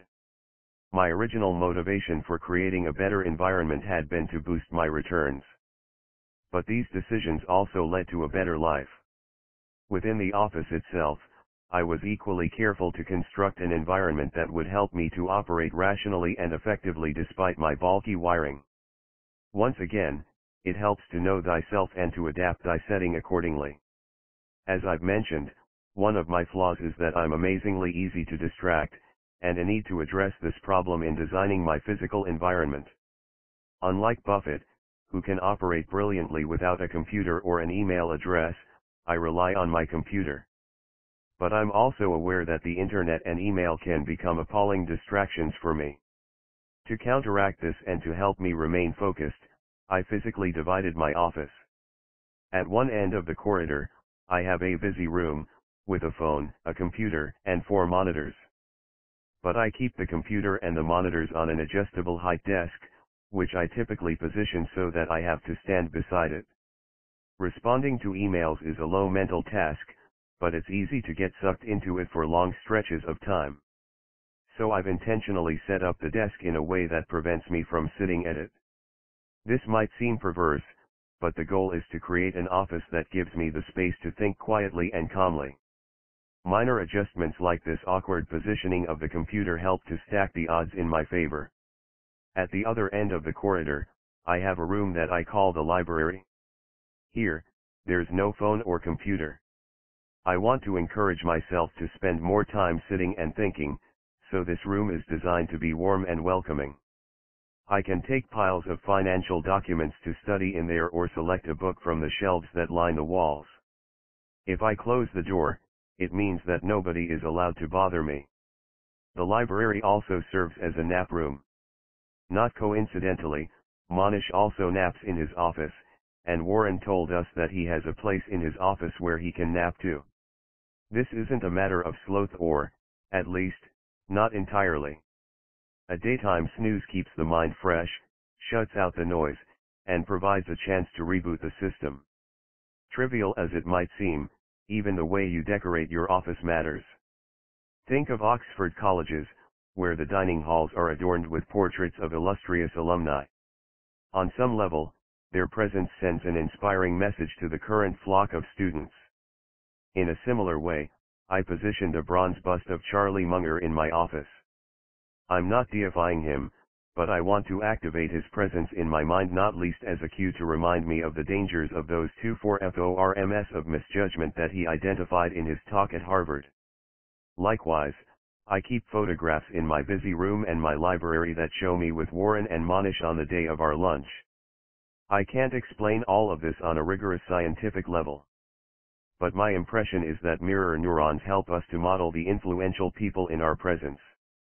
By having images of Munger and Buffett in my office, I'm trying once again to tilt the playing field on a subconscious level, using their presence to influence my thoughts. My sense is that this is quite common. When I visited Winston Churchill's study at Chartwell, I was struck by the objects he kept on his desk, including a bust of Napoleon, a porcelain figurine of Admiral Nelson, and a photograph of the South African Prime Minister Jan Smuts. I don't think they were there merely for decoration. I'm guessing there were moments when Churchill would ask himself what these famous leaders would do in his situation. Religious objects such as crucifixes can presumably serve a similar purpose, providing a cue for the devout to improve their behavior.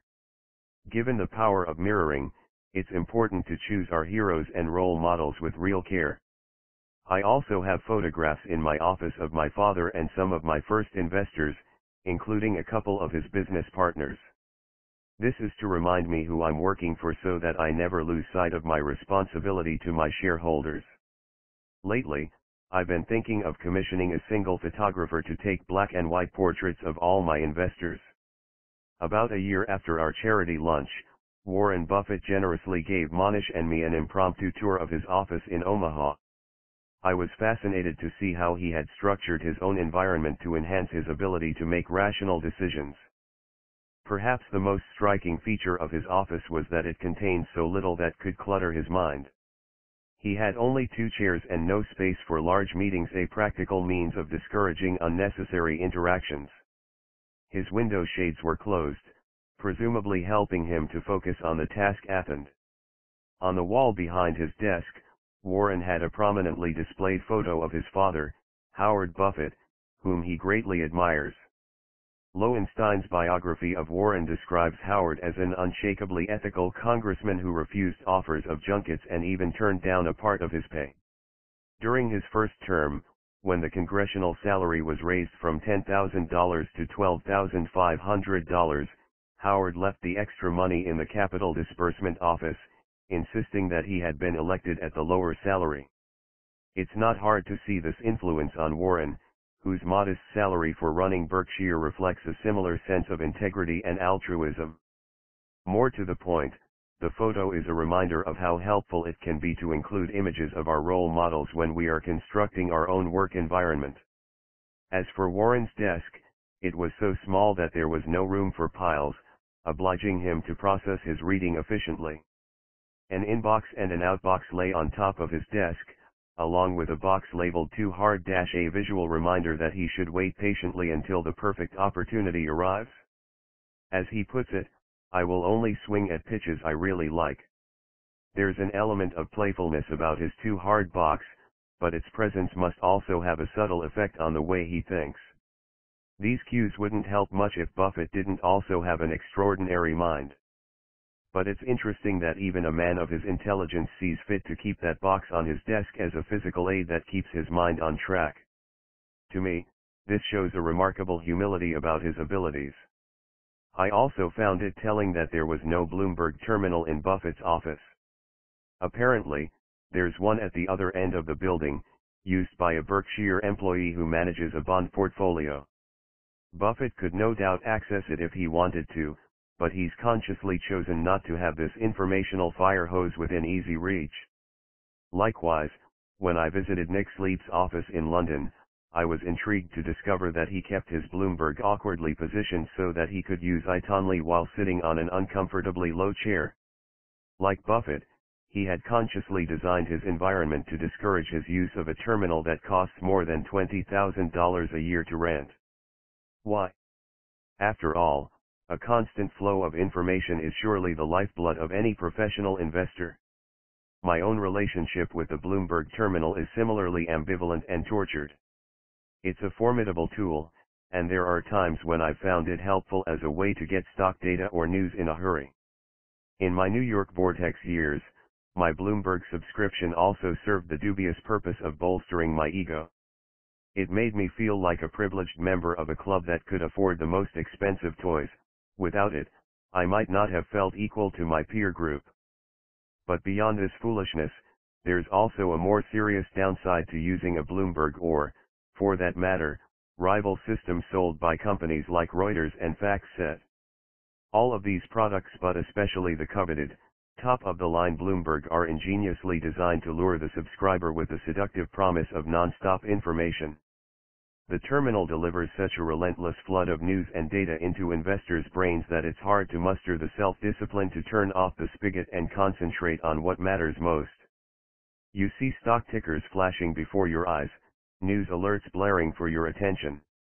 Everything links to something else, so you often find yourself ricocheting into deeper and deeper recesses within this informational netherworld. Initially, I was totally hooked. In my early years as a money manager, I would arrive in my Manhattan office and immediately fire up my Bloomberg. It would light up like a Christmas tree, its bright colors subconsciously spurring its users to action. But as I became more self-aware, I began to realize that this call to action wasn't helping me at all, nor were the endless hours of information surfing. I started to ask myself, is this really the best and highest use of my attention? If I have only a limited amount of willpower, how much of it should I squander in trying to resist the temptation to snack on all of this informational sugar? During the financial crisis, I saw more clearly than ever what an unhealthy addiction the Bloomberg had become. The constant barrage of bad news could easily have exacerbated my irrational tendencies, when what I needed most was to screen out the noise and focus on the long-term health of my portfolio. So I went cold turkey. In late 2008 and early 2009, as the market collapsed, I turned the monitor off for days on end. Another tactic that I used to distance myself from the Bloomberg was to stop having a personal login, though we still had a company login. I also changed the color scheme on my home screen so that it was dull and muted, thereby minimizing the risk that all those bright, flashing colors might jolt my irrational brain into unnecessary action. In setting up my office in Zurich, I had to decide once again how to tackle the Bloomberg conundrum. By now, I was used to having the service. Psychologically, it would have been painful to let it go. I also knew that occasionally it was extraordinarily useful. But I was equally aware that, for me, it did more harm than good. So, in the end, I came to an uneasy compromise. I relegated the Bloomberg to the adjustable height desk in my busy room. The fact that the desk is adjusted so that I usually have to stand means that there's little danger that I'll be tempted to use the Bloomberg for hours, grazing in a state of helpless distraction. Nowadays, I often go weeks without turning on the Bloomberg at all. Still, it's there if I ever needed my own exceptionally expensive version of a toddler's security blanket. Of course, the rational part of my brain tells me that I'd be better off getting rid of the Bloomberg entirely. Why bother paying more than $20,000 a year for a distraction that I can so easily do without? But I accept my fallibility. Instead of pretending to be perfectly rational, I find it more helpful to be honest with myself about my irrationality. At least then I can take practical steps that help me to manage my irrational self. Perhaps this is the best that any of us can do. Learning to tap dance a new sense of playfulness in moving to Zurich, I decided that I needed to change other aspects of my life too. It wasn't just a matter of constructing an environment that would help me to be more rational, less distracted, and calmer. I wanted to alter my attitude to life itself. The experiences of 2008-2009 were so heightened and intense that it had been difficult for me to remain in balance. This is one of the biggest challenges for investors. We all know that it's important to be physically healthy, to have a satisfying personal life, and to maintain some kind of emotional equilibrium. But this holistic perspective is not just an airy-fairy, new age dream, the truth is that it's hard to invest well if your non-investing life is out of whack, in chaos, or stunted. Great investors don't often talk publicly about their emotional challenges but George Soros gave some sense of the stresses of investing when he wrote that there were moments when he wasn't sure if he was running his fund or if his fund was running him. By contrast, Buffett has said that he tap dances to work every morning. His playfulness and zest for life are reflected in his sense of humor and his love of bridge. He has found his passions, and he delights in them. I wanted to inject more joy in my own life, to recapture the playfulness I had lost over the years. During the financial crisis, there were moments when my career seemed in real jeopardy. The market carnage was so extreme that countless funds went out of business. Even investors as famed as Bill Miller were mauled so badly that their reputations were severely damaged. One of the cleverest investors I knew, a guy from the year above me at Harvard, lost 80% and had to close his fund. He was still in his early 40s, but his once glittering career as an investor was apparently finished. For me, the crash was the investing equivalent of a near-death experience. It forced me to reappraise how I wanted to live and what was truly important to me. Amid this soul-searching, I began to see that I had locked myself into a view of my career as a life-or-death struggle. My approach was simply too extreme, I didn't just want to be a great investor, but to be Warren Buffett. For so many years, I had driven myself in an almost maniacally focused way to achieve my goals, acting as if my exam results, my university performance, and my fund's investment returns were everything, as if they defined who I was and determined my value. Perhaps this stemmed from the ethos of my English education. At the age of 11, I had gone off to a British boarding school as an immigrant misfit who had already lived in Iran, Israel, and South Africa. Everything at school was a struggle for me, and I felt at the time that it was all about survival. In a sense, I carried this attitude blindly into my adult life, seeing my investing career as a kind of gladiatorial contest. In the wake of the financial crisis, I belatedly recognized that this tendency to approach life as a battle to the death was not necessarily useful, let alone a recipe for happiness. I needed to lighten up figuratively at least, I wanted to learn to tap dance. As part of this reinvention of myself, I was determined to have a lot more fun. One aspect of this was that I began to travel more. In 2009, for example, I took a 10-day trip to India with Mohnish. In the past, I would never have embarked on an adventure like this. I had felt obliged to work non-stop, so I would have convinced myself that I needed to stay home and watch over my stock portfolio. But I went to India with no agenda, and it turned out to be a marvelously enriching experience, helping me to see the world anew.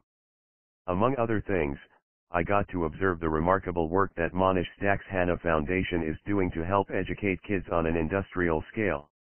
It might sound like a platitude, but it also affected me deeply to see how happy many people were in India, despite having so little on a purely material level. It helped me to recognize how twisted our values can become in richer countries. And then there was the fascination of watching Mohnish in a non-professional setting, of seeing up close how he's wired. For me, there were lessons simply from observing his reaction to missed appointments and to people who behaved badly. I've seldom encountered anybody with his blend of calm and rational equanimity.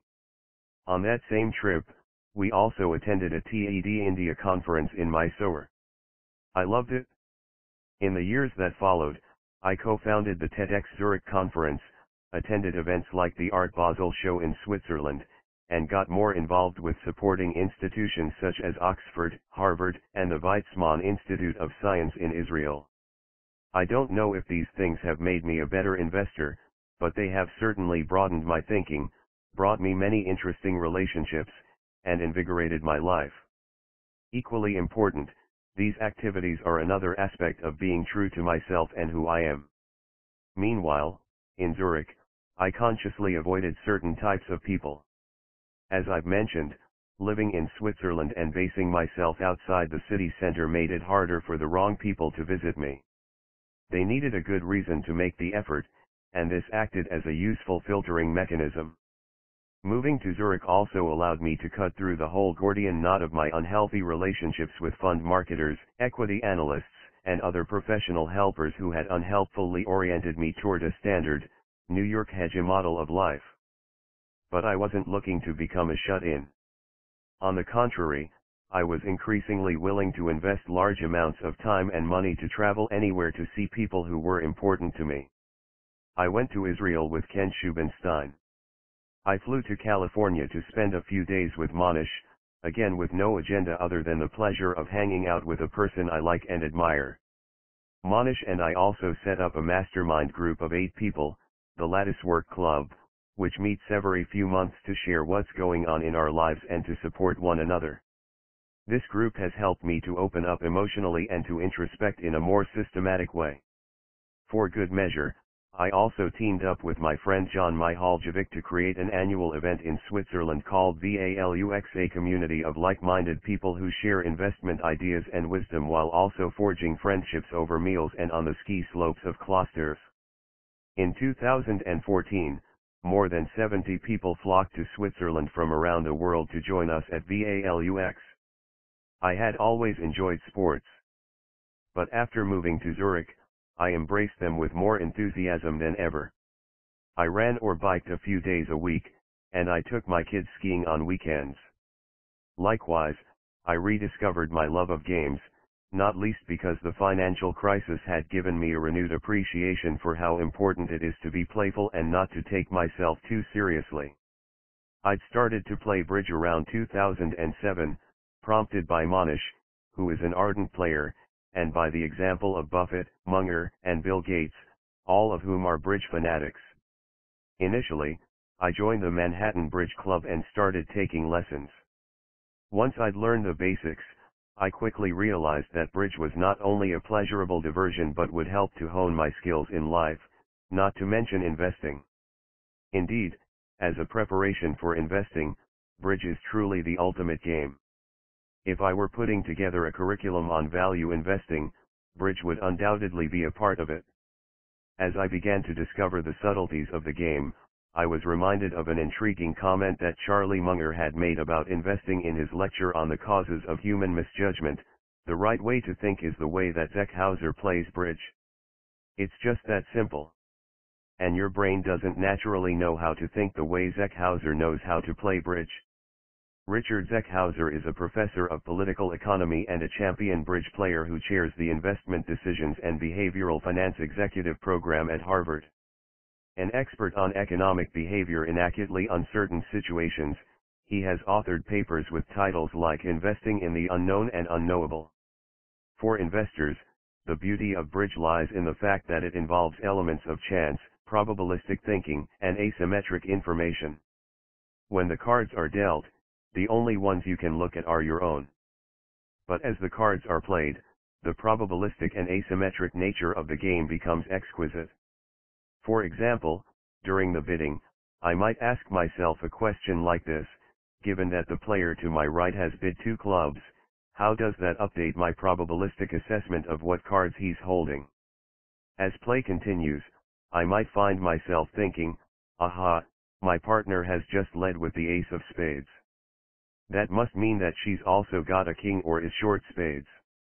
In investing, we constantly operate with limited information. For example, not so long ago, Mohnish and I researched a Chinese manufacturer of cars and batteries, BYD Auto. What initially triggered our interest was a story in the Wall Street Journal, which mentioned that Munger had liked the company and had spoken to Buffett about it. Warren then sent his top lieutenant at the time, David Sokol, to China. Shortly after that, Berkshire made an investment, and Sokol joined BYD's board. As investors, we began to make probabilistic assessments about all of this public information. For example, we knew that Li Lu, who is Chinese American, managed money for Munger. We had also read Munger's public comment that BYD CEO, Wang Chuanfu, is a combination of Thomas Edison and Jack Welch something like Edison in solving technical problems, and something like Welch in getting done what he needs to do. I have never seen anything like it. In isolation, individual pieces of information like these don't count for that much. But they helped us to build a broader picture of what was going on and to update our knowledge of the company, prompting us to ask what Munger, Li Lu, Buffett, and Sokol might have seen in BYD that other investors had overlooked. I remember talking with Mohnish at the time and expressing my skepticism about the stock, given that this Chinese company lay outside my circle of competence. In the end, it took me more than a year to get comfortable enough to invest with real confidence that I understood the business. Mohnish, a more adept bridge player and a less risk-averse investor, was able to buy earlier than me because he was comfortable with the inferences he could draw from partial information.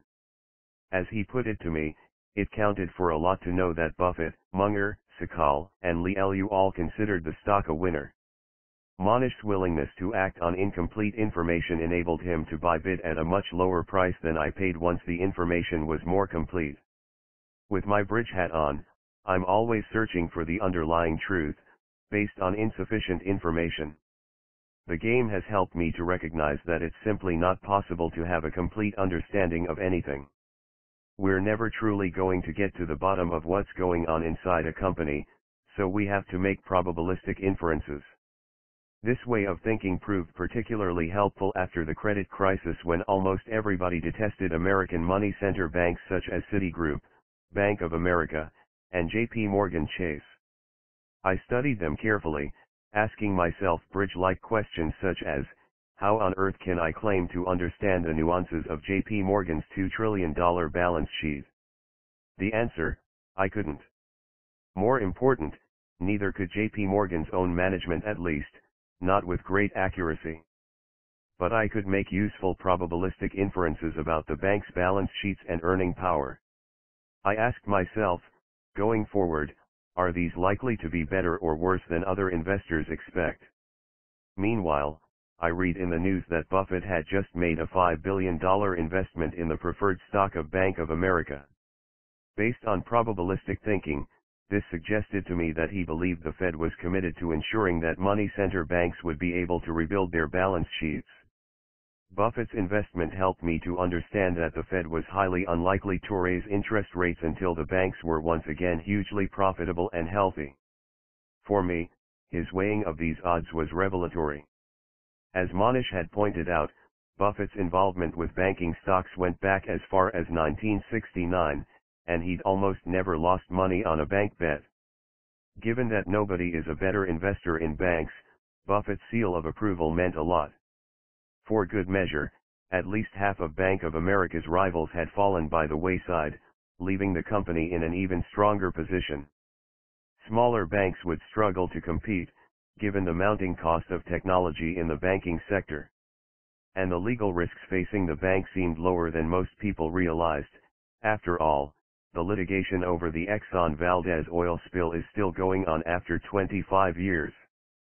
So it seemed likely to us that the banking sector could drag out any lawsuits for many years, providing ample time to cover the potential cost of any claims. I ended up investing heavily in an array of money center banks whose stocks subsequently rebounded, much as Warren, Mohnish, and I had expected. My familiarity with Bridge had helped me to become more adept at operating amid this kind of uncertainty. The key, perhaps, is that many investments are acutely uncertain, but not as risky as they might at first seem. People often assume that investors like me are great risk takers, perhaps little more than gamblers. Certainly, there are plenty of reckless investors with scant regard for the risk of loss, but they tend not to survive very long in the investing game. The long-term survivors possess a more sophisticated grasp of risk, including the ability to see when the situation is much less risky than the stock price might suggest. With JP Morgan Chase and the other money center banks there was a lot of uncertainty, but very little risk. Bridge wasn't the only game that captured my imagination or refined my mental habits. I also rediscovered the joys of chess, a wonderful game of analysis and pattern recognition. I first fell in love with chess at Harvard, thanks to my classmate Mark Pincus, who later founded Zynga, a social gaming company that made him a billionaire. Back in our student days, Mark noticed an unused chess set in my dorm and asked me to play. He thrashed me. I bought a stack of chess books and we continued to play. I gradually got better and started to win some games. After graduating, I became a member of the Manhattan Chess Club and played pickup games in the park to escape from the horrors of my job at D.H. Blair. But my errant mind isn't quiet enough, so I've never become more than a half-decent player. Back then, I had no sense of why chess was useful, not just enjoyable. But over the years, I've come to see that there are real tactical benefits to understanding how such games work. For example, in chess, there's a set repertoire of opening tricks and mistakes that lead unsuspecting players to a quick demise, usually within the first few moves. Initially, when I fell into these traps, I felt angry with my opponent. It seemed like an underhanded way to win. Then I'd become angry with myself for missing what's known as a gotcha game. As I studied chess more, I became less prone to these basic mistakes. There are useful parallels in the game of investing. For example, accounting is full of gotcha gambits. Corporations often manipulate accounting rules to present their numbers in deceptive ways and the unsuspecting investor is easily duped into thinking that the situation is less dangerous than it really is. In the late 90s, I analyzed a company that sold legal insurance. Like life insurance, this product was sold by brokers who received hefty commissions in return. The key to analyzing how profitable the firm really was lay in figuring out the correct rate at which to amortize the cost of acquiring its customers. This, in turn, was determined by how long those customers remained as clients after signing up. In my opinion, the company's accounts presented an overly sunny view of this, thus giving a misleading picture of the future. This struck me as the accounting equivalent of a gotcha game of chess. So I steered clear of the stock, which subsequently tumbled, triggering lawsuits and much hand-wringing among everyone except the short sellers, who had bet against the company on the basis of this dubious accounting. There was another way in which I found chess instructive. Early on, I had often found myself playing games against so-called duffers a derisive term for players who make snap decisions based on emotions rather than on careful analysis. They either couldn't or wouldn't analyze the board in a considered manner. Initially, I often lost to the duffers. Their moves were so unpredictable that it would unnerve me and I'd lose my cool. But as I got better at the game, I became more disciplined, developing the mental fortitude to remain calm and careful even while my opponent played with wild abandon. In the financial markets, plenty of investors both amateur and professional take foolhardy swings for the fences, betting on everything from hot tech stocks to overhyped IPOs. Sometimes these risky long shots pay off spectacularly, tempting other investors to follow their lead in making these duffer moves. But, as in chess, I've found that it ultimately works better to maintain my discipline and pursue a careful strategy with better odds of long-term success. In 2009, when many investors bailed out of stocks, they were once again making a classic duffer move. My opponent in that particular game wasn't an idiotic chess player but the madness of Mr. Market. I knew that I simply had to keep my cool and use this madness to my advantage by buying stocks that the duffers were selling.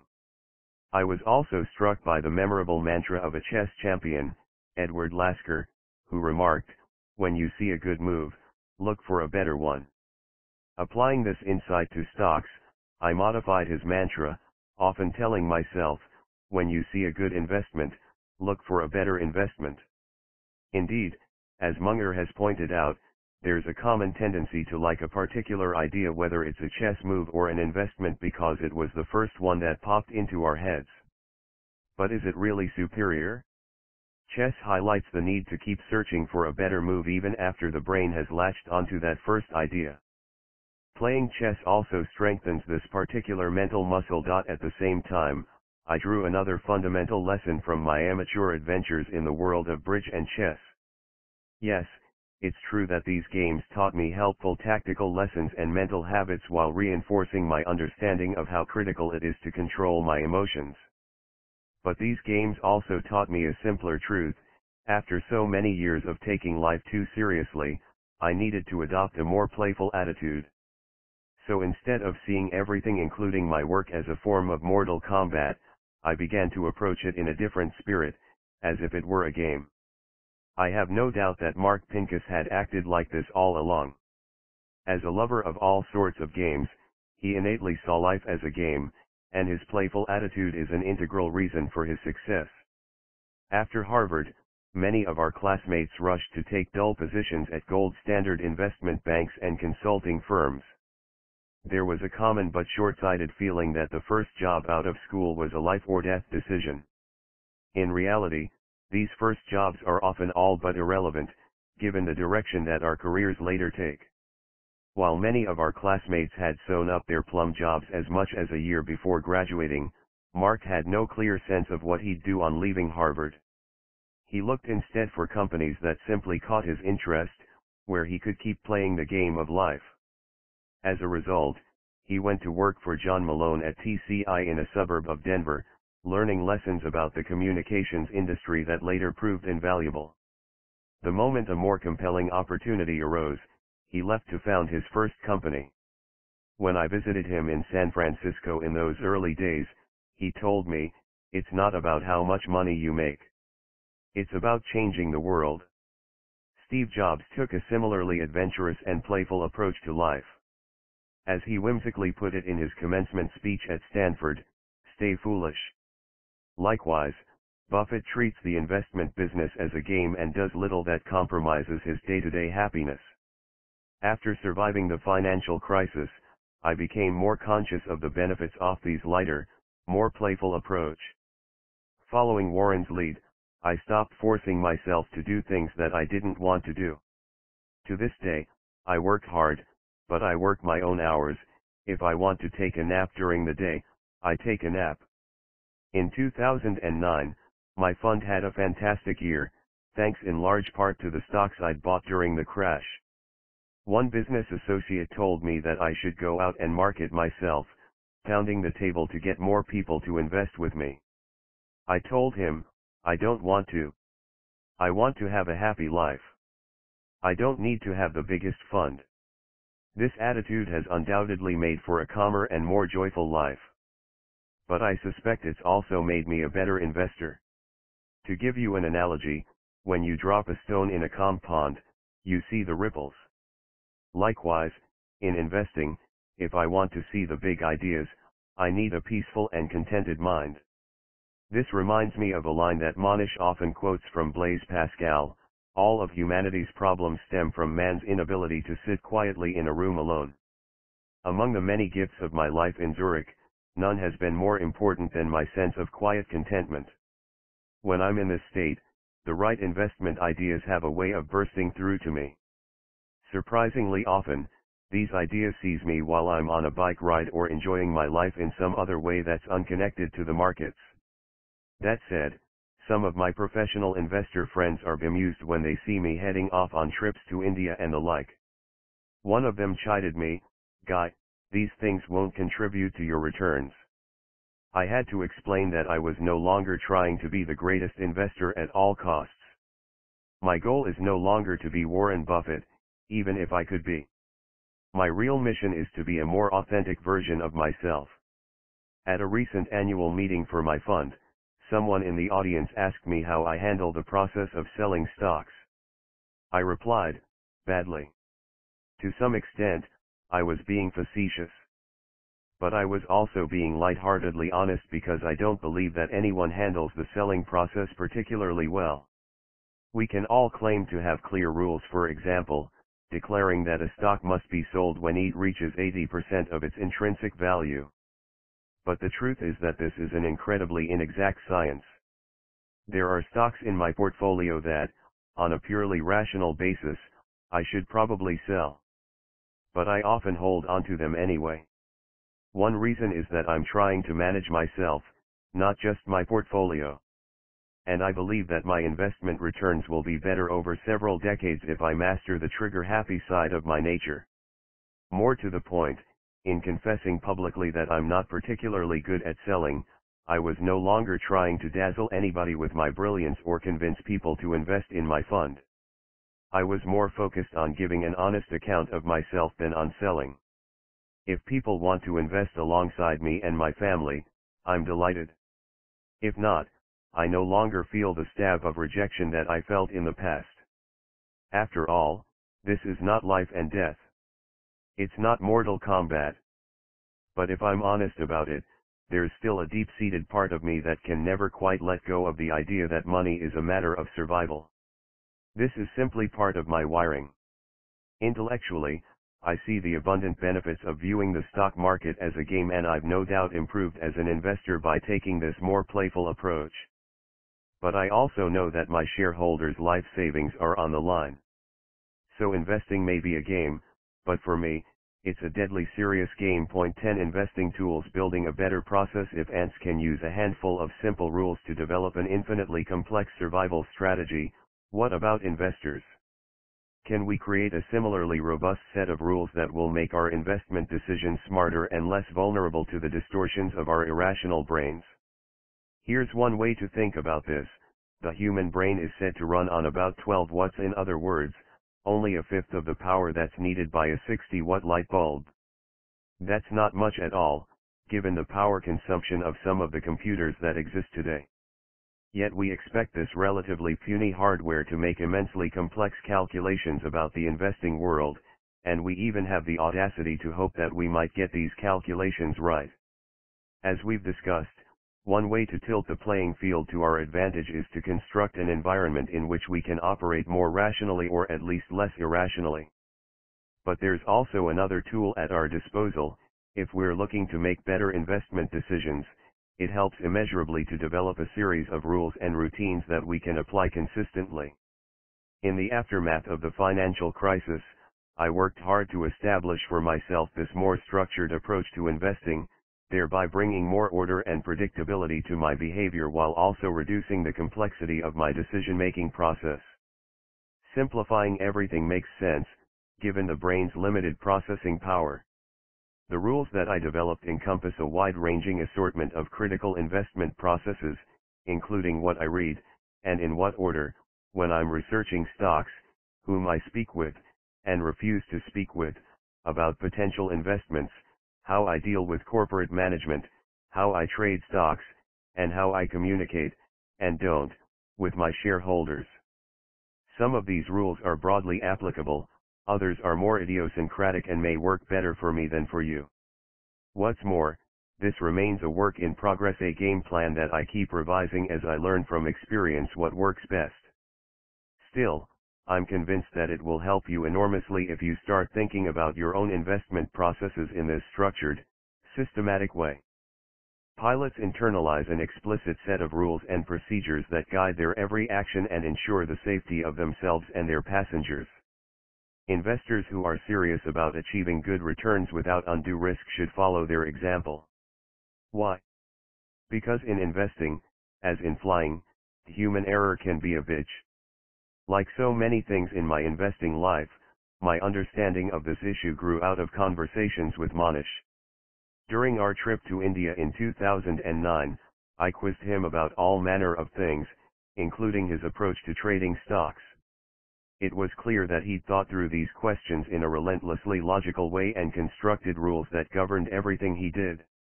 For example, as we'll discuss, he had decided that he'd never put in an order to buy or sell a stock during the hours when the market is open.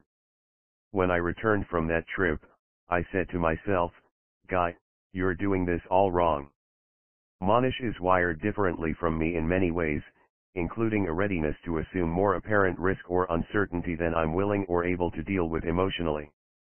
But I was determined to follow his lead in bringing this analytical rigor to my own process. Here, then, are eight of the rules, routines, and habits that I've subsequently put in place. This isn't an exhaustive list by any means. But I hope it gives you a flavor of what I've learned so far. Point 1. Stop checking the stock price when I settled in Zurich, I made a conscious decision to keep renting a Bloomberg terminal but not to switch it on when I got to work each morning. As I've mentioned, I now keep the Bloomberg switched off for weeks on end. But this is just one aspect of my effort to detach myself from the daily noise of the marketplace. Many investors check their stock prices not only on a daily basis but also sometimes minute by minute. There's a peculiar glitch in our brains that somehow makes us think that the stock knows we're watching it. We may even have a nagging fear that if we stop paying constant attention, something bad will happen. Maybe a big news story will sideswipe us while we're not watching and the stock will suddenly blow up. Seeing the stock price on the monitor gives the investor a false measure of reassurance that everything is okay, that the earth is still revolving in its usual orbit. The problem is, the constant movement of the stock price is a call to action. If I see a brightly lit ticker symbol flashing on my Bloomberg screen, It tells my irrational brain that I need to do something. If you're speculating on the latest hot biotech or internet stock, it may make some sense to follow every mad gyration, a brokerage firm issues a wildly bullish report and your stock suddenly surges by 20% as other speculators pile in. But I'm trying to invest in a more measured way, buying stakes in companies that I'm looking to hold for years, if not indefinitely. As Buffett has said, when we invest in a business, we should be willing to own it even if the stock market were to close the next day and not reopen for five years. I can't switch off my monitor for five years because I need to approve the net asset value of my fund once a month so that I can send a monthly update to my shareholders on the value of their stake in our partnership. But if I were managing solely my own account, I'd set up a system in which I'd look at the price of my holdings only once a quarter, or possibly even once a year. As things stand, I check the price of my holdings no more than once a week. It's a wonderful release to see that your portfolio does just fine when you don't check it.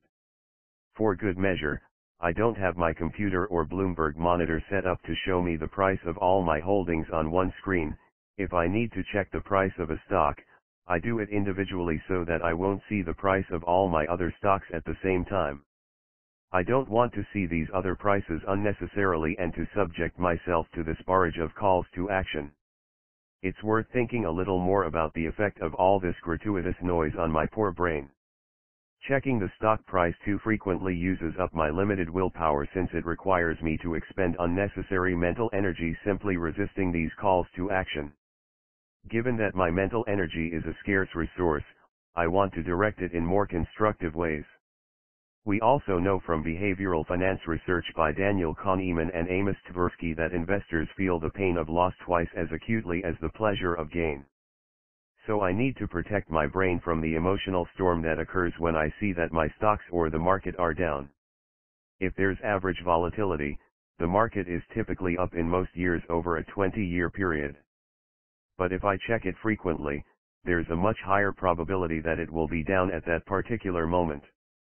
Nassim Taleb explains this in detail in his superb book Fooled by Randomness. Why, then, put myself in a position where I may have a negative emotional reaction to this short-term drop, which sends all the wrong signals to my brain. In any case, with the type of businesses I invest in, it's not imperative to know what's going on from day to day. Virtually all my investments are in companies where the long-term outcome is all but inexorable, the company is heading in that positive direction, and it's really just a question of how long it takes. Buffett's holdings clearly possess the same precious characteristic. Indeed, he uses the word inevitable to describe the positive outcome that he ultimately expects. Consider his stake in Burlington Northern Santa Fe. There's no question that its transportation network will become more valuable as the U.S. economy grows, the country becomes more built up, and the railway industry consolidates. Plus, nobody will build a rival railway track next door, so Burlington won't be displaced. If you invest in businesses like this that are truly inexorable, it shouldn't really matter if you switch off the monitor, curl up on the sofa, and read a book. After all, Buffett didn't make billions off companies like American Express and Coca-Cola by focusing on the meaningless daily movements of the stock ticker. The rule, check stock prices as infrequently as possible. 2. If someone tries to sell you something, don't buy it in the early years of my New York Vortex period, my fund's returns were decent, and I was hurt that nobody seemed to be paying attention to me. Then I must have landed on various databases because the phone started ringing off the hook. Everybody wanted to sell me something. Brokers rang to pitch me stocks. Sales reps called to sell me high-priced research systems, investment newsletter subscriptions, new phone services, and countless other products. At first, these calls seemed a measure of my success, as if all this attention put me on the map. But I soon began to see that I made lousy decisions when I bought things that salespeople were hawking to me. The problem is that my brain, and most likely your brain too, is awful at making rational decisions when confronted with a well-argued, detailed pitch from a gifted salesperson. So I adopted a simple rule that has proved extraordinarily beneficial. When people call to pitch me anything at all, I reply in as pleasant a manner as possible, I'm sorry. But I have a rule that I don't allow myself to buy anything that's being sold to me. Aghast, salespeople counter with questions like, but how are you going to pick the right phone service? Sell-side equity analysts opine, but don't you think this is a great stock? Sometimes they're no doubt right. Logically, perhaps, I should switch phone services or load up on their brilliant investment idea. But I just won't do it. I may miss out in the short term. But over a lifetime I have no doubt that I'll benefit much more by detaching myself from people with a self-interest in getting me to buy stuff. This is a simple application of adverse selection. As Charlie Munger has joked, all I want to know is where I'm going to die so I'll never go there. For me, if an investment is being sold, that's a place where I certainly want to avoid going. I even apply this rule if I'm at a cocktail party and someone starts telling me about a great stock they own or a private company in which they'd like me to invest. I may listen. I may be impressed. I may even be tempted. But I won't buy it if they would gain something from my doing so. In some cases, this might not be a sales commission or any other financial benefit, it might simply be that they derive psychological validation from successfully selling their idea. Either way, this is a no-go zone for me because the provenance of the idea is wrong since it stems from the seller's personal agenda. As usual, Buffett knew this long before I did. For example, he has a rule never to participate in an open outcry auction. Following his lead, I've never invested in an IPO and probably never will. When a company is going public, it has all of the mind-warping sales power of Wall Street behind it. Of course, some IPOs catch the wind perfectly and soar. But the provenance is toxic, so it's safer for me to cross all IPOs off my buy list, even if this means missing out on an occasional winner. The rule, if the seller has a self-interest in me buying, I ain't buying. 3. Don't talk to management for much the same reason, I don't want to speak with the management of the companies I'm researching. Many smart investors would disagree with me on this. For them, it's possible that regular contact with senior executives may be fruitful. Also, this promise of high-level access can be a useful marketing tool, appealing to existing shareholders and prospective investors who may not understand that talking to management has a potential downside. Heretical as this might sound, my own experience is that close contact with management is more likely to be detrimental to my investment returns. The trouble is, senior managers particularly CEOs tend to be highly skilled salespeople. No matter how their business is performing, they have a gift for making the listener feel optimistic about the company's prospects. This ability to win over their audience, including board members and shareholders, may be the most important talent that got them to the top of the corporate food chain. But this gift of the gab doesn't necessarily make them a dependable source of information.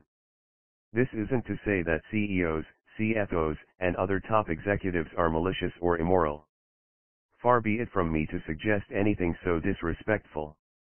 It's just that their job, their agenda, and their skills lead them to present information in a way that accentuates the positive while discounting any business problems by describing them as either temporary or solvable.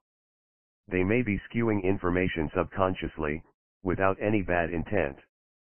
But it doesn't matter.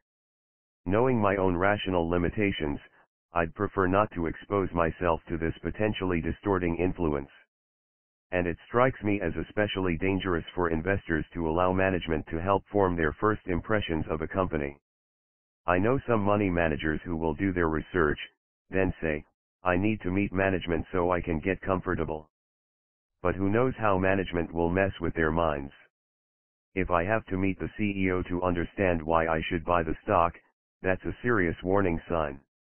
It should be clear enough from all of my other research. And if I want to assess the quality of the management, I'd rather do it in a detached and impersonal way by studying the annual reports and other public data, along with news stories. It's better to observe them indirectly like this instead of venturing into their distortion field by meeting them one-on-one. In retrospect, I realized that it was observing Mohnish that convinced me to stop speaking with management. When we first discussed this around 2008, it was a foreign concept to me since it flew in the face of conventional wisdom, even among value investors. Now I wonder why it took me so long to understand that this simple practice cuts out a whole lot of noise. The rule, beware of CEOs and other top management, no matter how charismatic, persuasive, and amiable they seem. Exceptions to the rule, Berkshire's chairman and CEO, Warren E. Buffett, and a small but growing minority of CEOs, at companies like Fairfax Financial, Leucadia National Corporation, and Markel Insurance, who take seriously the idea of sharing what they would like to know if they were in their shareholders' shoes.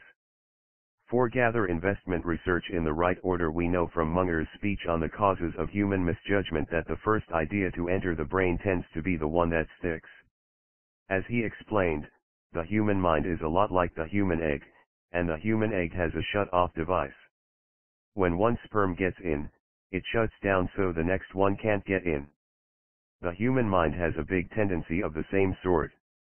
If that's true, I need to be extremely careful about the order in which I gather research and explore investment ideas.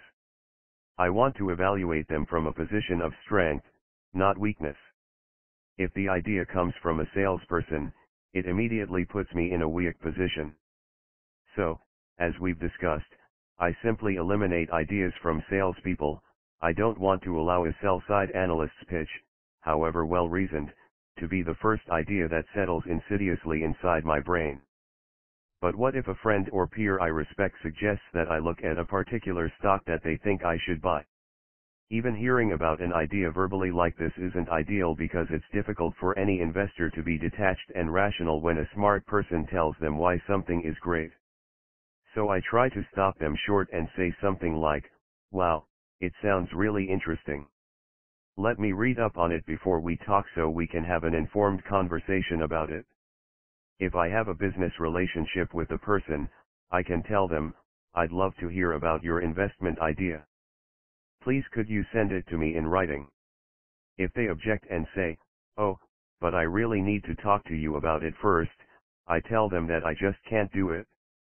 Socially, it might seem awkward to insist on getting an idea in writing first. But it's important to take as much heat and emotion as possible out of the research process. In my experience, I'm much better at filtering what I read than what I hear. Once I decide that an investment idea is promising enough for me to explore it further, I still need to be careful to do the research in the right sequence. This might not seem important to many investors, but the order in which I read the materials matters greatly since whatever I take in first will affect me unduly. My routine is to start with the least biased and most objective sources.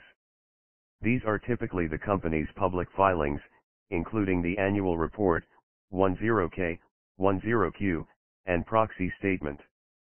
These aren't perfect, but they are prepared with a good deal of care and attention, especially in the United States, and they are reviewed by lawyers. The company doesn't want to get sued, so there's an incentive to produce financial statements that investors can rely upon. The accountant's audit letter is also key. Occasionally, accountants may be under intense pressure to sign off on the accounts, overlooking any irregularities. But the auditor's letter can subtly signal that the accounts are not all that they appear to be. Reading financial statements is more of an art than a science. Even if it's not explicit, you sometimes sense that management is trying to provide less information than investors might find useful. As in poker, unconscious tells can appear even in a footnote, making you wonder if something is amiss. In the annual report, the management's introductory letter is also important. Is it a public relations puff piece, or is there a genuine desire to communicate what's going on? I want to avoid promotional companies that are bent on showing things in the best possible light. By contrast, when Berkshire released the offering document for its B-class shares, it candidly stated that Warren and Charlie wouldn't buy them at that price. After working my way through the corporate filings, I typically turn to less objective corporate documents things like earnings announcements, press releases, and transcripts of conference calls. There might also be helpful information to glean from a book about the company or its founder. These are fairly useful if they're not just vanity pieces since many hours of work have gone into them, in some cases, they have such depth that I'd read them before the corporate filings. Investors looking at Berkshire for the first time would do well to read the books that Roger Lowenstein and Alice Schroeder wrote about Buffett. Likewise, in studying Walmart, a good place to start would be Sam Walton's book Made in America. These ideas about the sequencing of information may seem trite. But minor shifts in how we operate can have a major impact. By consistently improving the way I consume information, I'm looking to create better conditions for success over many years. Still, we're all wired differently, so my idea of a healthy and balanced informational diet may be different from yours. The Wall Street Journal once noted that Buffett had a small TV in his office, tuned to CNBC, but with the volume muted. I'd find it terribly distracting to have a TV at work as it would stimulate my brain in unhelpful ways. I also try, and sometimes fail, to minimize my exposure to the internet, which can lead me in a thousand different directions. It requires a lot of mental energy to read a web page, with all its links to other information. I don't want my mind's chain to be yanked. So I prefer to read the physical editions of things like the Wall Street Journal, the Financial Times, The Economist, Barron's, Fortune, Bloomberg Business Week, and Forbes, along with more abstruse publications like American Banker and the International Railway Journal. Still, I avoid reading any press coverage until after I've studied the corporate filings. There are plenty of good journalists who provide useful context and insight. But for my purposes, it's important not to prioritize news stories, since they give my brain reasons to act, often without providing real substance. The corporate filings are my meat and vegetables less enjoyable, but usually more nutritious. As for the equity research published by brokerage firms, I read little of it, and I never rely on it. Once I'm finished with all of my other research, I sometimes pull up these reports so that I know what Wall Street is saying about a company or industry.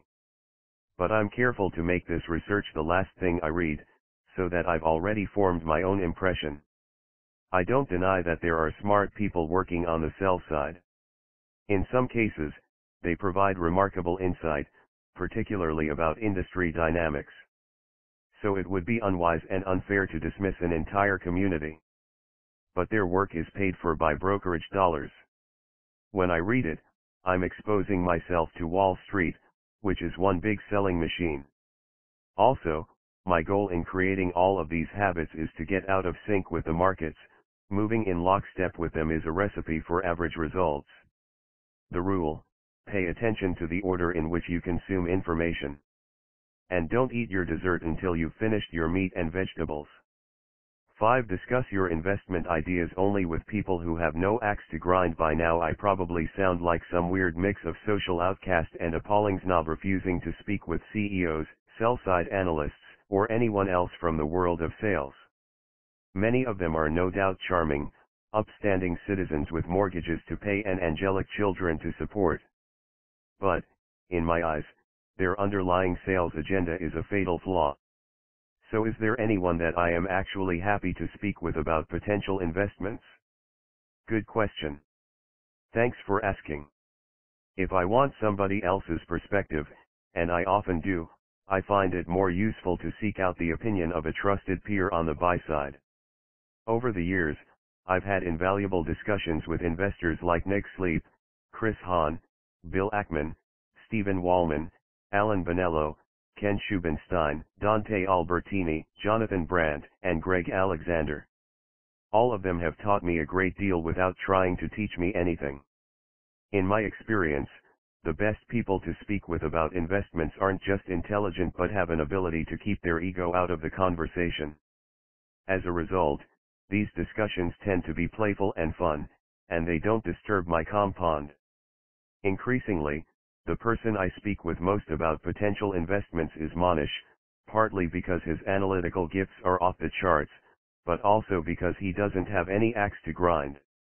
I've found that investment discussions work best when they adhere to three ground rules that I borrowed from groups like the Young Presidents Organization. First, the conversation must be strictly confidential. Second, neither person can tell the other what to do as this tends to make people feel judged, so they become defensive.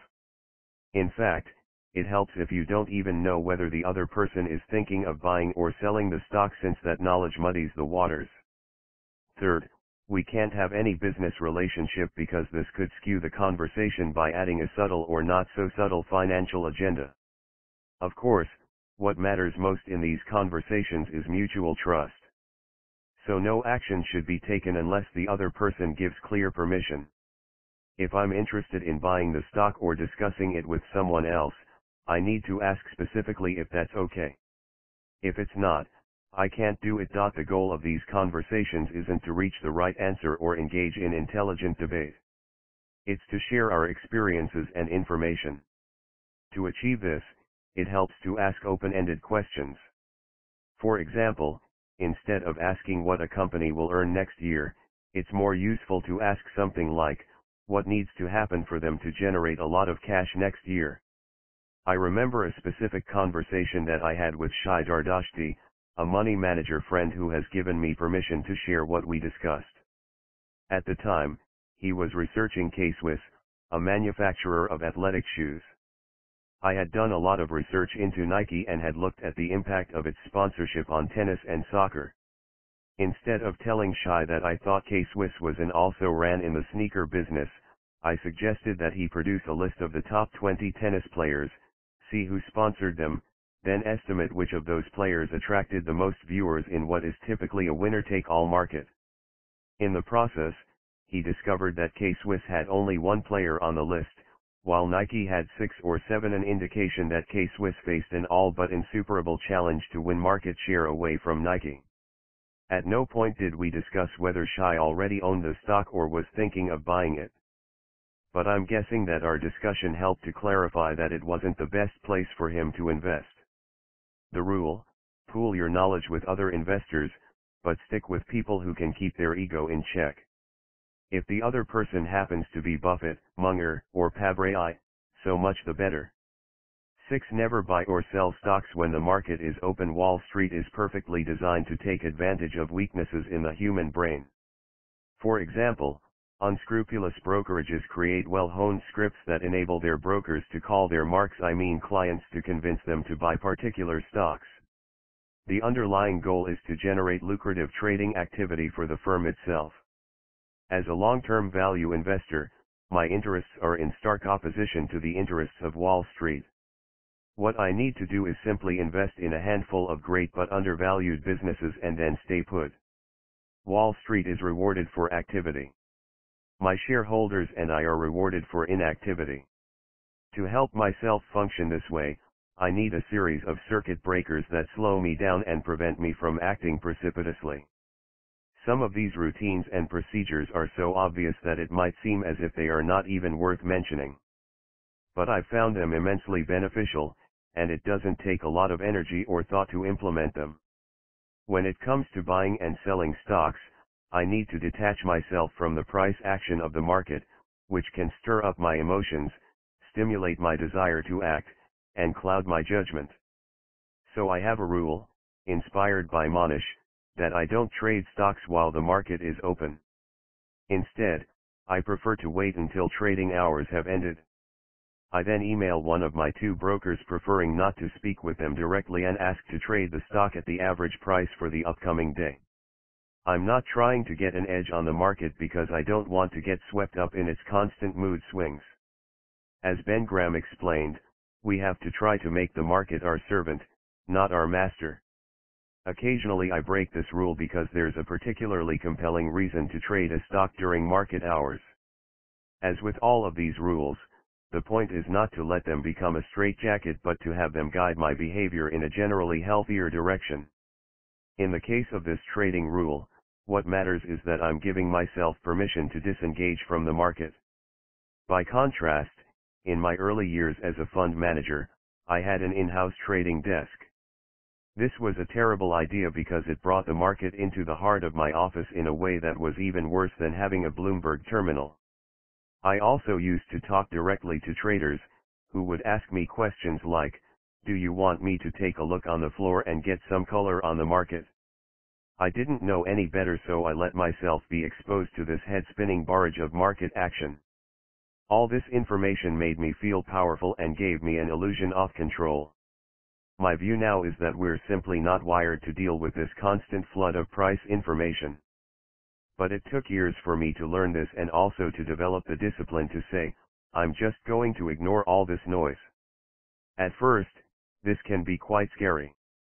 But in my experience, it's marvelously liberating. The rule, keep the market at a safe distance. Don't let it invade your office or your brain. 7. If a stock tumbles after you buy it, don't sell it for two years. When a stock has surged, selling it can be a joy. But it can also be bittersweet, like parting with an old friend. When a stock has tumbled, selling it is even more emotionally fraught. After all, it's hard to make rational decisions about an investment that has already lost you a lot of money since negative emotions such as remorse, self-loathing, and fear can short-circuit the ability to think clearly.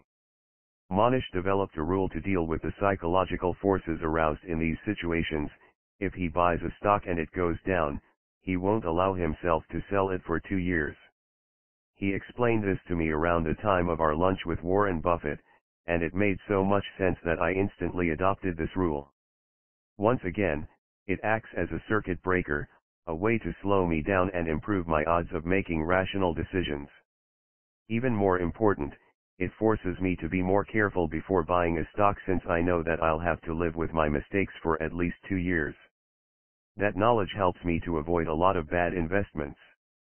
In fact, before buying a stock, I consciously assume that the price will immediately fall by 50%, and I ask myself if I'll be able to live through it.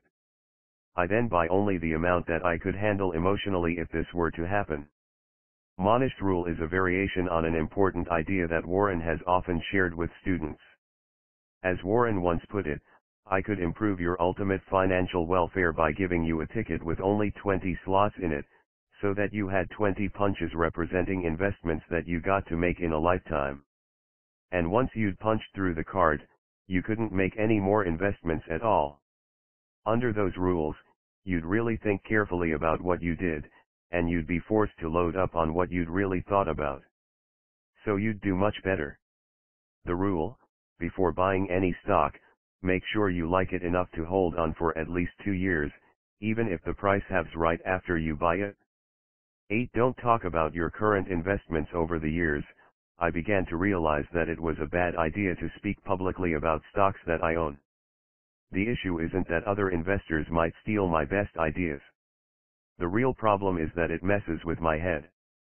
Once we've made a public statement, it's psychologically difficult to back away from what we've said even if we've come to regret that opinion.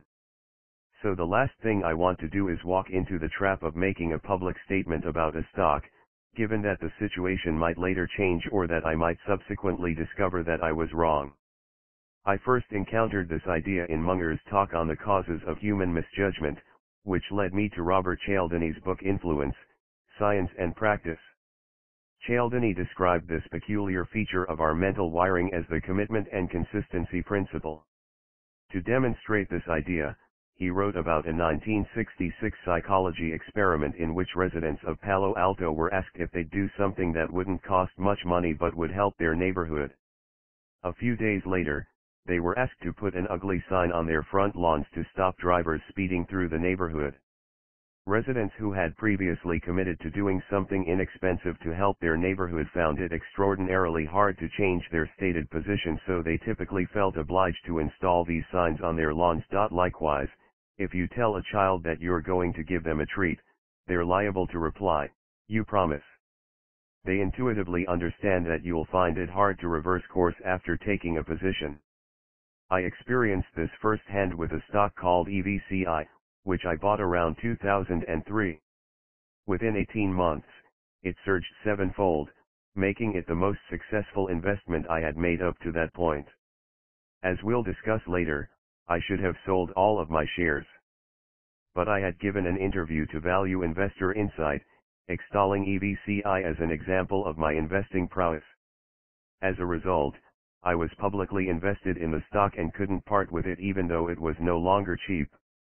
For various reasons, the stock subsequently halved.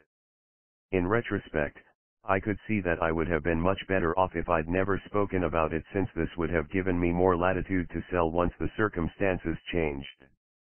Still, it took me a long time to act on this knowledge and actually stop speaking publicly about my holdings. Sometimes it was necessary to disclose what I was doing. For example, after my fund was battered in the financial crisis, I needed to reassure my shareholders so that they wouldn't lose heart. I talked to them at length about current holdings such as Cresud and London Mining, making it clear that these were remarkably cheap stocks with great prospects. In 2010, after my fund had rebounded sharply, I finally made the change, I stopped discussing my current investments in public settings, including my annual meetings, interviews with journalists, and letters to shareholders. At first, this wasn't an easy shift to make. Once you create an expectation in the marketplace, it's difficult to reverse yourself without people feeling that they're being shortchanged. But this change in procedure was well worth the risk of leaving a few noses bent out of shape. I'm not dogmatic about this rule. If I'm chatting privately with a shareholder, I might end up talking about a particular stock that we own. But even in these private conversations, I try to remain neutral and understated, resisting the temptation to talk heatedly about why I think a stock is great. I know how hard it can subsequently be to make a decision that's inconsistent with these statements. So why create this potential headache when it's so easily avoidable? Instead of discussing current holdings in my letters to shareholders, I now provide a detailed postmortem on stocks that I've already sold. This gives shareholders a clear insight into how their money is being invested, but it doesn't interfere with my ability to act as rationally as possible going forward. For me, this has certainly removed a psychological burden. I'd argue that most individual investors would also benefit from keeping quiet about their current investments since this talk only makes it harder to operate in a rational way. It's so much easier when you don't have to worry about how other people might judge you. The rule, don't say anything publicly about your investments that you may live to regret. Point 11 An investor's checklist survival strategies from a surgeon even with a well-constructed environment and a robust set of investment rules, we're still going to mess up. The brain is simply not designed to work with meticulous logic through all of the possible outcomes of our investment decisions. The complexity of the business and economic world, combined with our irrationality in the face of money-related issues, guarantees that we'll make plenty of dumb mistakes. The habits and processes that we've discussed so far should help us to edge in the right direction.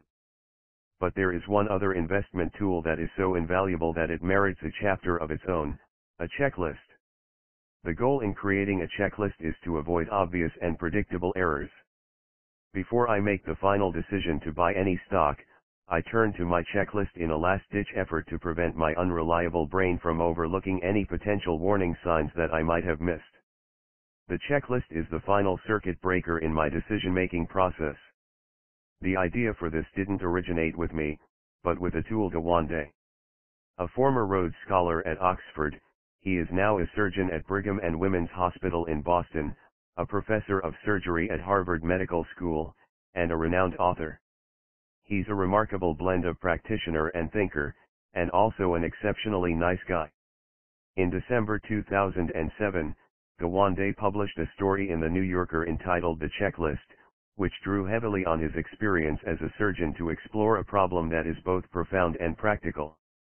As he put it, intensive care medicine has grown so far beyond ordinary complexity that avoiding daily mistakes is proving impossible even for our super specialists. As he explained, this reflects a fundamental challenge that exists in other fields, to namely, the art of managing extreme complexity, and the question of whether such complexity can, in fact, be humanly mastered. His article went on to describe the groundbreaking work of Peter Pronovost, a critical care specialist at Johns Hopkins Hospital, who designed a checklist after a particular patient nearly died. Pronovost took a single sheet of paper and listed all of the steps required to avoid the infection that had almost killed the man. These steps were all no-brainers, yet it turned out that doctors skipped at least one step with over a third of their patients. When the hospital began to use checklists, numerous deaths were prevented. This was partly because checklists helped with memory recall, especially with mundane matters that are easily overlooked, and partly because they made explicit the importance of certain precautions. Other hospitals followed suit, adopting checklists as a pragmatic way of coping with complexity. When Mohnish read Gawande's article, he had a eureka moment, instantly recognizing that the idea of a checklist could also be applied to investing another field in which the complexity is so extreme that even super specialists routinely trip up, making easily preventable mistakes. In our case, it isn't fatal. But investing errors can be terribly costly to shareholders with their life savings on the line. I was sitting in my office in Manhattan one afternoon when Mohnish emailed me a copy of Gawande's article. We then spoke on the phone, and it was clear that he was really excited. Mohnish has the kind of mind that easily makes unusual connections, so it was immediately obvious to him that the checklist idea was a big deal. I thought it was interesting, but it took me longer to understand just how significant it might be. By now, I'm used to the fact that Mohnish is quicker on the uptake than I am. I console myself by contemplating a sage observation of Buffett's, the key to life is figuring out who to be the bat boy for. As I realized long ago, there's no dishonor in being Mohnish's bat boy. Far from it. And while I'm busy cloning Mohnish Pabrai, he's busy cloning Atul Gawande. Mohnish pursued the checklist idea with ferocious intensity and rigor. He began by marshalling a group of us to recall a slew of investing mistakes we had made. In each case, we had to work out why they had happened and if there was a cause that we should have seen beforehand. Sometimes I would look back at a situation where I had missed some vital clue, shake my head, and say, how did I not see that? Mohnish added his own mistakes to the mix. We combine these with some, infrequent, errors that we had seen Buffett and Munger make, including their investments in NetJets, Dexter Shoe Company, and diversified retailing a reminder that retail is a tougher place to make money than most people realize. Buffett, with characteristic candor, confessed in his 2007 letter to shareholders, to date, Dexter is the worst deal I've made. But I'll make more mistakes in the future you can bet on that. A line from Bobby Bare's country song explains what too often happens with acquisitions, I've never gone to bed with an ugly woman, but I've sure woke up with a few. Mohnish and I also discussed Berkshire's ill-timed investment in CORT Furniture in 2000. CORT had made a fortune leasing furniture to start-up companies during the heady years of the 1990s tech boom. But Buffett and Munger had underestimated just how vulnerable its profits would be when this bubble burst. Companies like eBay and Craigslist also ate into CORT sales by making it cheap and easy to buy used furniture. Munger later described this investment as a macroeconomic mistake. I helped Mohnish by carefully analyzing my own errors, along with those of other investors. Mohnish himself worked at such a breakneck pace that it was almost unnerving. After we had compiled our initial list of mistakes and the lessons we should draw from them he hired a couple of graduate students from Harvard Business School to undertake a painstaking forensic investigation. They studied the 13F filings of about 20 smart value investors, including firms like Southeastern Asset Management and Fairholme Capital Management, counting as a mistake any investment they had sold at a loss. The students then read through the investors' public statements and annual letters to reconstruct the thinking behind these failed investments. Gawande himself became intrigued by what we were doing. He interviewed Mohnish and me, and he wrote a few pages about us in his 2009 bestseller The Checklist Manifesto, How to Get Things Right. Among other things, he mentioned Mohnish's realization that he had repeatedly erred in underestimating the riskiness of leveraged companies. As I suggested to Gawande, part of the problem might lie in what I described as cocaine brain, the intoxicating prospect of making money can arouse the same reward circuits in the brain that are stimulated by drugs, making the rational mind ignore supposedly extraneous details that are actually very relevant. Needless to say, this mental state is not the best condition in which to conduct a cool and dispassionate analysis of investment risk.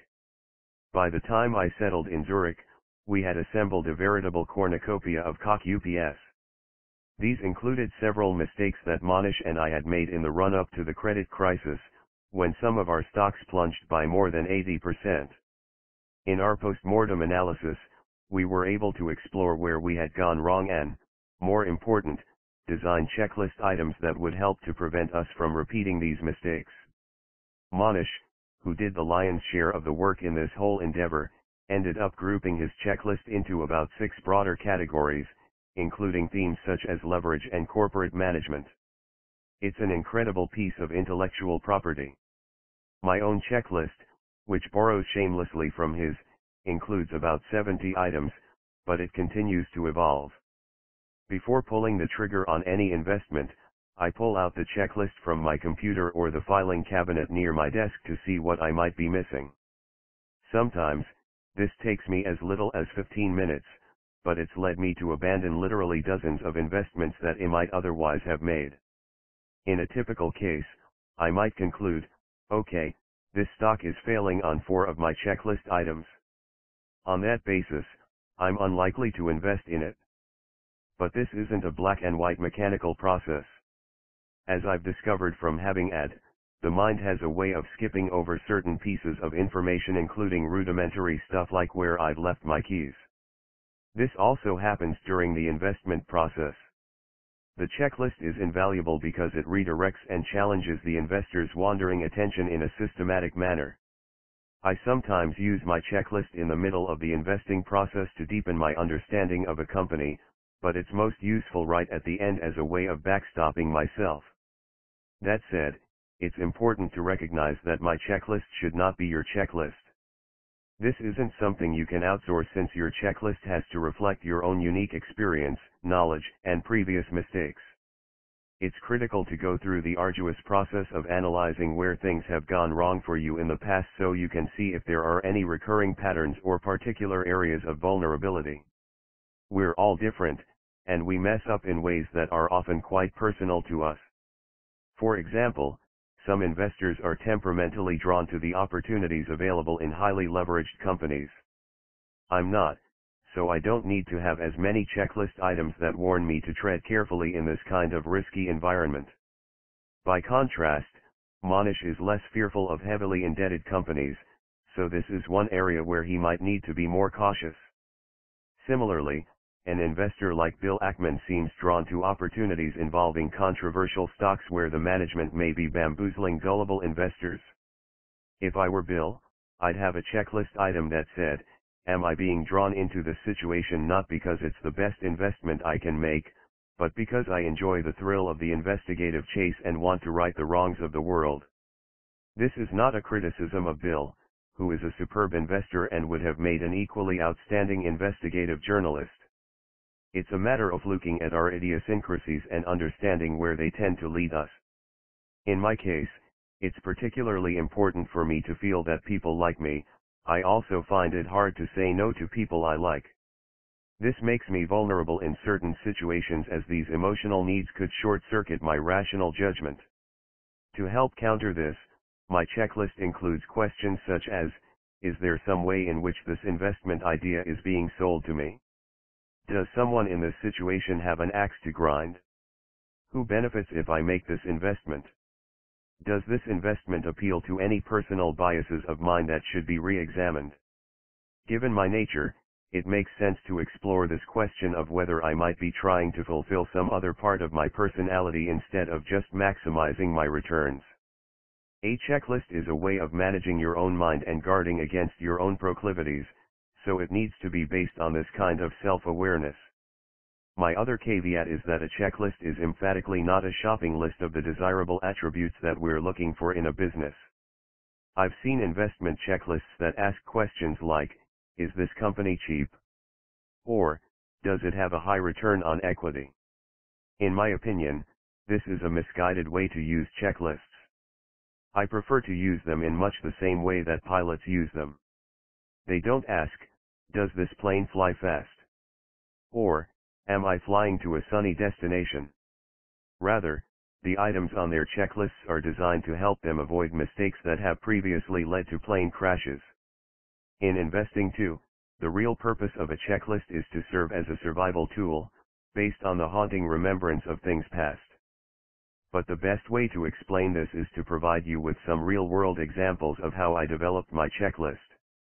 Here, then, are four brief case studies situations in which I made costly investment errors that then led me to develop specific checklist items. The point is not just to relish this humbling account of various low points in my stock picking career.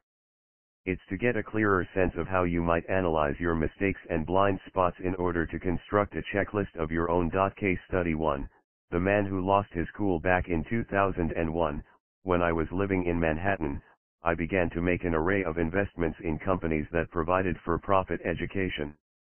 I traveled all over the world to learn more about these businesses, searching wide and deep for good companies in the same sector. I flew to Singapore, Shanghai, and Mumbai to research one of the global leaders, Raffles Education Corporation, and I dispatched my analyst to the Philippines. But it turned out that some of the most intriguing companies in the industry were in my own backyard. I put together a list of all the for-profit educational institutions in New York City and went door-to-door on my BMW motorcycle to check them out. At the time, I must have known more about the sector than almost any other investor in America. And I loved riding that bike. During these visits, I came across an obscure college called Interboro Institute, which was owned by EVCI Career Holdings Corp. This company's enterprising management team had come up with an innovative way of providing a college education to students with limited resources, many of whom had failed to graduate from high school. The students typically received financial aid grants that exceeded the cost of Interboro's bare-bones education. So they were educated for free while EVCI made money in the process. This model later came under fire. But I attended at least three graduation ceremonies at Interboro and saw for myself that it provided real social value. Essentially, it helped less than stellar students to get a degree and move on to jobs in fields like medical billing and insurance administration instead of remaining in menial work such as packing groceries. During the early stages of my research, I mentioned EVCI to Whitney Tilson, and we ended up visiting the company together in Yonkers. The business was doing well, but EVCI was hobbled by $2 million in debt that it had issued to acquire Interboro. In June 2003, Whitney and I invested $1 million each in EVCI, which relieved the company of this debt burden and invigorated the business. Meanwhile, the number of students at Interboro grew rapidly, profits surged, and my $1 million investment soared to $7 million in 18 months. This was part of the benefit of running a small fund like Aquamarine, I could take a meaningful position in a tiny company like this, which operated way below the radar of larger funds. It was thrilling, too, to see how my legwork had paid off. All in all, this investment felt like a triumph. I felt really proud. When a stock takes flight like this, there's a sense of joyous wonder, wow, you think. That's real money. With EVCI's operating income and stock both up sevenfold, the board agreed to grant huge pay rises to the company's two top executives.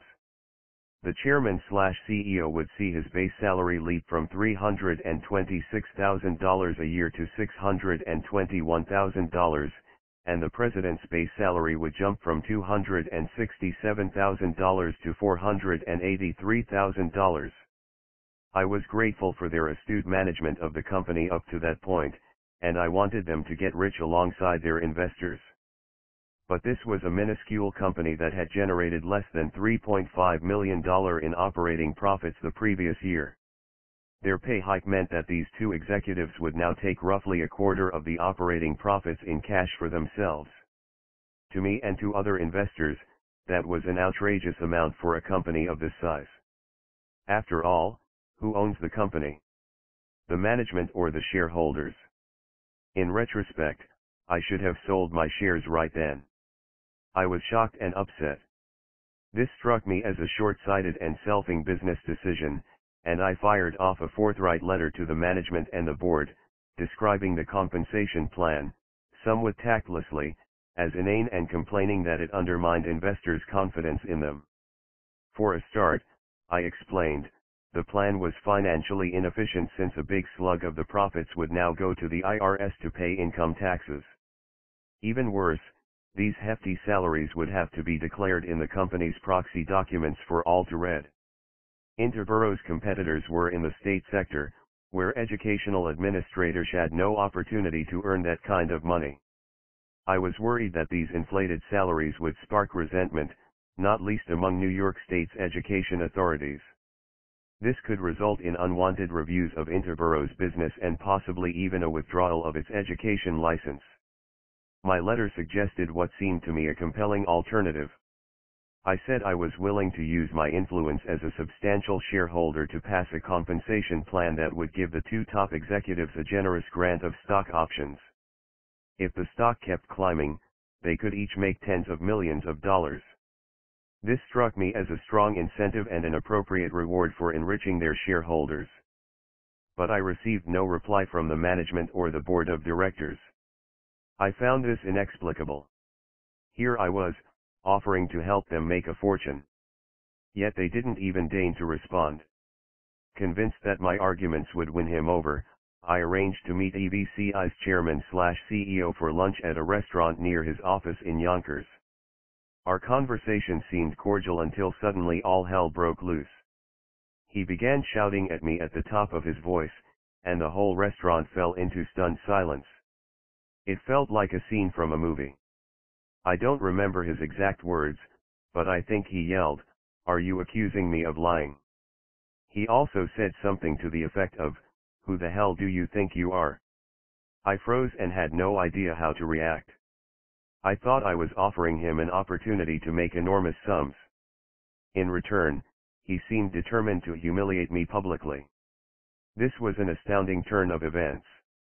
What I discovered much later was that he was going through a bitter divorce. According to a 2009 decision from the New York Court of Appeals, he and his wife were fighting over their marital assets, including his stock in EVCI. His wife commenced divorce proceedings in 2003, a trial ensued, and she was later granted a divorce on the grounds of abandonment. In 2006, the trial court rejected his claims that the appreciation in the value of the EVCI stock was due solely to his efforts, and it used the trial date for valuation purposes of his stock and options. In other words, he was in the midst of a wrenching war over money and specifically over his stake in EVCI. This helps to explain why he blew up at me when I proposed that he reverse the decision to increase his salary and instead receive a massive payday only if the stock performed well. Perhaps, his concern was that a major portion of this future wealth might end up going to his ex-wife. In any event, he must have felt under attack from every side. And, of course, we know how difficult it is to act rationally when money is at stake.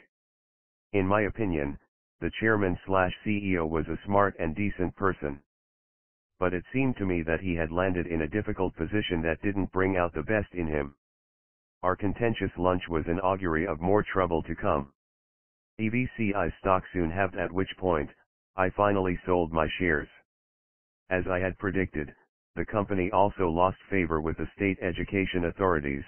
In 2007 the New York Board of Regents enacted new test regulations that made it much harder for Interboro students to receive financial aid. The company was also ordered to repay millions of dollars in student aid funds after it turned out that some of its students had been ineligible for the money they received. In December 2007 the Chronicle of Higher Education reported that EVCI had decided to close Interboro down after it realized that most of its students would no longer qualify for state or federal student aid. The company was also hit with a class action lawsuit for securities fraud.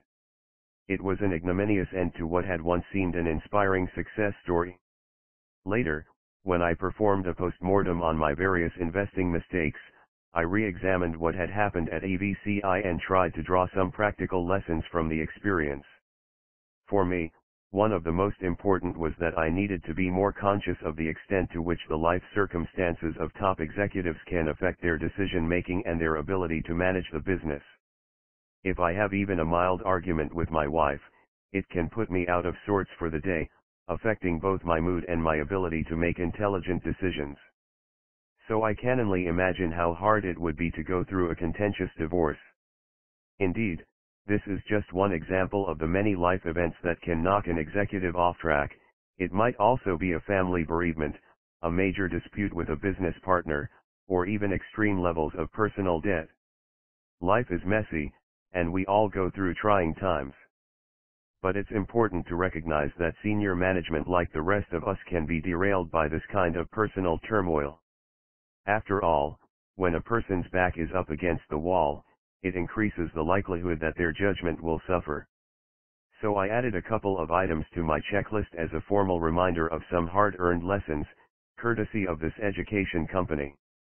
Checklist items, are any of the key members of the company's management team going through a difficult personal experience that might radically affect their ability to act for the benefit of their shareholders? Also, has this management team previously done anything selfing that appears dumb? Case Study 2 A Tortuous Tale of Tupperware The Tupperware Plastics Company was founded in 1938 by Earl Silas Tupper, who had previously worked at DuPont Chemical. He fashioned Tupperware's first containers out of polyethylene slag, a waste product from oil refining. Today, his iconic brand of plastic containers is sold in about a hundred countries.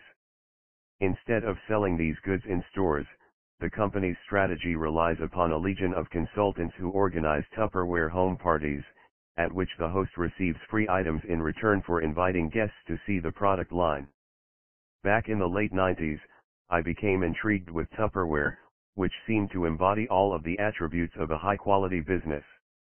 I was particularly impressed with its exceptional profit margins and return on equity.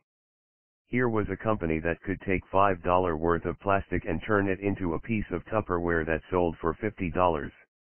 The company generated lots of cash, and it didn't net much capital. Plus, I remembered Munger talking about Tupperware parties in his lecture on human misjudgment. He said these parties exemplified an array of the manipulative psychological tricks that Robert Cialdini had discussed in his books. The overall effect was said to be so powerful that housewives bought masses of Tupperware despite its high price. I wanted to experience this firsthand. So a friend and I hosted a Tupperware party in my apartment in New York. I was awed to see these psychological forces at play. For a start, there was the reciprocation principle. As the hosts, we knew that we'd get some free Tupperware, based on how much was sold at the party so we were already grateful to the Tupperware lady for agreeing to organize the event, and we were excited about the free containers we'd receive as our reward.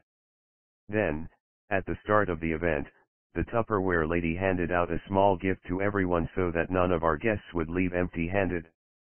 The result, everybody at the party was itching to reciprocate, just as Cialdini would have predicted.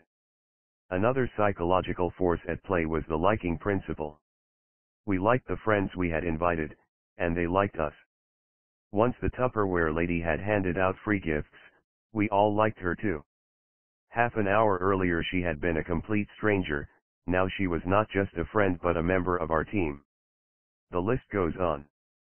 For example, the authority principle was also at work since she knew a remarkable amount about food, which enhanced her authority as a Tupperware salesperson. There was also a scarcity factor at play since she hadn't brought enough items to satisfy all of the demand among our guests. And did I mention that the Tupperware containers came in all these really bright, vivid colors that also caught our attention? In short, the party was a brilliant example of sales psychology at its most effective. In a couple of hours, our Tupperware lady sold more than $2,000 worth of the product, earning herself nearly $1,000. Having seen this phenomenon in person, I felt that I understood why the company was so successful, its superior performance was based on their remarkable psychological effects unleashed at these parties. Plus, I could see that there was endless opportunity for Tupperware in emerging markets even though the developed world might already be saturated. Armed with these insights, I pretty much raced out to buy the stock. I was secure in the knowledge that every two minutes someone was hosting a Tupperware party somewhere in the world, and that these principles would be playing themselves out. Sadly, I was wrong.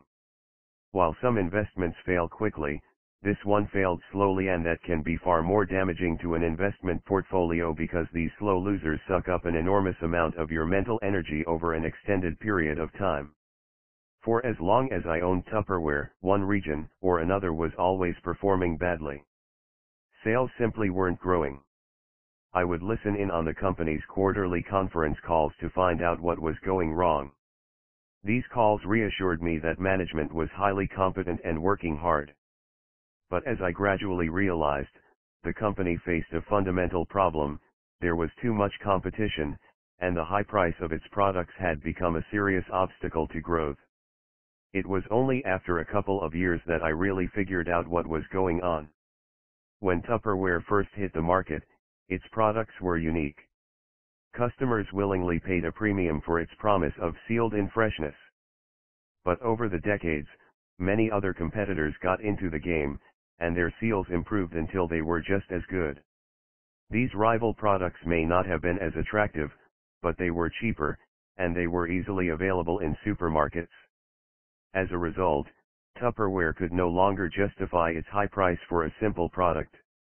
Despite the management team's abundant skills, they couldn't alter this harsh economic reality. As Buffett once remarked, when a management team with a reputation for brilliance tackles a business with a reputation for bad economics, it is the reputation of the business that remains intact. I finally capitulated in the summer of 1999, selling the stock for more or less what I had paid for it a couple of years earlier. Looking back on this disappointing investment, it was clear that I had failed to ask the most obvious question, does this product offer good value for money? After the positive experience of hosting a Tupperware party, I had become too committed psychologically to the idea of owning the stock, and I lacked the detachment to see the pitfalls. This misadventure taught me an invaluable lesson, I want to invest only in companies that are a win-win for their entire ecosystem. In consultant speak, we'd refer to the ecosystem as the value chain. The terminology doesn't matter. What's important is the idea that a great company makes tons of money while adding real value for its customers. Originally, Tupperware had done this by introducing an innovative product. Now, no more. By contrast, consider a world-beating business like Walmart, or, for that matter, Costco, Geico, or Amazon.com. Walmart works hard to make everything it sells less expensive for the consumer, constantly driving more costs out of its distribution system. This pleases its customers, so they bring more of their business to Walmart each year. You might think that Walmart's suppliers would be resentful since their margins are getting squeezed but the suppliers benefit from the sheer volume of sales generated in Walmart stores. Everybody in this ecosystem wins, Walmart and its shareholders, its suppliers, and its customers. That said, I've never owned Walmart since the company was already too large and the stock too expensive to meet my criteria. And, of course, Walmart has critics who would argue that its success comes at the expense of local businesses and its own workforce. In future, I determined to do a better job of analyzing the whole value chain to identify companies that make it more efficient. This analysis would have saved me from my Tupperware mistake. It has also kept me away from companies as diverse as Philip Morris, a phenomenally profitable business that is damaging to its customers' health, and Greece's national lottery firm OPAP, a phenomenally profitable business that is damaging to its customers' wealth. Both of these companies have a license to print money. But they do so by preying on people's weaknesses. For the consumer and for society at large, this is not a win-win proposition. Personally, I don't want to invest in companies that make society worse even if their products are legal. Call me irrational, but I think it's bad karma. In any case, I much prefer to invest in businesses that benefit society. Once again, In learning this lesson, I realized that Buffett already knew it, as far as I'm aware, every one of his holdings meets this high standard. Checklist item, is this company providing a win-win for its entire ecosystem? Case study 3, what lies beneath? My study of companies like Walmart and Costco led me to invest in CarMax the Walmart or Costco of second-hand cars. Since opening its first store in Virginia in 1993, CarMax has sold over 4 million cars, and it currently boasts about 100 stores across America. It's a highly efficient operation with a narrow spread between what it pays for cars and the price at which it sells them. Customers know that the sales prices in its big box stores are among the lowest around. And there's a huge selection of cars on display, ranging from two-year-old Mercedes SUVs to Mustang convertibles from the 1950s. There is one other key aspect to the CarMax business model, it provides customers with access to financing. In the United States, a significant portion of cars are leased. Without financing, many CarMax customers wouldn't be able to buy its cars. In fact, if CarMax were to find that it couldn't access the debt markets, its whole business model would fall apart. And in 2008, it did fall apart. Sales plummeted because CarMax and its customers could no longer obtain credit amid the global financial crisis. As a result, the stock price crashed. Once again, I discovered the importance of understanding a company's entire value chain. I hadn't given sufficient thought to just how dependent CarMax was in the credit markets, and how vulnerable this made the business. I might well have made the purchase anyway. After all, I could never have predicted the severity of the credit crisis. But this situation taught me how critical it is to discern whether a business is overly exposed to parts of the value chain that it can't control. If this is the case, as it often is, I need to be compensated for that heightened risk with a lower purchase price. In response to this experience, I developed a checklist item that allows me to get a deeper sense of the quality of the business. One way to word this item might be, are the company's revenues leveraged to the credit markets? But I don't get too hung up on the exact wording that I use in my checklist. A more general version of this item might be, how does this company sit within the value chain, and what parts of this business could be impacted by changes in other parts of the value chain that this company has very little influence over? The point is that I want to invest in companies that control their own destiny, not in companies that have their destiny determined by forces beyond their control. It's also possible to use this way of thinking to identify some great investment opportunities. The goal in these situations is to find companies where one aspect of the value chain has gone awry, dragging down the whole business. If I believe this problem is temporary, I can buy the stock at a beaten down price and then benefit once this issue within the value chain is resolved. In 2007 this thought process led me to invest in Alaska Milk, the dominant producer of condensed milk in the Philippines. The company's key ingredient was powdered milk that had to be imported from abroad. When the global price of powdered milk shot up, the company's profit margins were squeezed and its stock plunged. I was convinced that the price of powdered milk would eventually return to normal as supply rose to match increased demand from China. As a result, Alaska Milk's profits would rebound. This proved correct, and I made about five times my money in five years. Checklist item how could this business be affected by changes in other parts of the value chain that lie beyond the company's control? For example, are its revenues perilously dependent on the credit markets or the price of a particular commodity? Case Study 4, How I Lost My Balance Smart Balance, which has since been renamed Boulder Brands, was an innovative food company led by a superstar marketer named Stephen Hughes. Its flagship product is a blend of vegetable and fruit oils that competes with leading margarines such as Shedd's Country Crock and I can't believe it's not butter. Smart Balance's spread is based on an oil blending process patented by food scientists at Brandeis University, and it offers a genuinely healthy alternative to rival spreads that are rich in trans fatty acids. By contrast, Smart Balance's spread is said to lower consumers' bad cholesterol and to raise their good cholesterol. Following its launch in 1997, it breezed past Land O'Lakes to become the number 3 brand in the margarine category. As a longtime shareholder of Nestle, I had seen functional products like this become a fast-growing and increasingly profitable niche within the food industry. I figured that Smart Balance, as a smaller and nimbler player, would grow rapidly for the next five or so years in both the margarine category and related businesses such as peanut butter and popcorn. At that point, it would get bought out by a larger competitor. I also liked the fact that Smart Balance had outsourced its manufacturing and distribution, so it was a pure marketing and branding company. And its management team was quite something. Hughes enjoyed a remarkable reputation. He had famously turned around Tropicana's juice business in the United States before achieving similarly impressive feats with brands like Celestial Seasonings Tea and Silk Soy Milk. An article about Smart Balance in Fortune began with the line, Success has followed Steve Hughes wherever he has roamed in the food industry over the past two decades. Hughes himself was quoted as saying, We are positioning this as a brand that could grow to a billion dollars, a true mega brand. Back then, I hadn't yet abandoned my practice of meeting with management. Hughes came to my office, and I quickly fell under his spell. It wasn't just that he had a superb resume.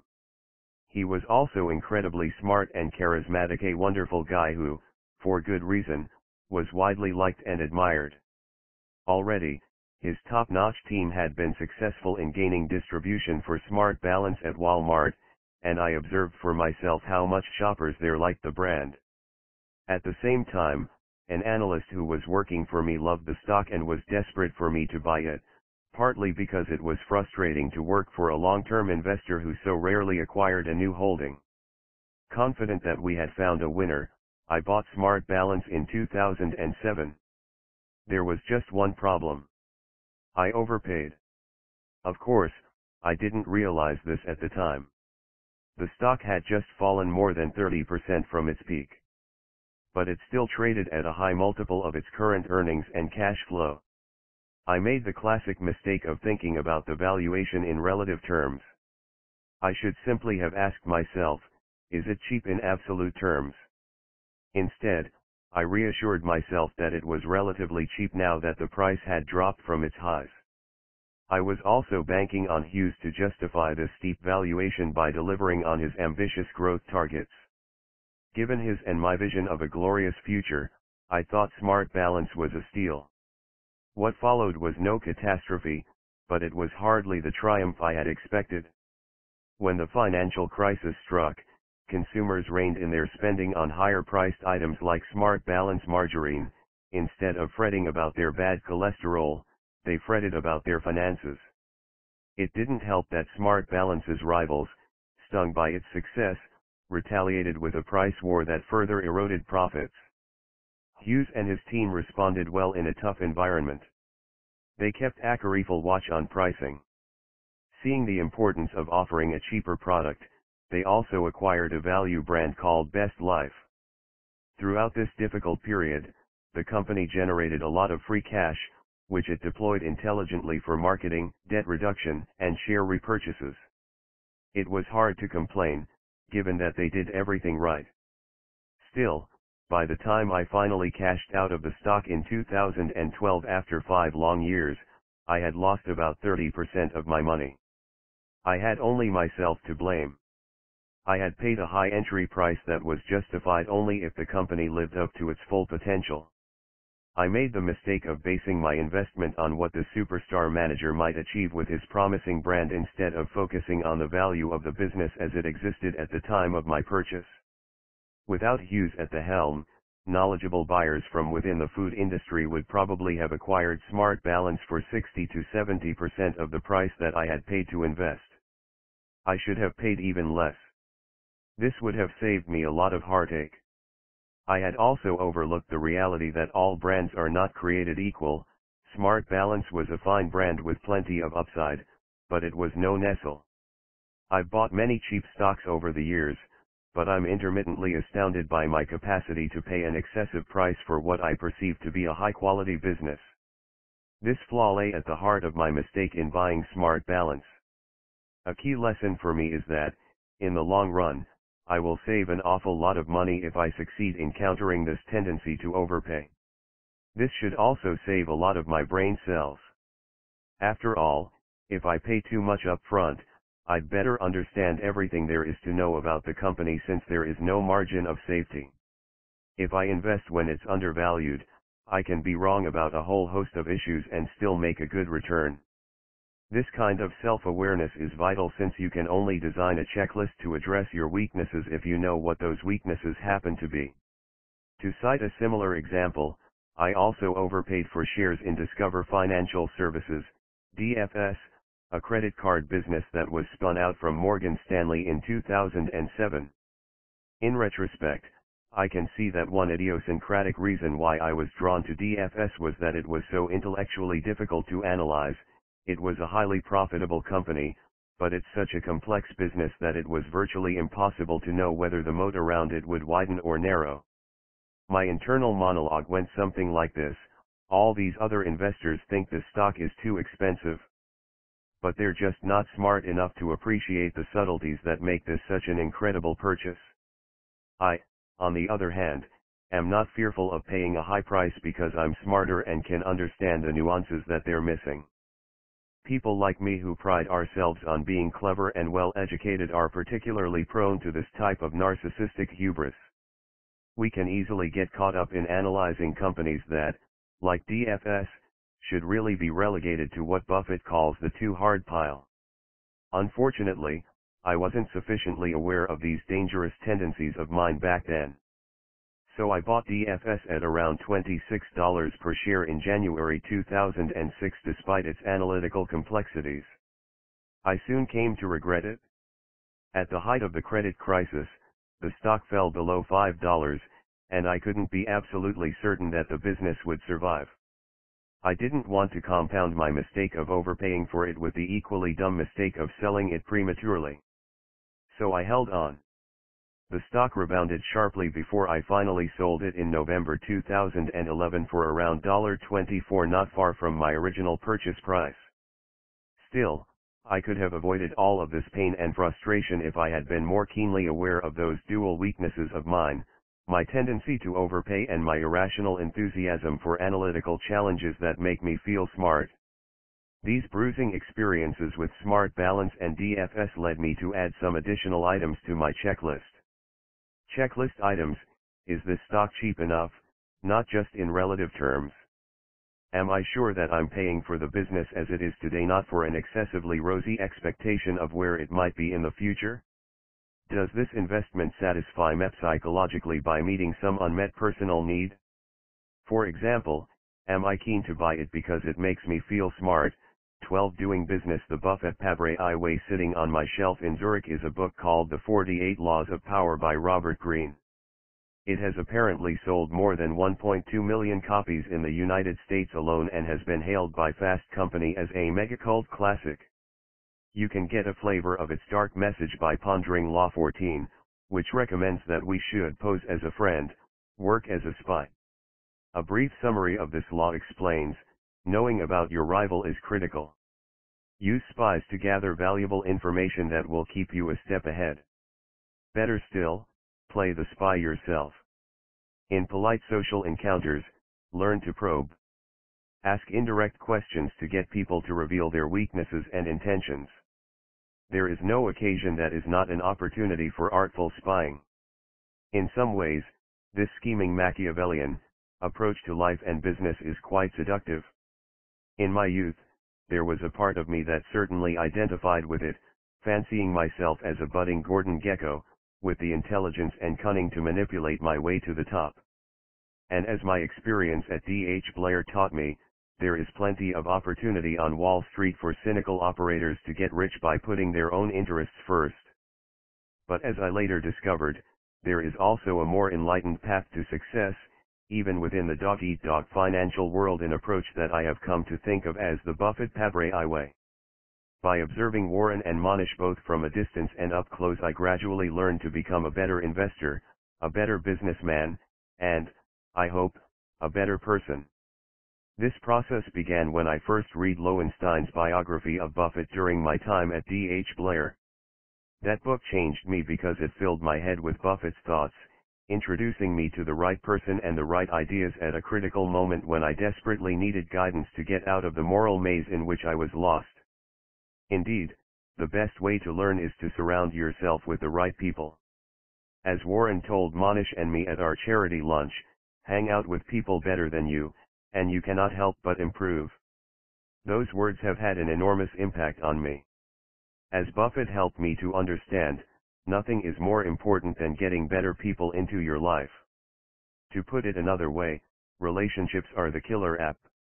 Indeed, I'm convinced that this is the single most important way that we can tilt the playing field in our favor to achieve success as investors and in other areas of life. How, then, do we create and nurture the right relationships so that we can learn from them what we need to learn and become who we ought to be? I'm not sure that I fully grasped the overwhelming importance of our peer group until I came across a fascinating book and a subsequent TED Talk by Nicholas Christakis. He and his colleagues at Harvard had studied obesity in human networks, and this research led them to an important discovery, if you have obese friends, you're more likely to be obese. Similarly, if you have fit and healthy friends, you're more likely to be fit and healthy. In other words, our close social connections count not only in the obvious ways, but also in subtle ways that we barely understand. I have no doubt that this is also the case in business. If so, it stands to reason that I should make a conscious effort to have the best possible people in my social networks. At first, I approached this idea in a calculated and selfing manner, hoping that my attempts to build social capital would lead me to greater financial and professional success. But the relationships that I began to form were so life enriching that my cynical motives gradually receded. I'm not saying that I'm Mahatma Gandhi but my deepening bonds with great people became a source of such sincere joy to me that I no longer needed any hidden agenda, these friendships became a wonderful end in themselves, not a means to self-advancement. Serendipitously, I'm writing these words in the Delamar Greenwich Harbor Hotel in Connecticut the very place where I had my first dinner with Mohnish a decade ago, on February 11, 2004. That meeting led to a friendship that has been one of the greatest pleasures of my life a relationship that really illustrates everything that I hope to convey in this chapter. Just yesterday, I received an email from Mohnish with the subject line, need to put book on hold. The next idea is upon us. His five-word email message then named an Asian company, along with the phrase a forex. In other words, he'd found a stock that he thought could go up fourfold, and he wanted me to know about it too. At the same time, he trusted me to look into it further and give him a useful second opinion, just as Buffett has, for decades, turned to Charlie Munger though, admittedly, the quality of the response might be a tad higher in Charlie's case. Think about this.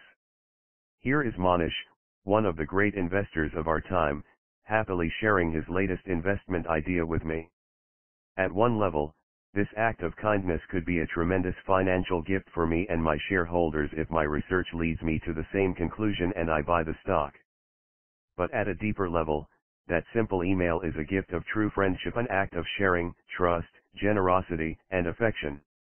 This act is also built on an understanding of the unsurpassed power of friendship a recognition that, when we join together with good intentions, we are much more than the sum of our parts. As Mohnish often says, Quoting an old adage that Ronald Reagan loved, there's no limit to what you can do if you don't mind who gets the credit. What more could I ask for than a friend like this? I hope that I'm making this sufficiently clear because it's almost certainly the most important point in this book even though it may seem blindingly obvious to you. Nothing, nothing at all, matters as much as bringing the right people into your life. They will teach you everything you need to know. In countless ways, this relationship with Mohnish has been an eye-opening education for me. For example, over the past 10 years, I've repeatedly observed how he looks to see what he can do for others, not the other way around.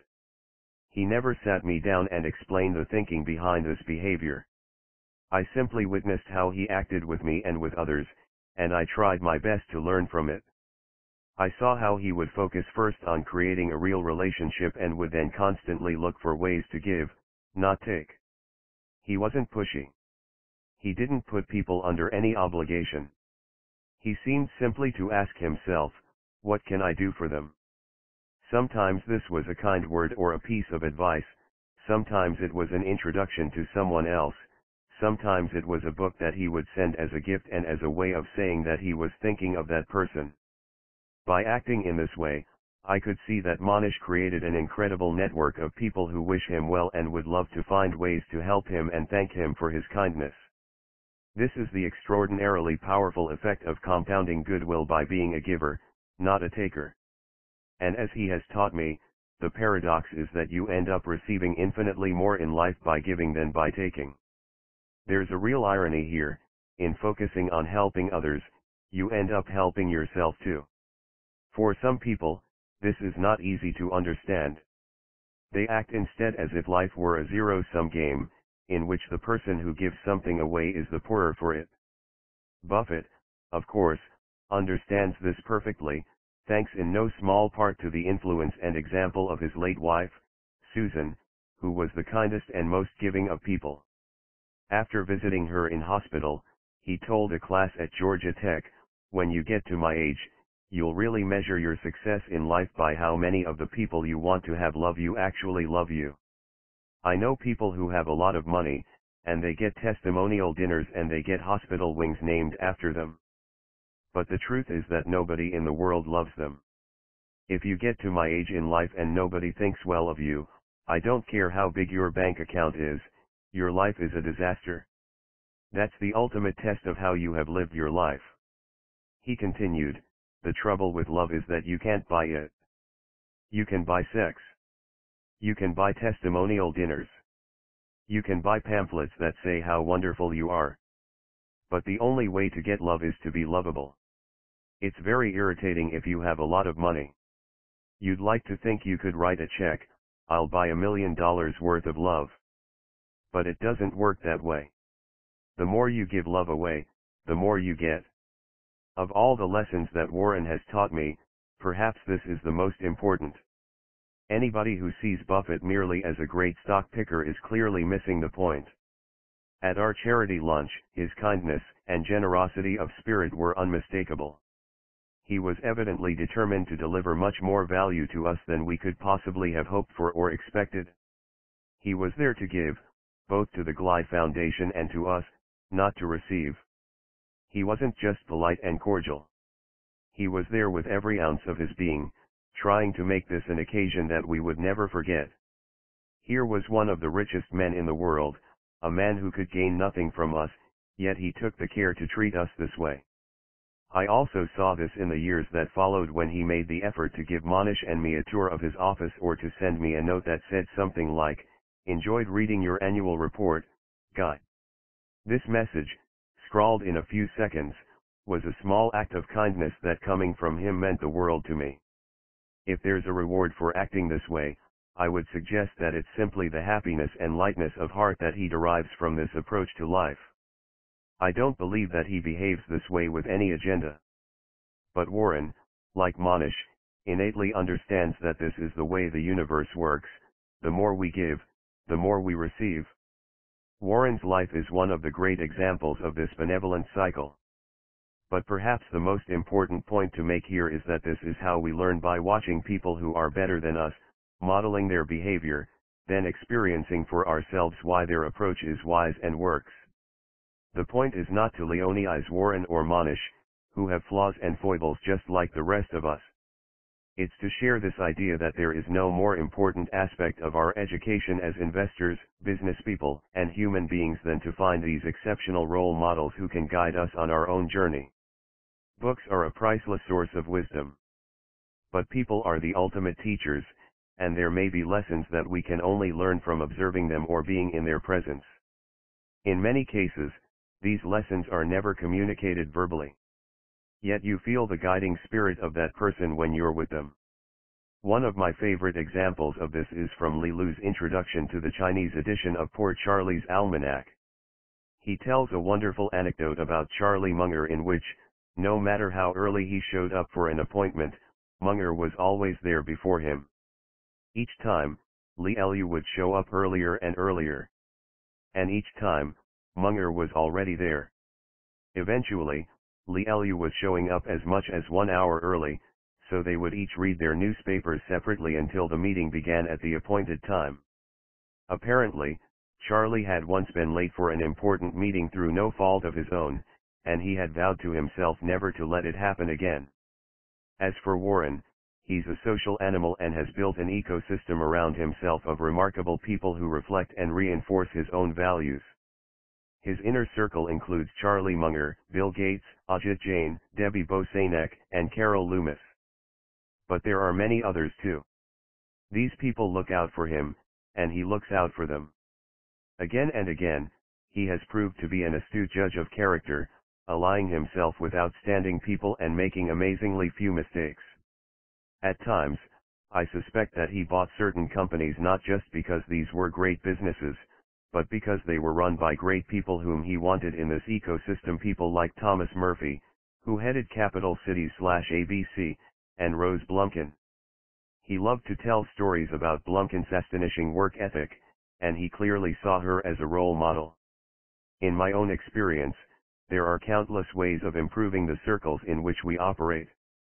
Some of these are so obvious that it's tempting not to mention them at all. But these simple, practical steps have made such a difference to my life that I'll briskly mention some of them, even at the risk of sounding trite.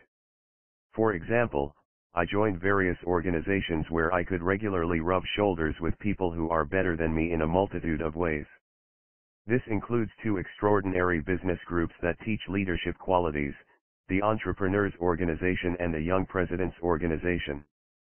I also joined Toastmasters, which teaches leadership through public speaking. Likewise, I met with a wonderful assortment of value investors once a month at Manhattan's Kalba restaurant as part of a group organized by Shai Dardashti. Some of my most valuable business relationships grew out of these monthly lunches. Having seen how much it helps to be part of a group like this, I later teamed up with John Mihaljevic to create VALUEx as a place where like-minded people can develop their worldly wisdom, learn to be better investors, and become better people in the process. The goal is to build a community in which we can all have a positive influence on one another. After all, it's so much easier to stay on track when you have support instead of going it alone. For similar reasons, my family became members of the local Jewish community in Zurich. As Chris Takis had shown me, our peer group has a far-reaching influence on us so I figured that being a member of a religious community would increase the odds that we would elevate ourselves spiritually and morally as a family much as I figured that attending the annual meetings of Berkshire in Omaha and Wesco in Pasadena would elevate me as an investor.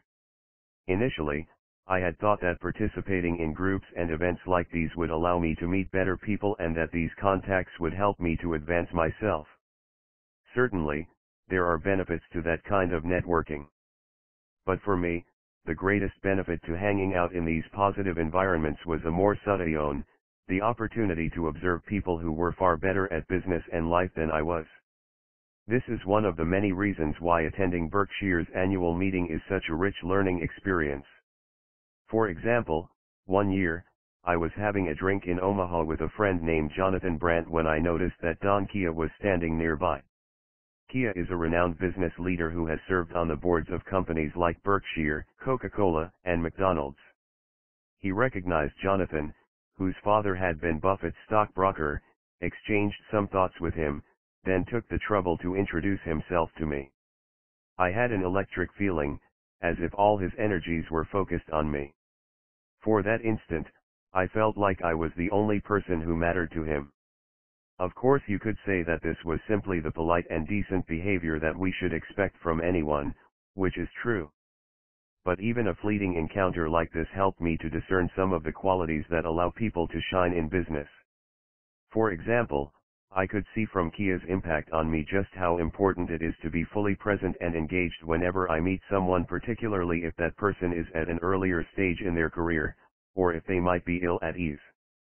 His example made me aspire to be better so that my own meetings with strangers might one day be similarly memorable and genuine. Likewise, I'm struck by how often and enthusiastically Buffett speaks to MBA students. It's a time in their lives when they are particularly open to new ideas. And if they haven't yet secured a post-MBA job, they might also feel a little vulnerable. So his generous spirit may mean all the more to them. There's a great lesson in this for me, if Warren can take the time to act like this with students, not to mention with investors like me, then I too need to act with real kindness toward the students I meet at business schools, and I should also respond encouragingly to every young graduate who sends me a resume. At our lunch, Mohnish asked Warren how he's managed to select the right people with whom to associate.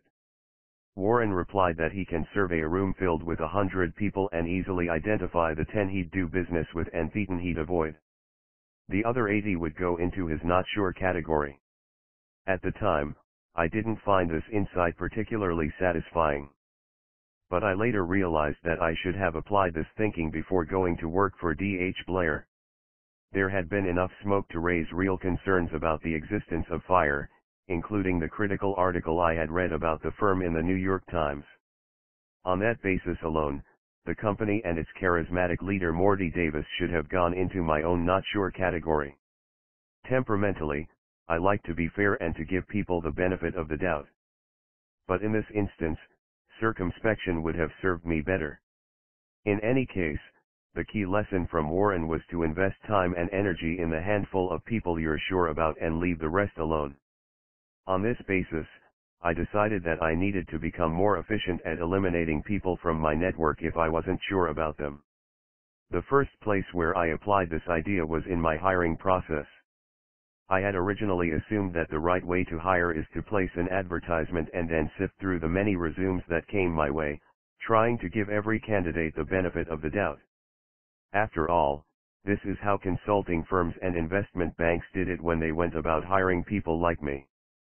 But one well-documented problem with this approach is that a high proportion of these job candidates have some attribute that makes them hard to employ while the best candidates get snapped up fast.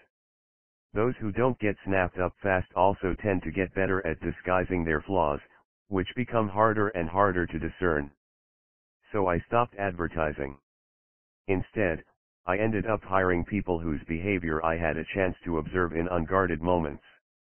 For example, I hired Dan Moore as an analyst after contacting him about a piece of equity research he had done. He wouldn't share it with me because I wasn't a client of his buy-side firm. The exemplary way that he handled this situation showed me the high quality of his ethics and his loyalty to his employer. This insight into his character was a key reason for my offering him a job.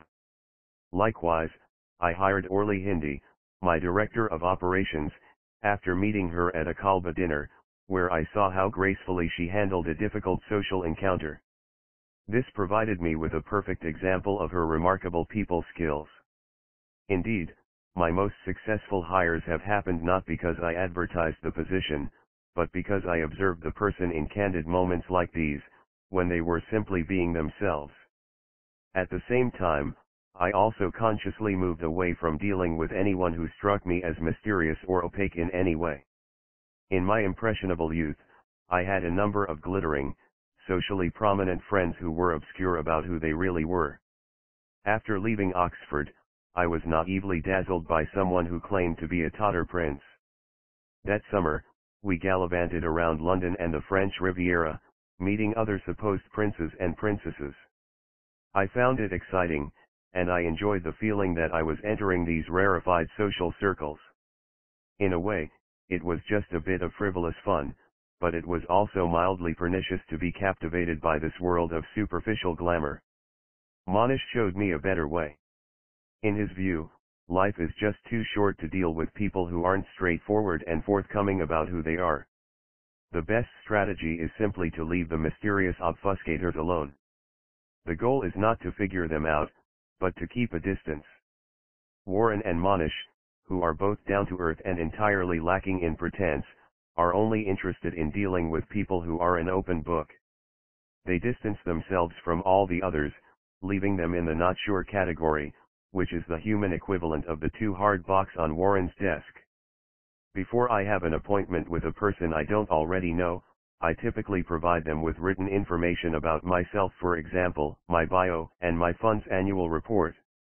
I want to make it as easy as possible for them to see where I'm coming from and to form an accurate impression of me. Likewise, I routinely ask them to send me some background material about themselves. If people are enigmatic or elusive in any way, I apply Buffett's not sure rule and decide against a closer relationship. By the same token, I hope they will see that I really am who I appear to be not a fake who deceives either himself or others. I want to be the same person on the inside as on the outside. In business, as in other areas of life, I would argue that we attract people who are similar to us, who reflect the level of our own consciousness. If I strive to be honest and decent, I'm more likely to bring into my life people who are honest and decent. This helps to explain why Buffett has drawn such remarkable people into his orbit, they provide a reflection of who he is. By observing Mohnish, I also learned another key lesson about how to behave, both in business and in other areas of life. I could see that he was never needy or demanding in the way that he dealt with people. There was no sense of entitlement or desire to encroach on their time. In the early days of our relationship, I'd call him in California and say apologetically, I hope you're not busy and that I'm not disturbing you. He'd reply, busy. On the contrary, I was just twiddling my thumbs. It wasn't true, but it was his way of making me feel that nothing was more important than my call. Indeed, on countless occasions, I've received emails in which he says, call if you're twiddling. Similarly, when we traveled to Omaha to meet Debbie Bosanek for lunch in 2010, he wrote to her, our schedule is very flexible. Feel free to suggest whatever is ideal for you. This isn't a question of being sycophantic or losing his own sense of self. On the contrary, Mohnish has a healthy ego. But I've repeatedly seen how careful he is not to impose himself on others or to ride roughshod over their interests. He wants to show up only where he's needed or wanted. He takes great care not to be a burden to anyone or to make them feel that they have any obligation to him. Watching him act like this had a profound impact on me because I could see so clearly that it was a great way to behave. I remember discussing with him a situation in which an investor wanted to sell his stake in my fund. My father initially suggested that I try to dissuade the person. But Mohnish told me, don't try to convince them. It's their money. If they want to take it out, let them do it no questions asked. The relationship with my investor might have been ending, but Mohnish helped me to see that there should be no guilt or recrimination and, above all, no sense of obligation.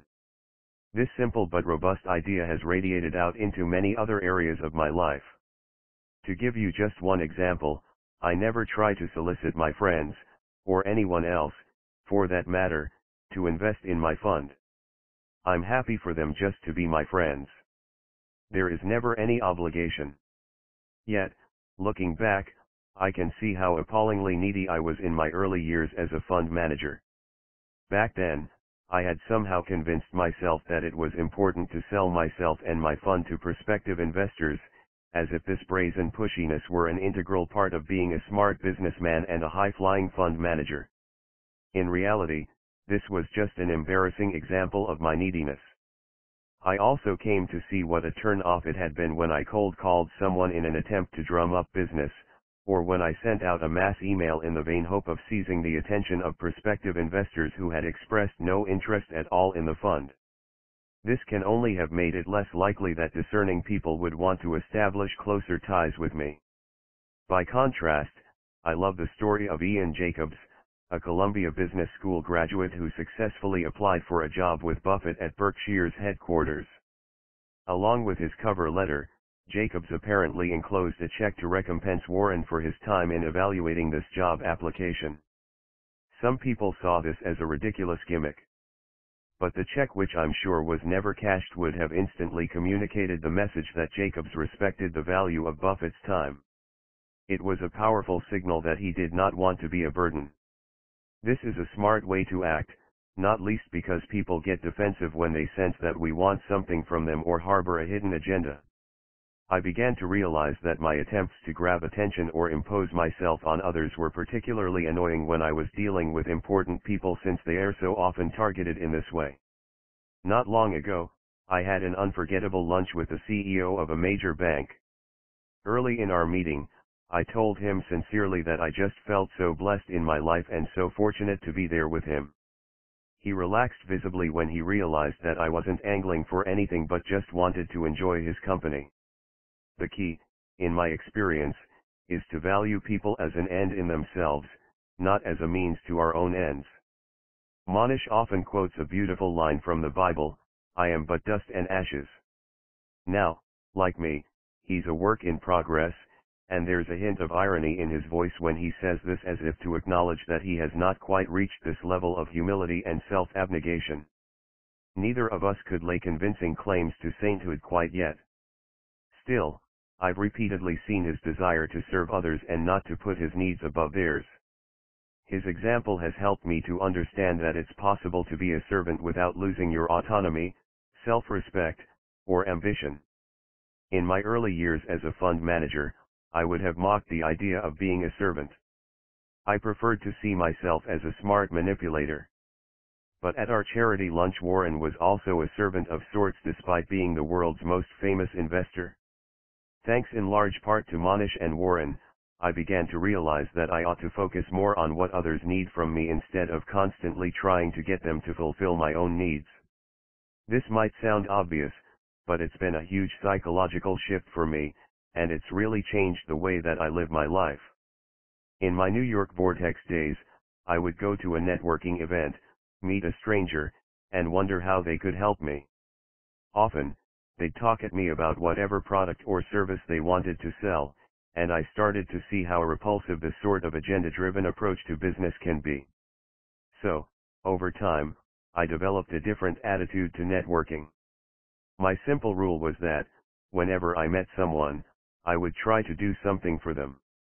It might simply be an introduction to someone else or even just a sincere compliment. What was intriguing to me was the way they reacted. In some cases, I sensed that they were saying to themselves, that's nice. I wonder what else this guy is going to do for me, or what else I can ask him for. In other cases, I could see that they wanted to help me too. These seemingly trivial interactions provided a barometer of whether people approached the world as givers or takers. At first, I attracted a high proportion of takers. For a while, I found myself getting ridiculously upset about it, wondering why they didn't understand that this was a lousy way to live. But by observing people closely, I gradually became a better judge of who was a giver and who was a taker, and I began to attract better people into my life. I hope this doesn't sound more calculated than it is.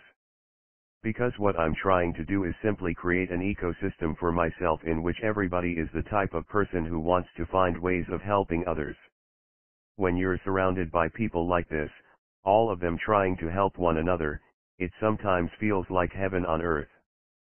People like Mohnish or John Mihaljevic, for example, are just gems always looking to help, to support, to share. These are the keepers. The people we want in our inner circle. The people we should fly across the world to see if they live abroad. And, of course, this is what I need to be for others.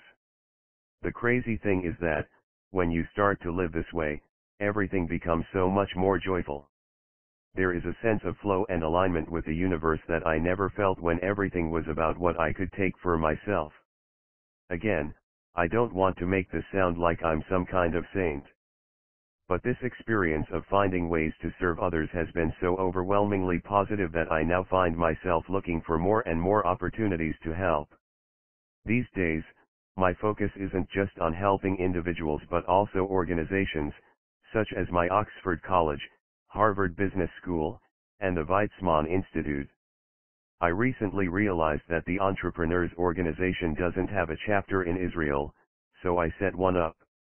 I also learned that there was no TEDx event in Zurich, so I co-founded one. I'm not telling you this to be self-congratulatory as there are countless people who do so much more good than I do. The point is simply that my life has improved immeasurably since I began to live this way. In truth, I've become increasingly addicted to the positive emotions awakened in me by these activities. I also love the deepening sense of connection that I've gained to so many great people and institutions. One thing is for sure, I receive way more by giving than I ever did by taking. So, paradoxically, my attempts at selflessness may actually be pretty selfish. Warren and Mohnish, who are two of the smartest guys on earth, clearly understand this.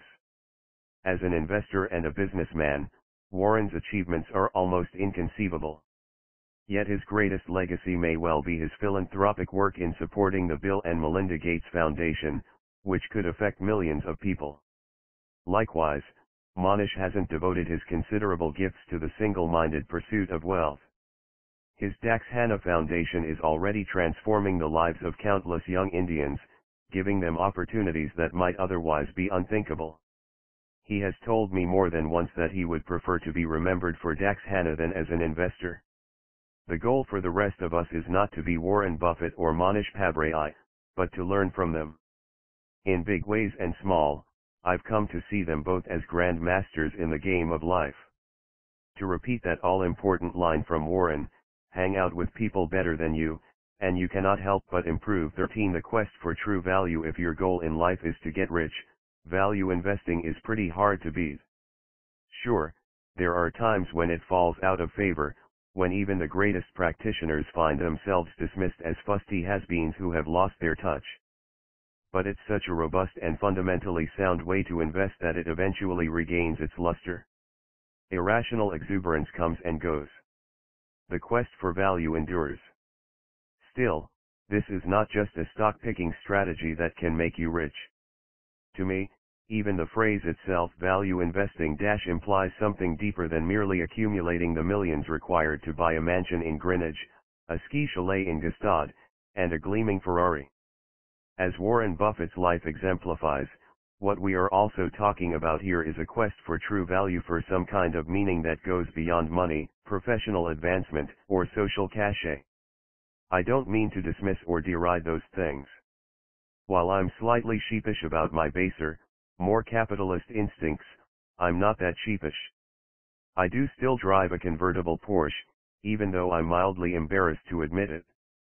And I'm so obsessed with my pursuit of the perfect cappuccino that I spent $6,000 on an exquisite La Marzocco coffee machine, which I imported from Florence. I try to justify these excesses by contemplating the image of Sir John Templeton who gave a fortune to charity driving a Rolls-Royce. Of course, even Buffett bought a private jet, which he self-mockingly named the Indefensible.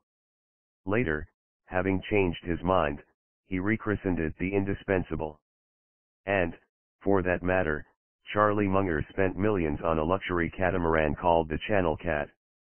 If stuff like this turns you on, then value investing is a great means to your self-indulgent ends. Enjoy. As I see it, this is the outer journey of the value investor the quest for wealth, physical comfort, and, for want of a better word, success. But it's important not to get so caught up in this meaningless chase that we forget what matters most the inner journey towards something less tangible yet more valuable.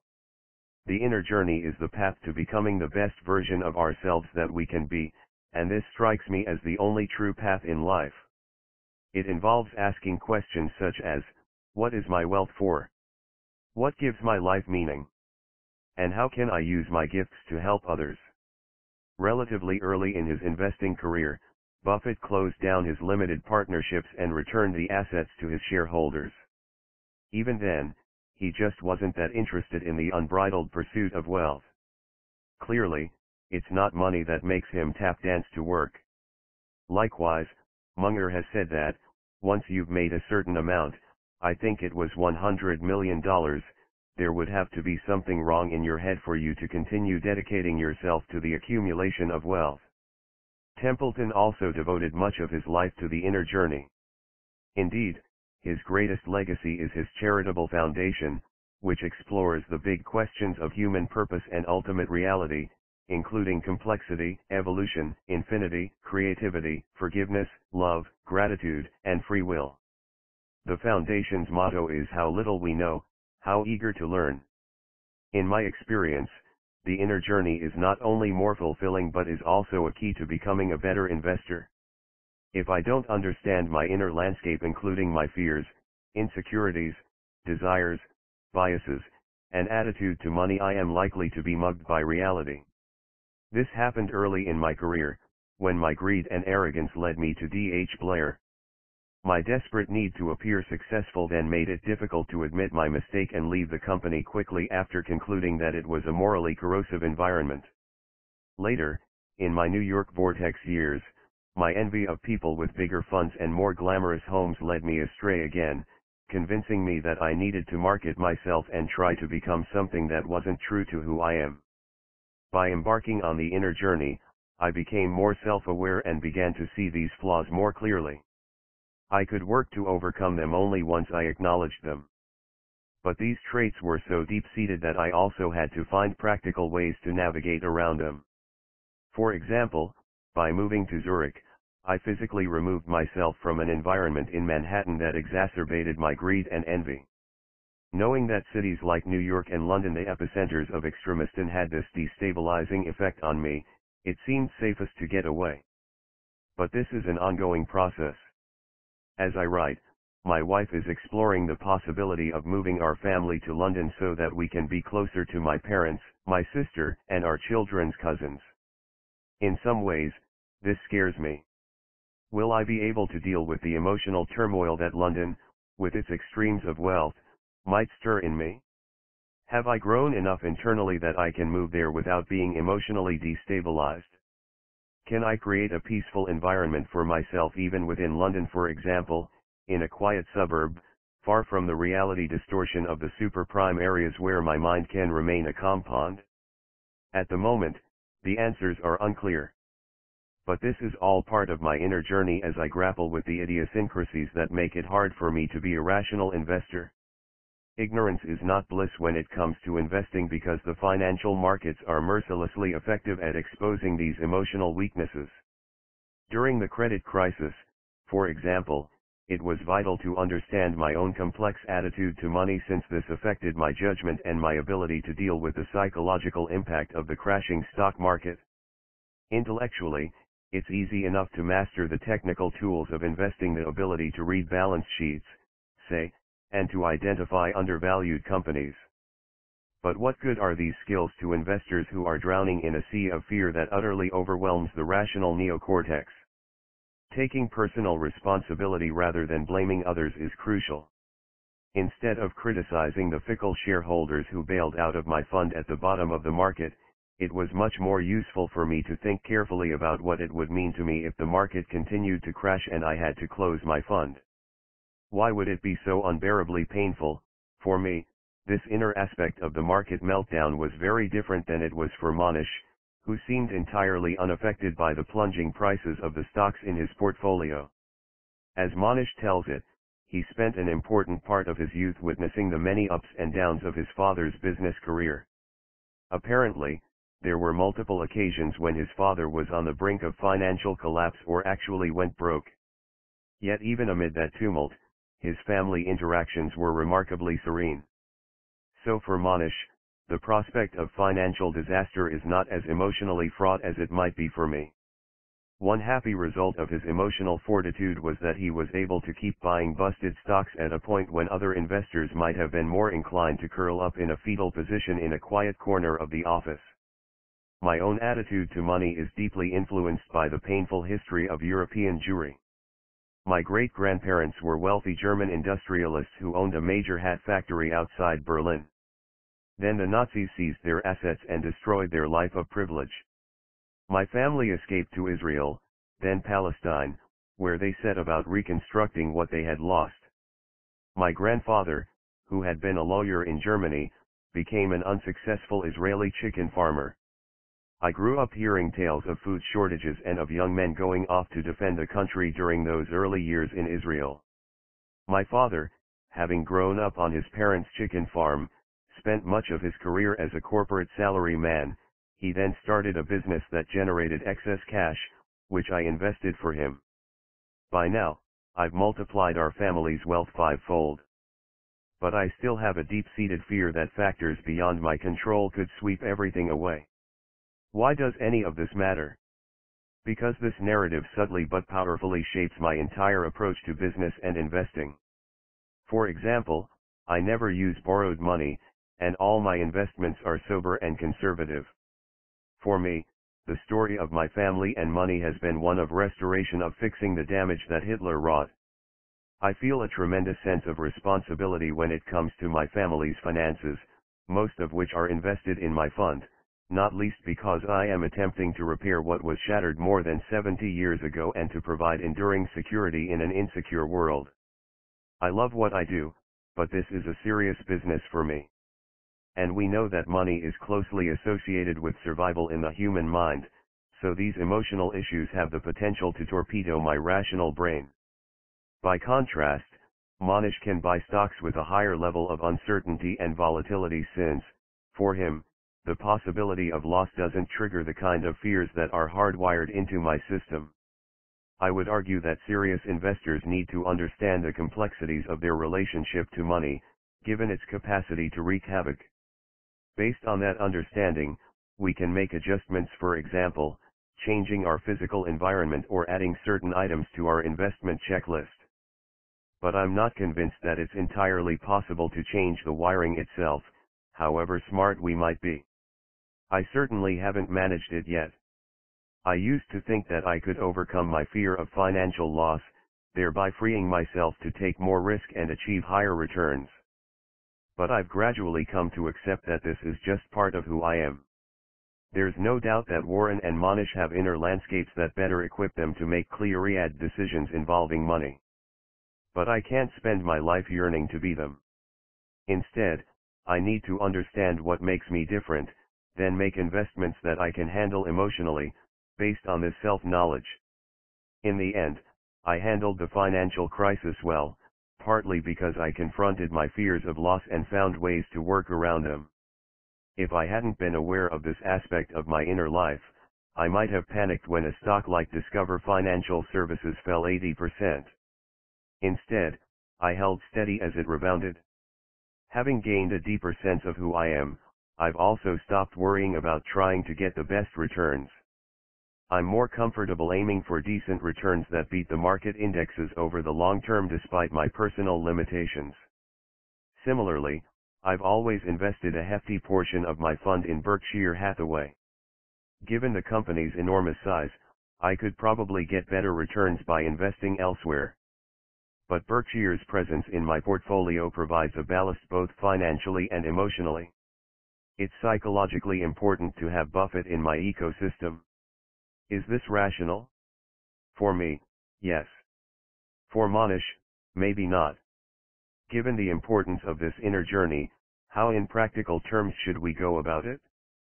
Personally, I've used countless tools to accelerate this process of inward growth, and I've found them all helpful, or interesting, at different stages of my life.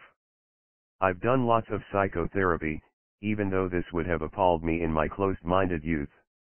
Among other things, I did seven years of Jungian therapy once a week, and I've dabbled in things like emotionally focused therapy, cognitive behavioral therapy, neurolinguistic programming, and even eye movement desensitization and reprocessing.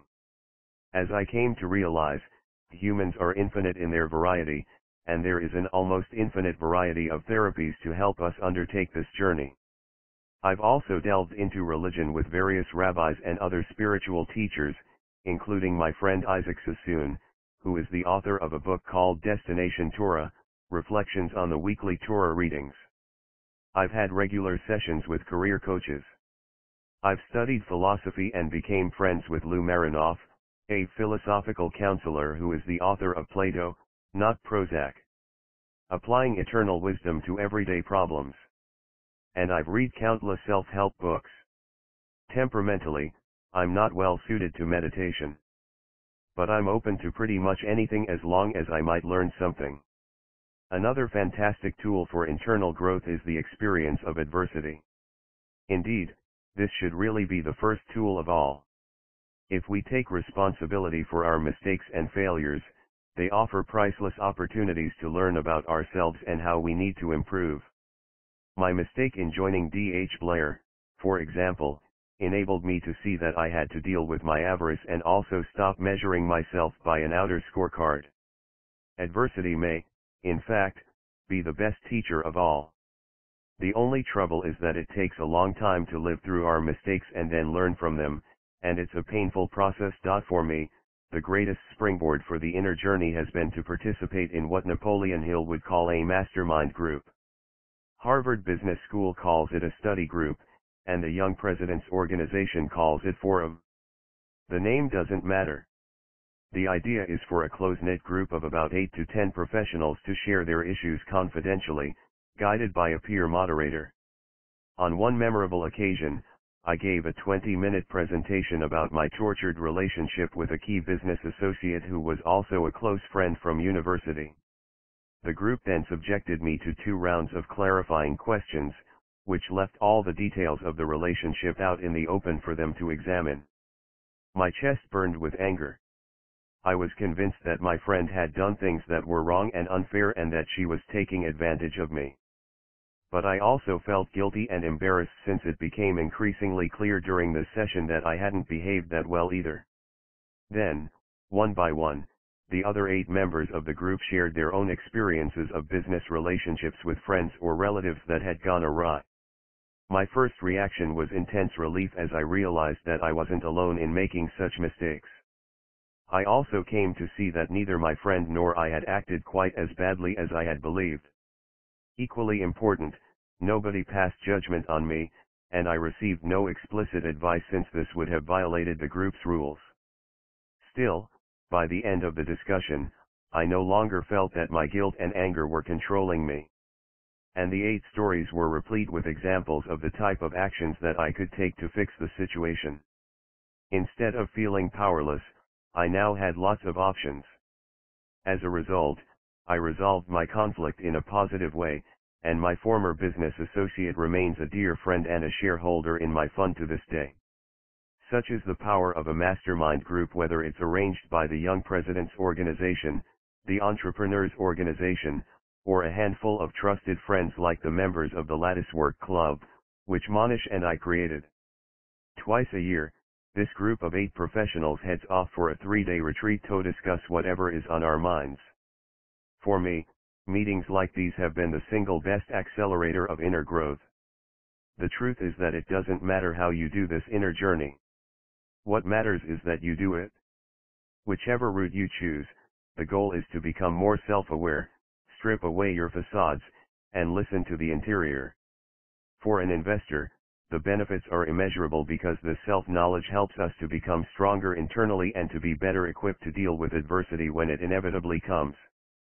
The stock market has an uncanny way of finding us out, of exposing weaknesses as diverse as arrogance, jealousy, fear, anger, self-doubt, greed, dishonesty, and the need for social approval. To achieve sustainable success, we need to confront our vulnerabilities, whatever they may be. Otherwise, we are building our success on a fragile structure that is ultimately liable to fall down. But the real reward of this inner transformation is not just enduring investment success. It's the gift of becoming the best person we can be. That, surely, is the ultimate prize.